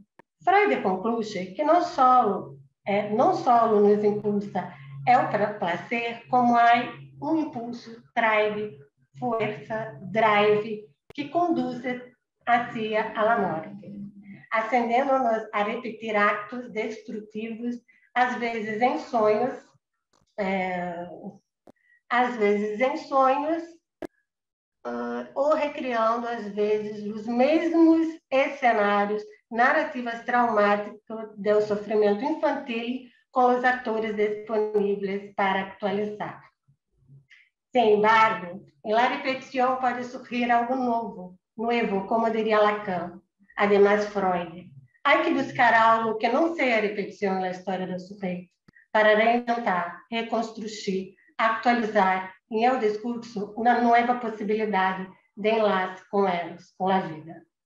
Cada sujeito sente de uma maneira particular intenta reescrever a cena desde seu ponto de vista dessa primeira experiência traumática pero inconsciente recuerda. E se através dos sonhos, dos sintomas, actos falidos actualizam. Ao chegar à clínica, ao psicoanalista, através do discurso, da narrativa, da transferência, o sujeito pode recordar suas vivências, derrar o passado e abrir-se à vida potencial. A palavra virtualidade, é latim virtualis, deriva de uma vez de virtus, força, potência. Utilizando o conceito de virtualidade do filósofo da informação, Pierre Levy, encontrando uma saída interessante para o problema da denominação de la realidade virtual, para interpretar o virtual não é o oposto do real, sino actual. Virtualidade abordaremos a modalidade de virtualização. Há várias opções de virtualidade, pero há que distinguir entre uma virtualização em curso de invenção, potência, possibilidade por um lado, e suas caricaturas rectificadoras, alienantes, descalificantes por outro. A virtualização do presente imediato através da linguagem, palavra, actualizar ou actuar, assim, a pensar, apesar de sua brutalidade, sua estranheza, a crise de civilização que vivemos pode repensar-se em la aventura da vida humana. Pierre Levy. O mais interessante para reflexionar é o psicoanalizar em la pandemia, por azar, e a possibilidade de abordar do humor real através da intervenção analítica virtual, por sorte. Sem embargo, o virtual se acerca à lógica de abertura e serre do inconsciente, sempre à espera de atualização. A informação do inconsciente, sonhos, sintomas, actos fálidos. É um enlace possível entre psicoanálise, virtualidade e transferência, é ser o sujeito chegar à clínica e a ser o hablar, rememorar, potencializar a criação, de reorganizar, de representar, a ser frente, muitas vezes, à catástrofe. Enquanto a clínica, sabemos que provém do grego cline, cama, é o significado da clínica é inclinar-se sobre a cama do paciente e produzir conhecimento. Desde assim, em definitiva, a construção do caso clínico, caso do latim cadere, é a redisposição dos elementos do discurso do sujeito que caem. São depositados em função de nossa inclinação a recorrê-los, não aos pés da cama, sino ao pé da letra uma vinheta clínica para finalizar. É o labirinto de Amélia. A construção do caso se deu em marco da crise sanitária da Clínica da União, através da modalidade de intervenção analítica virtual, precisamente porque algo de um estranhamento e questionamento mobilizou a paciente a buscar atenção psicológica.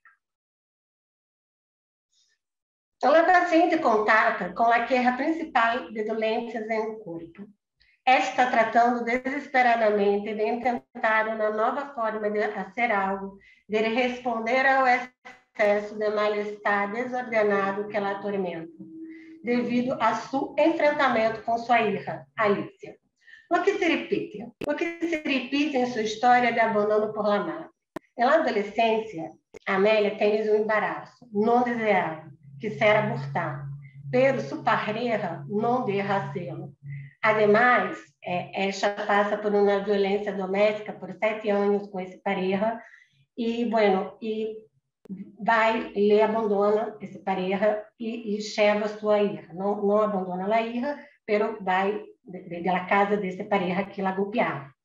Sua hija, para vingar-se da madre, porque justamente é o padre para vingar-se dela Amélia, que vai embora, habla com a hija, que a madre não a queria, que ela queria abortar, abortá-la. E, bueno, que ele, como padre, não, é, é, e a hija totalmente identificada com esse padre, é, em adolescência, é, vinga-se dela madre, que abandonou seu padre, e además la queria morta, porque seu padre, né, para vingar-se dela paciente que ela abandonou, conta para sua, para sua hija que a madre queria abortá-la. A hija, então, Alicia, empieza na adolescência a consumir pasta base. Logo, tens um embaraço. Sem embargo, abandona a hija com a paciente, com a Amélia. Agora, sua hija está em um segundo embaraço, adicta prostituída em La Caixa. Em meio da crise com a hija, sua atual pareja, onde é Amélia, la abandona. La paciente não sabe mais que fazer. Define a sensação, esta cadena infinita, como se, esta, né, habla deixa, como se eu estivesse em calejão sem saída. Porque os abandonos lhe envolviam a esta como esta mesma descia, uma cadena infinita, calejão sem saída. Em esse sentido, reconhecemos que esta está mantenida em uma posição de ir abandonada, madre que abandona. Não podíamos cerrar os ouvidos a esse algo mais, nem negá-lo, nem descuidá-lo. Mediante a intervenção analítica virtual, possibilitou a atualização de sua história para poder interrogar-se, de modo que criaria outras saídas do labirinto. E foi precisamente esse encontro com o novo o que redirigiu o tratamento. Quando lhe disse, bueno, vos abandonaste ao padre de tua hija, não a tua hija. Poderia tê-la abandonado com seu padre. Esta responde, não, jamais. Bueno, pensamos em las estratégias atuais. Quais são as possibilidades? La adopção. Já se lo havia planteado? Não, esta crê que eu vou a cargo do bebê. Não posso mais. Me disse que eu sou quem o abandono. Bem, me parece que Alice é quem está abandonando os vivos, não vos.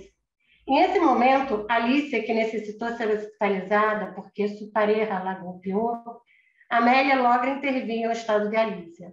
Logra charlar sobre as possibilidades que existem para esta e ao bebê. Alicia aceita a intervenção, depois de muitas fugas. Nota-se como a estrutura discursiva, a narrativa, as situações externas envolvem a Amélia. Fugas, violência doméstica e os abandonos. É um lance possível é ser o sujeito a falar? Donde há circulação da palavra, um psicanalista tem lugar. Bueno, e para finalizar, acho queria só compartilhar uma música de um cantor, Chico Buarque, de minha terra, Brasil, que vou falar em português. O que será que dá dentro da gente que não devia? Que desacata a gente que é revelia? Que é feito uma água ardente que não sacia? O que não tem descanso nem nunca terá? O que não tem cansaço nem nunca terá? O que não tem limite? Gracias. Camil, muchas gracias por la exposición. Ahora sí, damos paso entonces a la última presentación de la jornada, a cargo del profesor adjunto magíster Octavio Carrasco, y el trabajo a presentar se titula Del sujeto en las redes y sus fragmentos de lo real en la pantalla. Octavio. Se me fue la.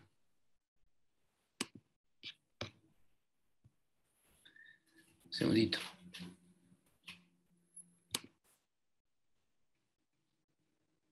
Se me fue el, el texto. Bueno.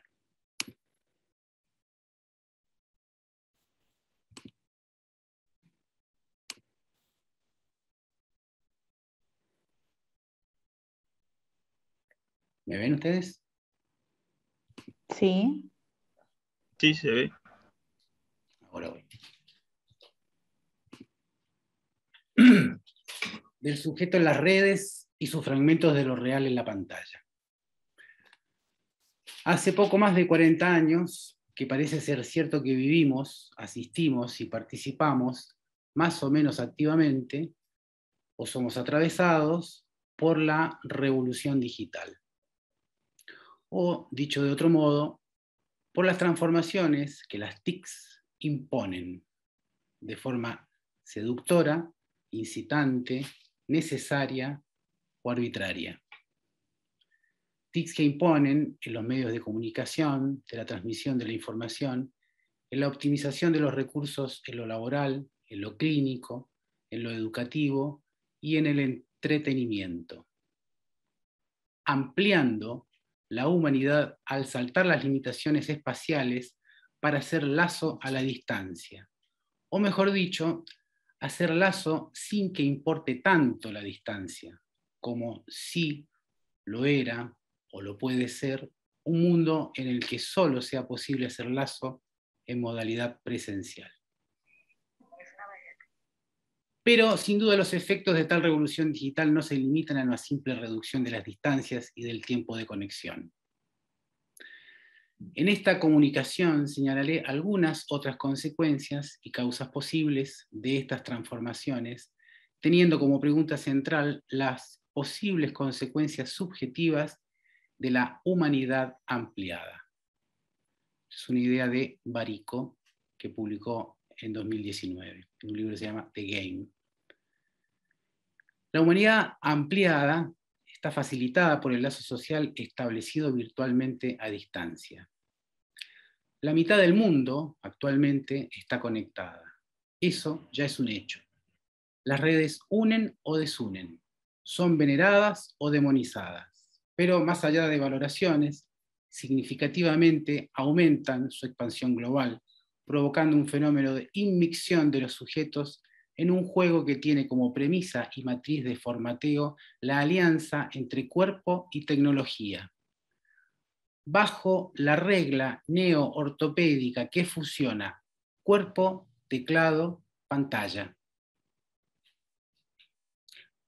Algunos de los sujetos formateados con la regla cuerpo, teclado, pantalla ya son nativos digitales especialmente los nacidos después de la era de la masificación de Internet.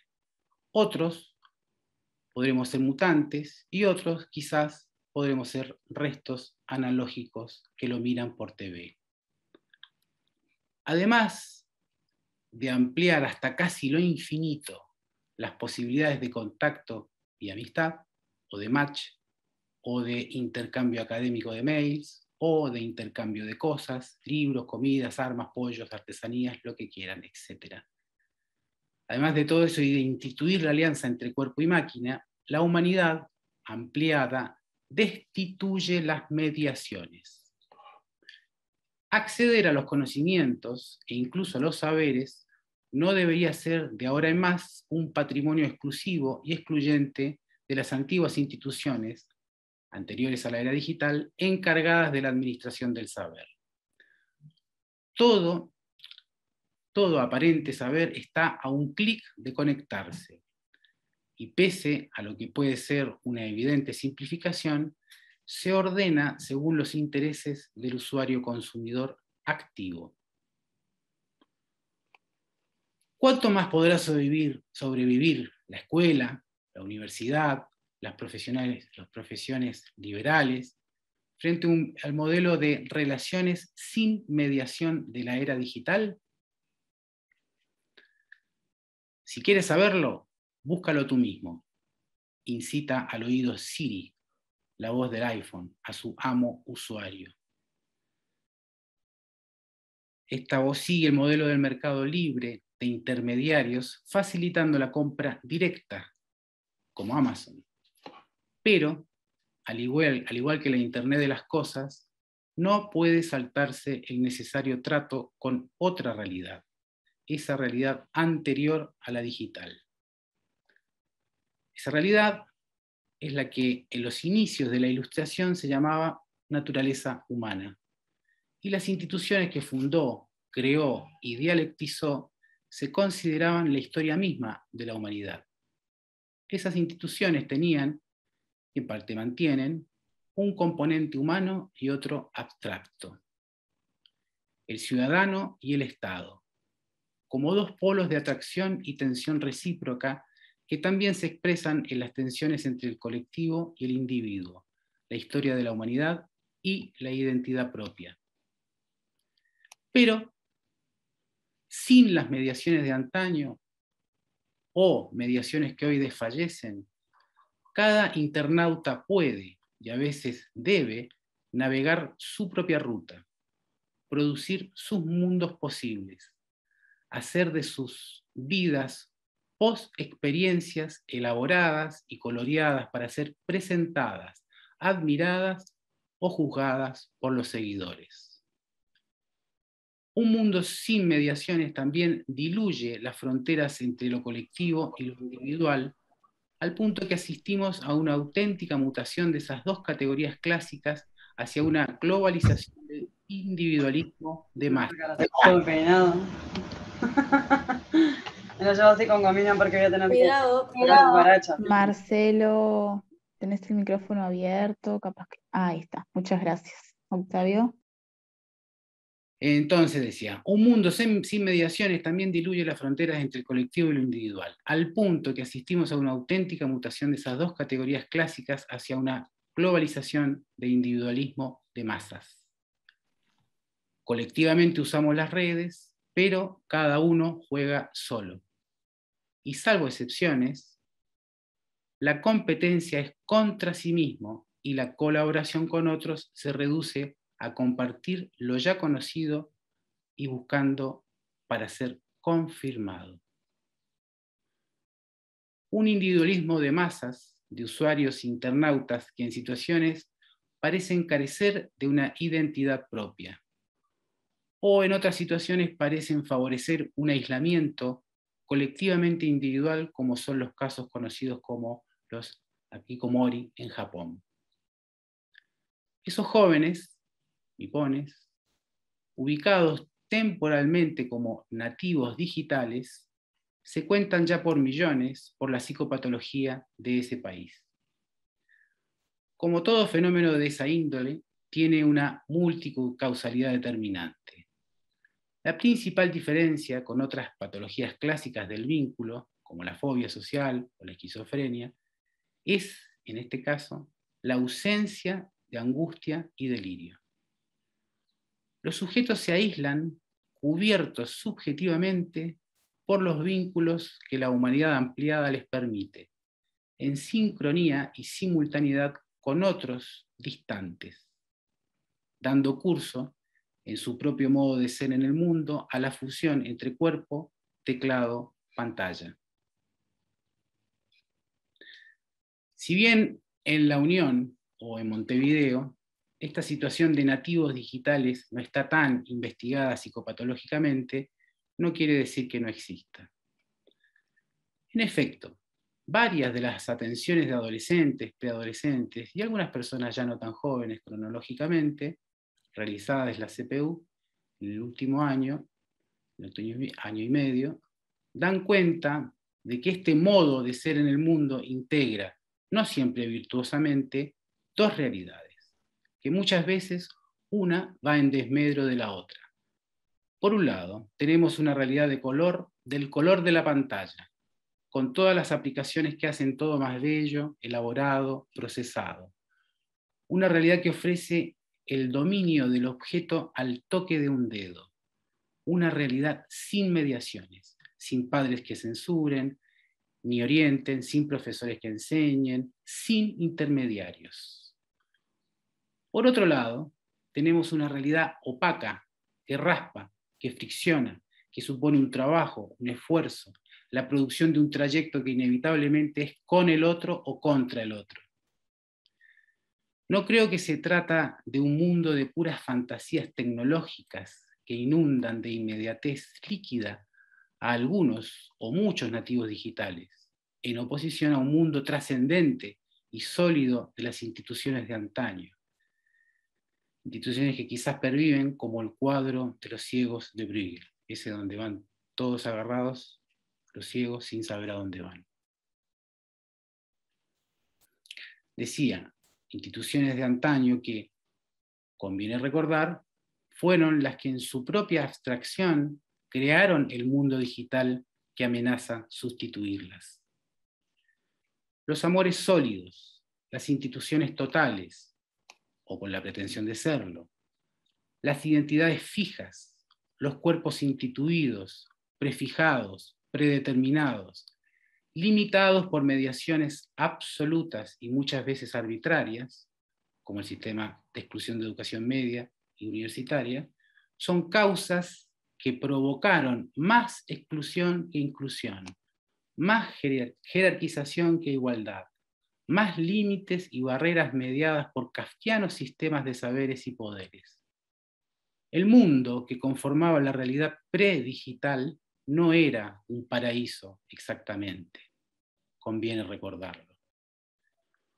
Un ejemplo que se, viene, se me viene para graficar ese tránsito o mutación de un sistema predigital al digital es la historia del rechazo por parte de la IBM de la idea de los personal computers. Consideraban, esos gerentes de IBM, que tal emprendimiento estaba irremediablemente condenado al fracaso. La idea de que cada casa tuviera una PC les parecía un delirio de poco alcance.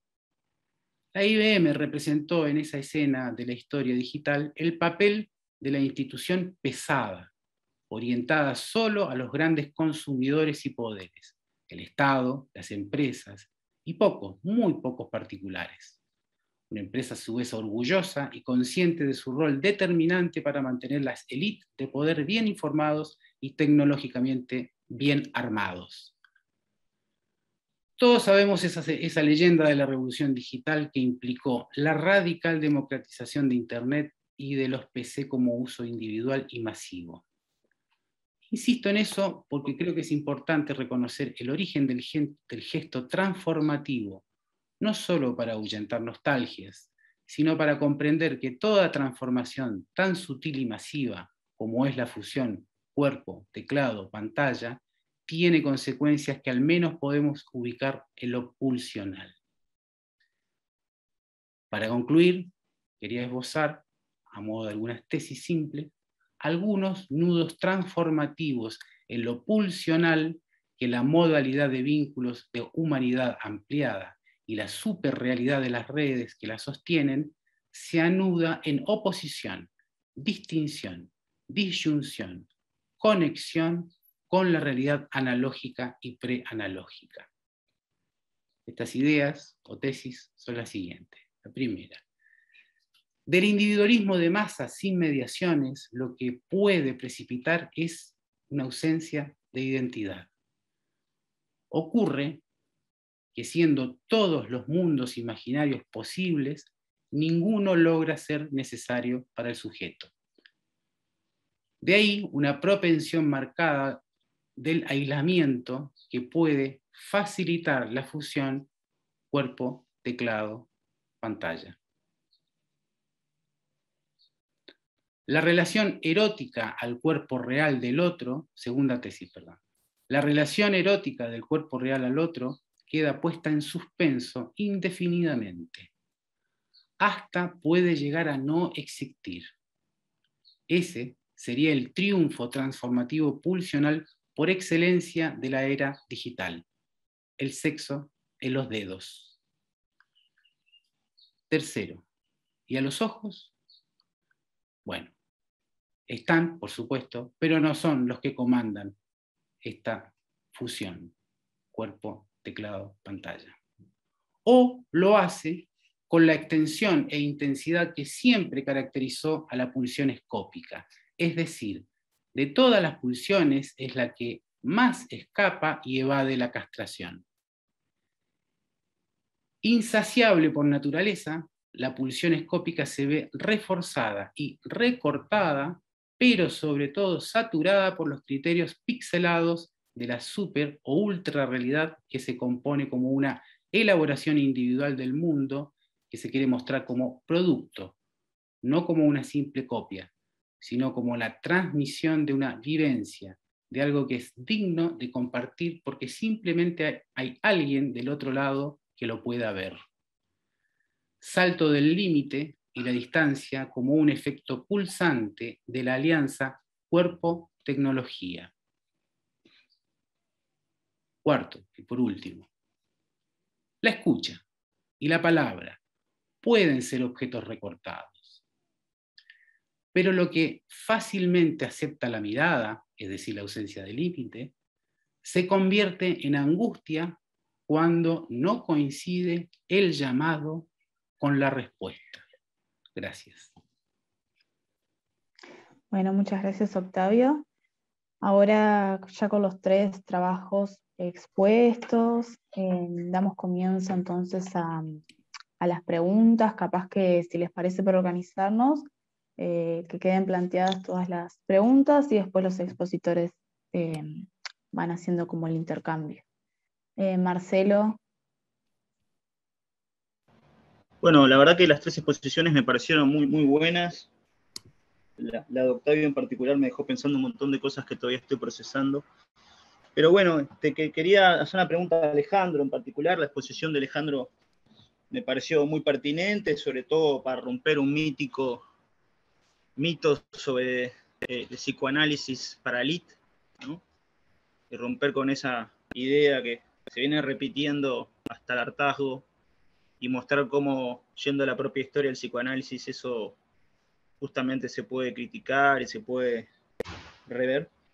Pero en un punto de tu exposición, eh, vos planteás eh, una expresión que a mi gusto puede quizás ser un poco problemática, que es el tema de un psicoanálisis para las masas. Si la clínica psicoanalítica de la Unión se llama clínica psicoanalítica de la Unión, eh, me parece que justamente es porque remite a una comunidad, a una localidad, a un territorio, eh, y no una masa. Este, en ese sentido, me, parece que quizás habría que preguntarse si, eh, si no sería más bien un psicoanálisis para, para la comunidad o enfocado en las comunidades o localizado, que para la masa, teniendo en cuenta sobre todo eh, que el propio Freud cuando analiza el, tema de la masa lo ve como un problema.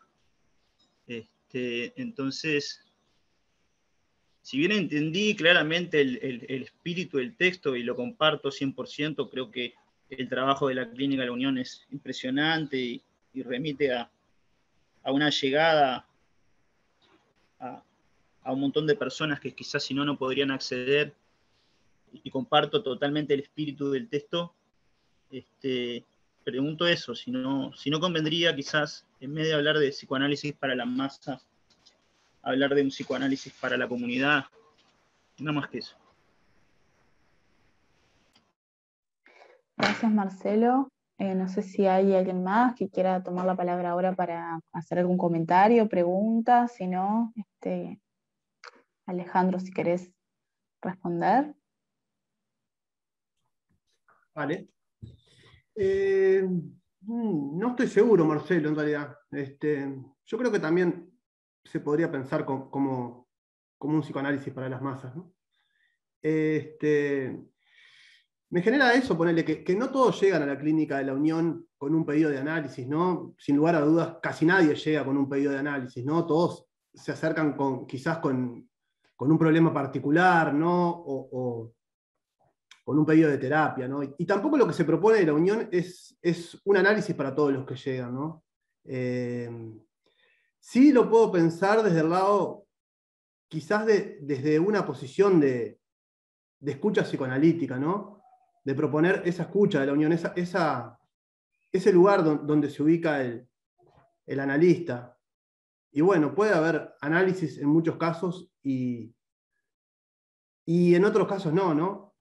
Eh, pero también me parece que está bueno pensarlo desde, desde esa no búsqueda quizás de, un sanar, ¿no? De, ese lugar que no, que no es el, lugar del psicoanálisis, ¿no? Eh, si bien acompañar al, yo del sujeto que, que, se acerca a la clínica, tampoco tratar de moldearlo, ¿no? Este, decía que, también el, analista puede moldearlo en lo bueno, pero también en, lo que está torcido, ¿no? Este, me parece que es muy discutible, Marcelo, sí, de acuerdo contigo, pero eh, pensando otras experiencias también, eh, yo lo pensaría como un psicoanálisis para la comunidad o para las masas también. Gracias, Alejandro. Le damos la palabra a Isabel. Mm, bueno, este, agradezco los tres trabajos, me parecieron muy interesantes. Este, el de Octavio eh, me pareció súper interesante. Y me gustaría hacerle una pregunta a Alejandro en relación a esto que él plantea con respecto a que este tema ¿no? que tiene este, que está desde los inicios del psicoanálisis en relación a la cuestión del dinero y si es posible un pago sin que se ponga en juego eh, eh, exclusivamente el dinero y eh, que está desarrollado en tu trabajo, ¿no? Y en relación a cuál es la forma de pago, ¿verdad? válida en psicoanálisis. Me parece que es bien interesante este, este esto que vos planteás, este, en relación a este trabajo que se viene haciendo en la Clínica de la Unión desde hace este, más de 30 años, creo que mencionaron, no recuerdo bien en qué año fue fundada, pero creo que por el 80 y, será el 88, no sé. 89. 89, ahí no, estaba tan lejos este, en mis cálculos. Eh, y bueno, me parece que, que bueno, que a ver si podés contarnos un poquito más en relación a esto de, de cuál sería la forma de pago cuando no es con dinero, que me parece bien interesante, bien interesante. Y de entrada digo que sí creo que es posible un psicoanálisis allí. Bien, gracias Isabel por la pregunta. Eh, bueno, en realidad no hay un pago con dinero, este, pero está esa posibilidad de pago, ¿no? La persona que se acerca a la clínica ya está pagando con su tiempo, ¿no? Con el tiempo que, que dedica a estar ahí ya está pagando, ¿no? Eh, está pagando con hacerse cargo de, ese deseo. Eh, yo no quería entrar demasiado en esto porque me parecía que excedía el trabajo, ¿no? Este, sin duda que, el pago salda muchas cosas, ¿no? Que, bueno, se puede dar esa complicación en la erotidad, caer en, lo que es asistencialismo quizás, ¿no? Eh, ¿Cuál es la relación con el goce que, está presente con el pago ahí también? Hay, trabajos de la Unión que incluso comentan que el pago tampoco se hacía eh, directamente del consultante a los analistas, ¿no? Que también está en juego eso. ¿Qué lugar ocupa ese analista que no recibe el pago, ¿no? Donde está en el medio de la institución también, porque hay un pago que, llega a la institución, que llegaba a la facultad en su momento. Este, hay muchas cosas en juego ahí que, me parece que están buenas. Eh, a mí no me queda del todo claro, en realidad, este, si la gratuidad es tal, ¿no? Pero bueno, yo considero que sí, que son posibles los tratamientos. Este, y como te decía, ya el pago, ¿no? Y, el, tratar de hacerse cargo de su deseo en, el acto analítico me parece que está diciendo mucho de quien se acerca a la clínica ya, más allá de que pueda, que pueda pagar económicamente, digamos, con, con dinero o no. Bien, gracias Isabel Alejandro. Eh, damos paso a las preguntas de Rosina y Lucas, eh, ambos este, capaz que puedan exponer sus comentarios o inquietudes, así ya los expositores pueden ir respondiendo ambas. Bien, gracias. Hola, bajo la mano ahí. Em, bueno, no, primero agradecer, agradecer los trabajos, me parece, em, nada, que, que, después de escuchar todas estas jornadas en las que se pensó, se formalizó, se conceptualizó tanto el tema de, del psicoanálisis, la virtualidad, o en el contexto actual, terminar con el trabajo de Octavio y con el de Camil me parece que, fue genial, fue nada, un, placer escucharlo. Yo en realidad también quería, bueno, también me, me, convoca un poco el trabajo de Alejandro porque hemos estado también conversando sobre esto. El, el, el, título del trabajo de Alejandro es un guiño ¿no? a, la respuesta que, a un comentario que hace Lacan en una conferencia de Foucault, esa conferencia que se llama que, que es un autor, este, y, Lacan dice algo que demostró eh, en esto de, bueno, ¿se acuerdan mayo del 68? Esa frase, las estructuras no bajan a la calle. Y, Lacan dice, no, bueno, en ese comentario dice, le dice a Foucault, lo que sí demostró el mayo del 68 es que las estructuras este, sí bajan a la calle, ¿no? Eh, y yo jorobando con Alejandro, en uno de los, cuando estábamos jugando con esto del título, eh, también te decía, otro título posible sería si los psicoanalistas no, no bajan a la calle. Entonces, eh, en realidad la, la, pregunta que le, quería hacer a Alejandro es, este, mm, si, los, eh, si considerás si los psicoanalistas este, bajan a la calle o si la unión también los hace, los hace bajar un poco a la calle. Era por ahí breve el comentario. Gracias. Bien, Lucas.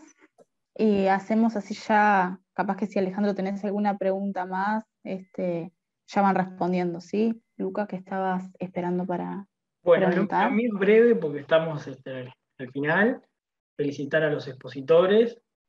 Y me quedé pensando en la cuestión del pago también, en que planteaba Ale, y con esto también que engancho con esto que decía Rosina, de, del bajar a la calle, de pensar esta cuestión como, como una función de apuesta, ¿no? Más que por el lado de pensar más allá del hacerse cargo no, sino por una, una función de apuesta, digamos, del psicoanálisis en la universidad, de la apuesta de, bueno, tipo, de poder pensar un psicoanálisis en la comunidad y, bueno, de la apuesta de alguien que va a consultar en un espacio y también la apuesta de uno, ¿no? De poder, hasta ver hasta dónde se puede instituir, digamos, una posibilidad de, un análisis, la construcción de una demanda de análisis o no. Este, eso porque no me quiero extender, ya estamos.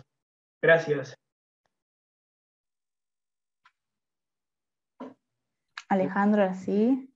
Bueno, eh, Rosy, eh, yo creo que que se puede pensar que sí.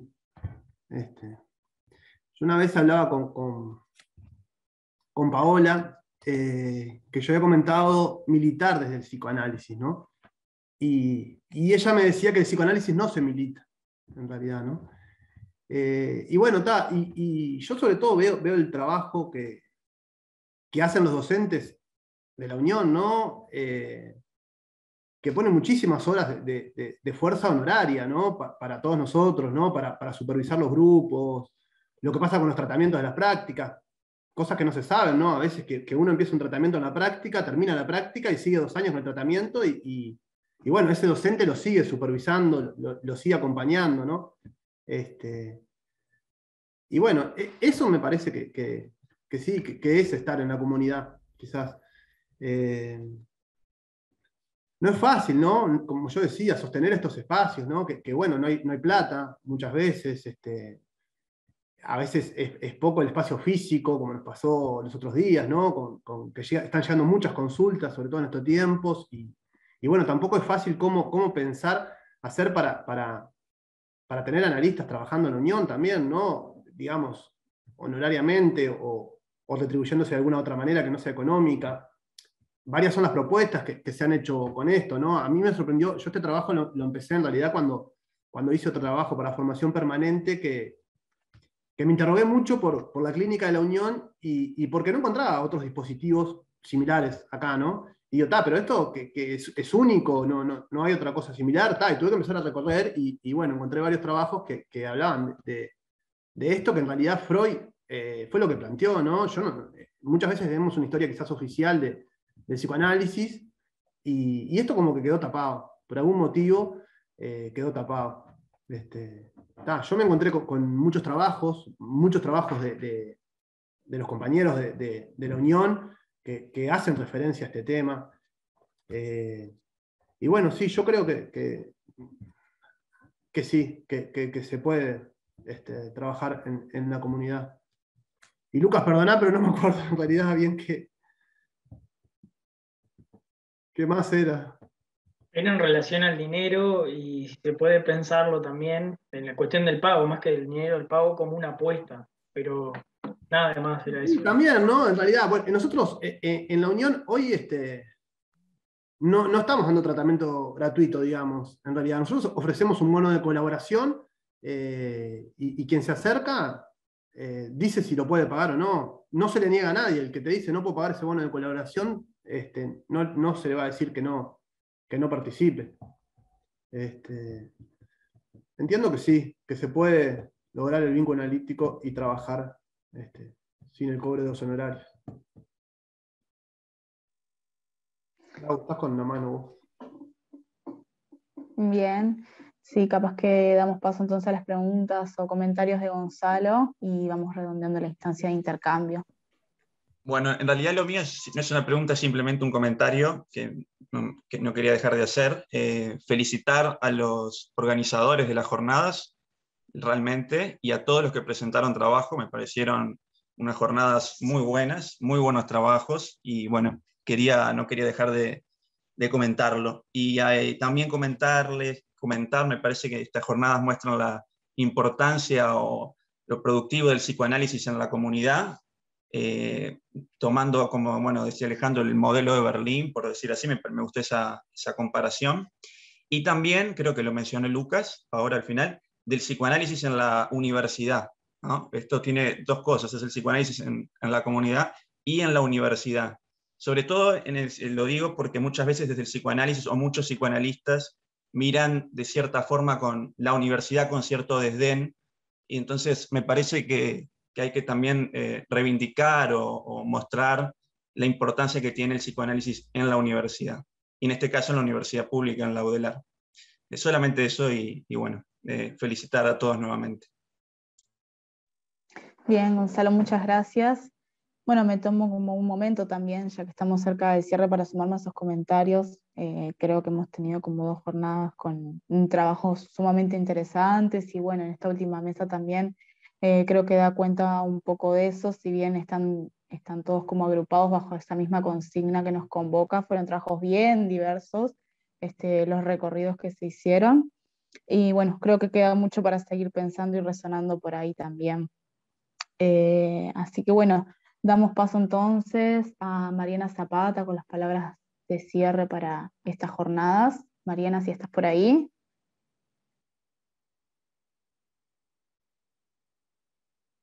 Bueno, parece que no. Mariana. Ah, ahora sí. Ah, este, bien, ahí estás. Bueno, adelante, Mariana. Bueno, quería cerrar primero, este, en primer lugar, eh, comentando esta grupalidad espectacular que se generó eh, que tiene que ver con una cantidad de estudiantes, pasantes, egresados, este, que están trabajando e incluso simultáneamente participan de distintas instancias. Eh, en primer lugar, digo, creo que los que se hicieron cargo eh, en mayor amplitud fue la gente que participa de la investigación, los estudiantes de grado, los estudiantes de de la pasantía este, de posgrado, que están trabajando también los estudiantes de, de, las dos EFIs que, que, constituyen, que están en todo este trabajo inicial este, muy enriquecedor y que también pudieron hacer su exposición acá.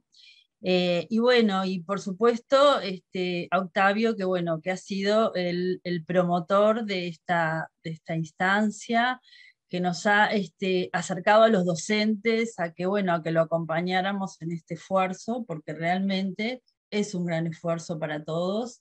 Eh, bueno, también agradecer el aprendizaje este, como docente que, que he recibido de, y sigo recibiendo de ustedes, este, tanto de los estudiantes como por supuesto, y ni hablar que de los pacientes que están, están y, pienso que seguirán estando, y de ahí la cantidad este, de transmisiones que estamos aprendiendo constantemente y que esto se retroalimenta constantemente, ¿verdad? Bueno, y si bien eh, quería hacer algún comentario de, todas las exposiciones, es imposible.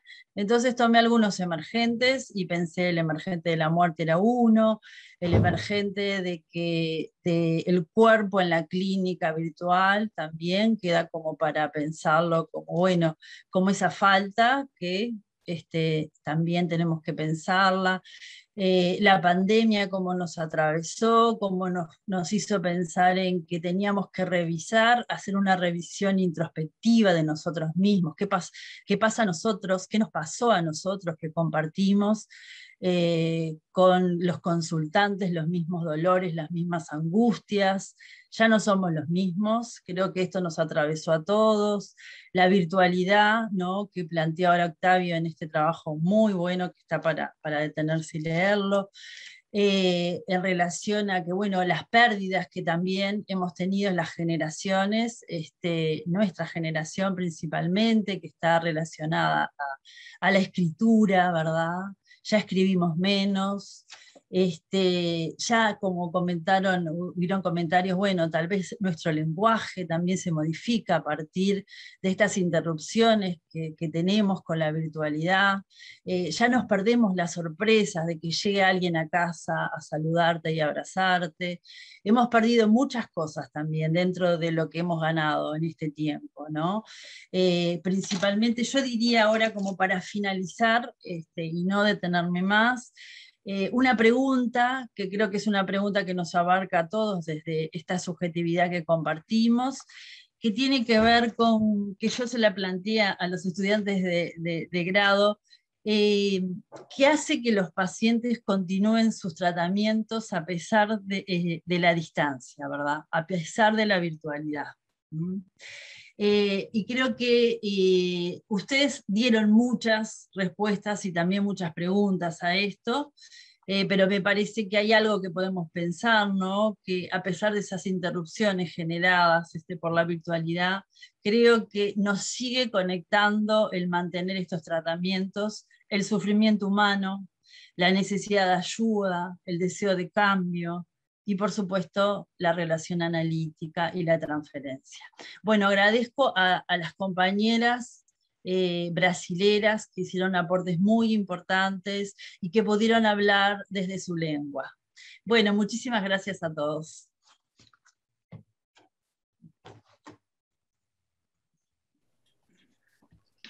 Muchas gracias. Muchas gracias. Gracias, muchas gracias. Muchas gracias. Gracias. Felicitaciones, muy bueno. gracias a todos y todas.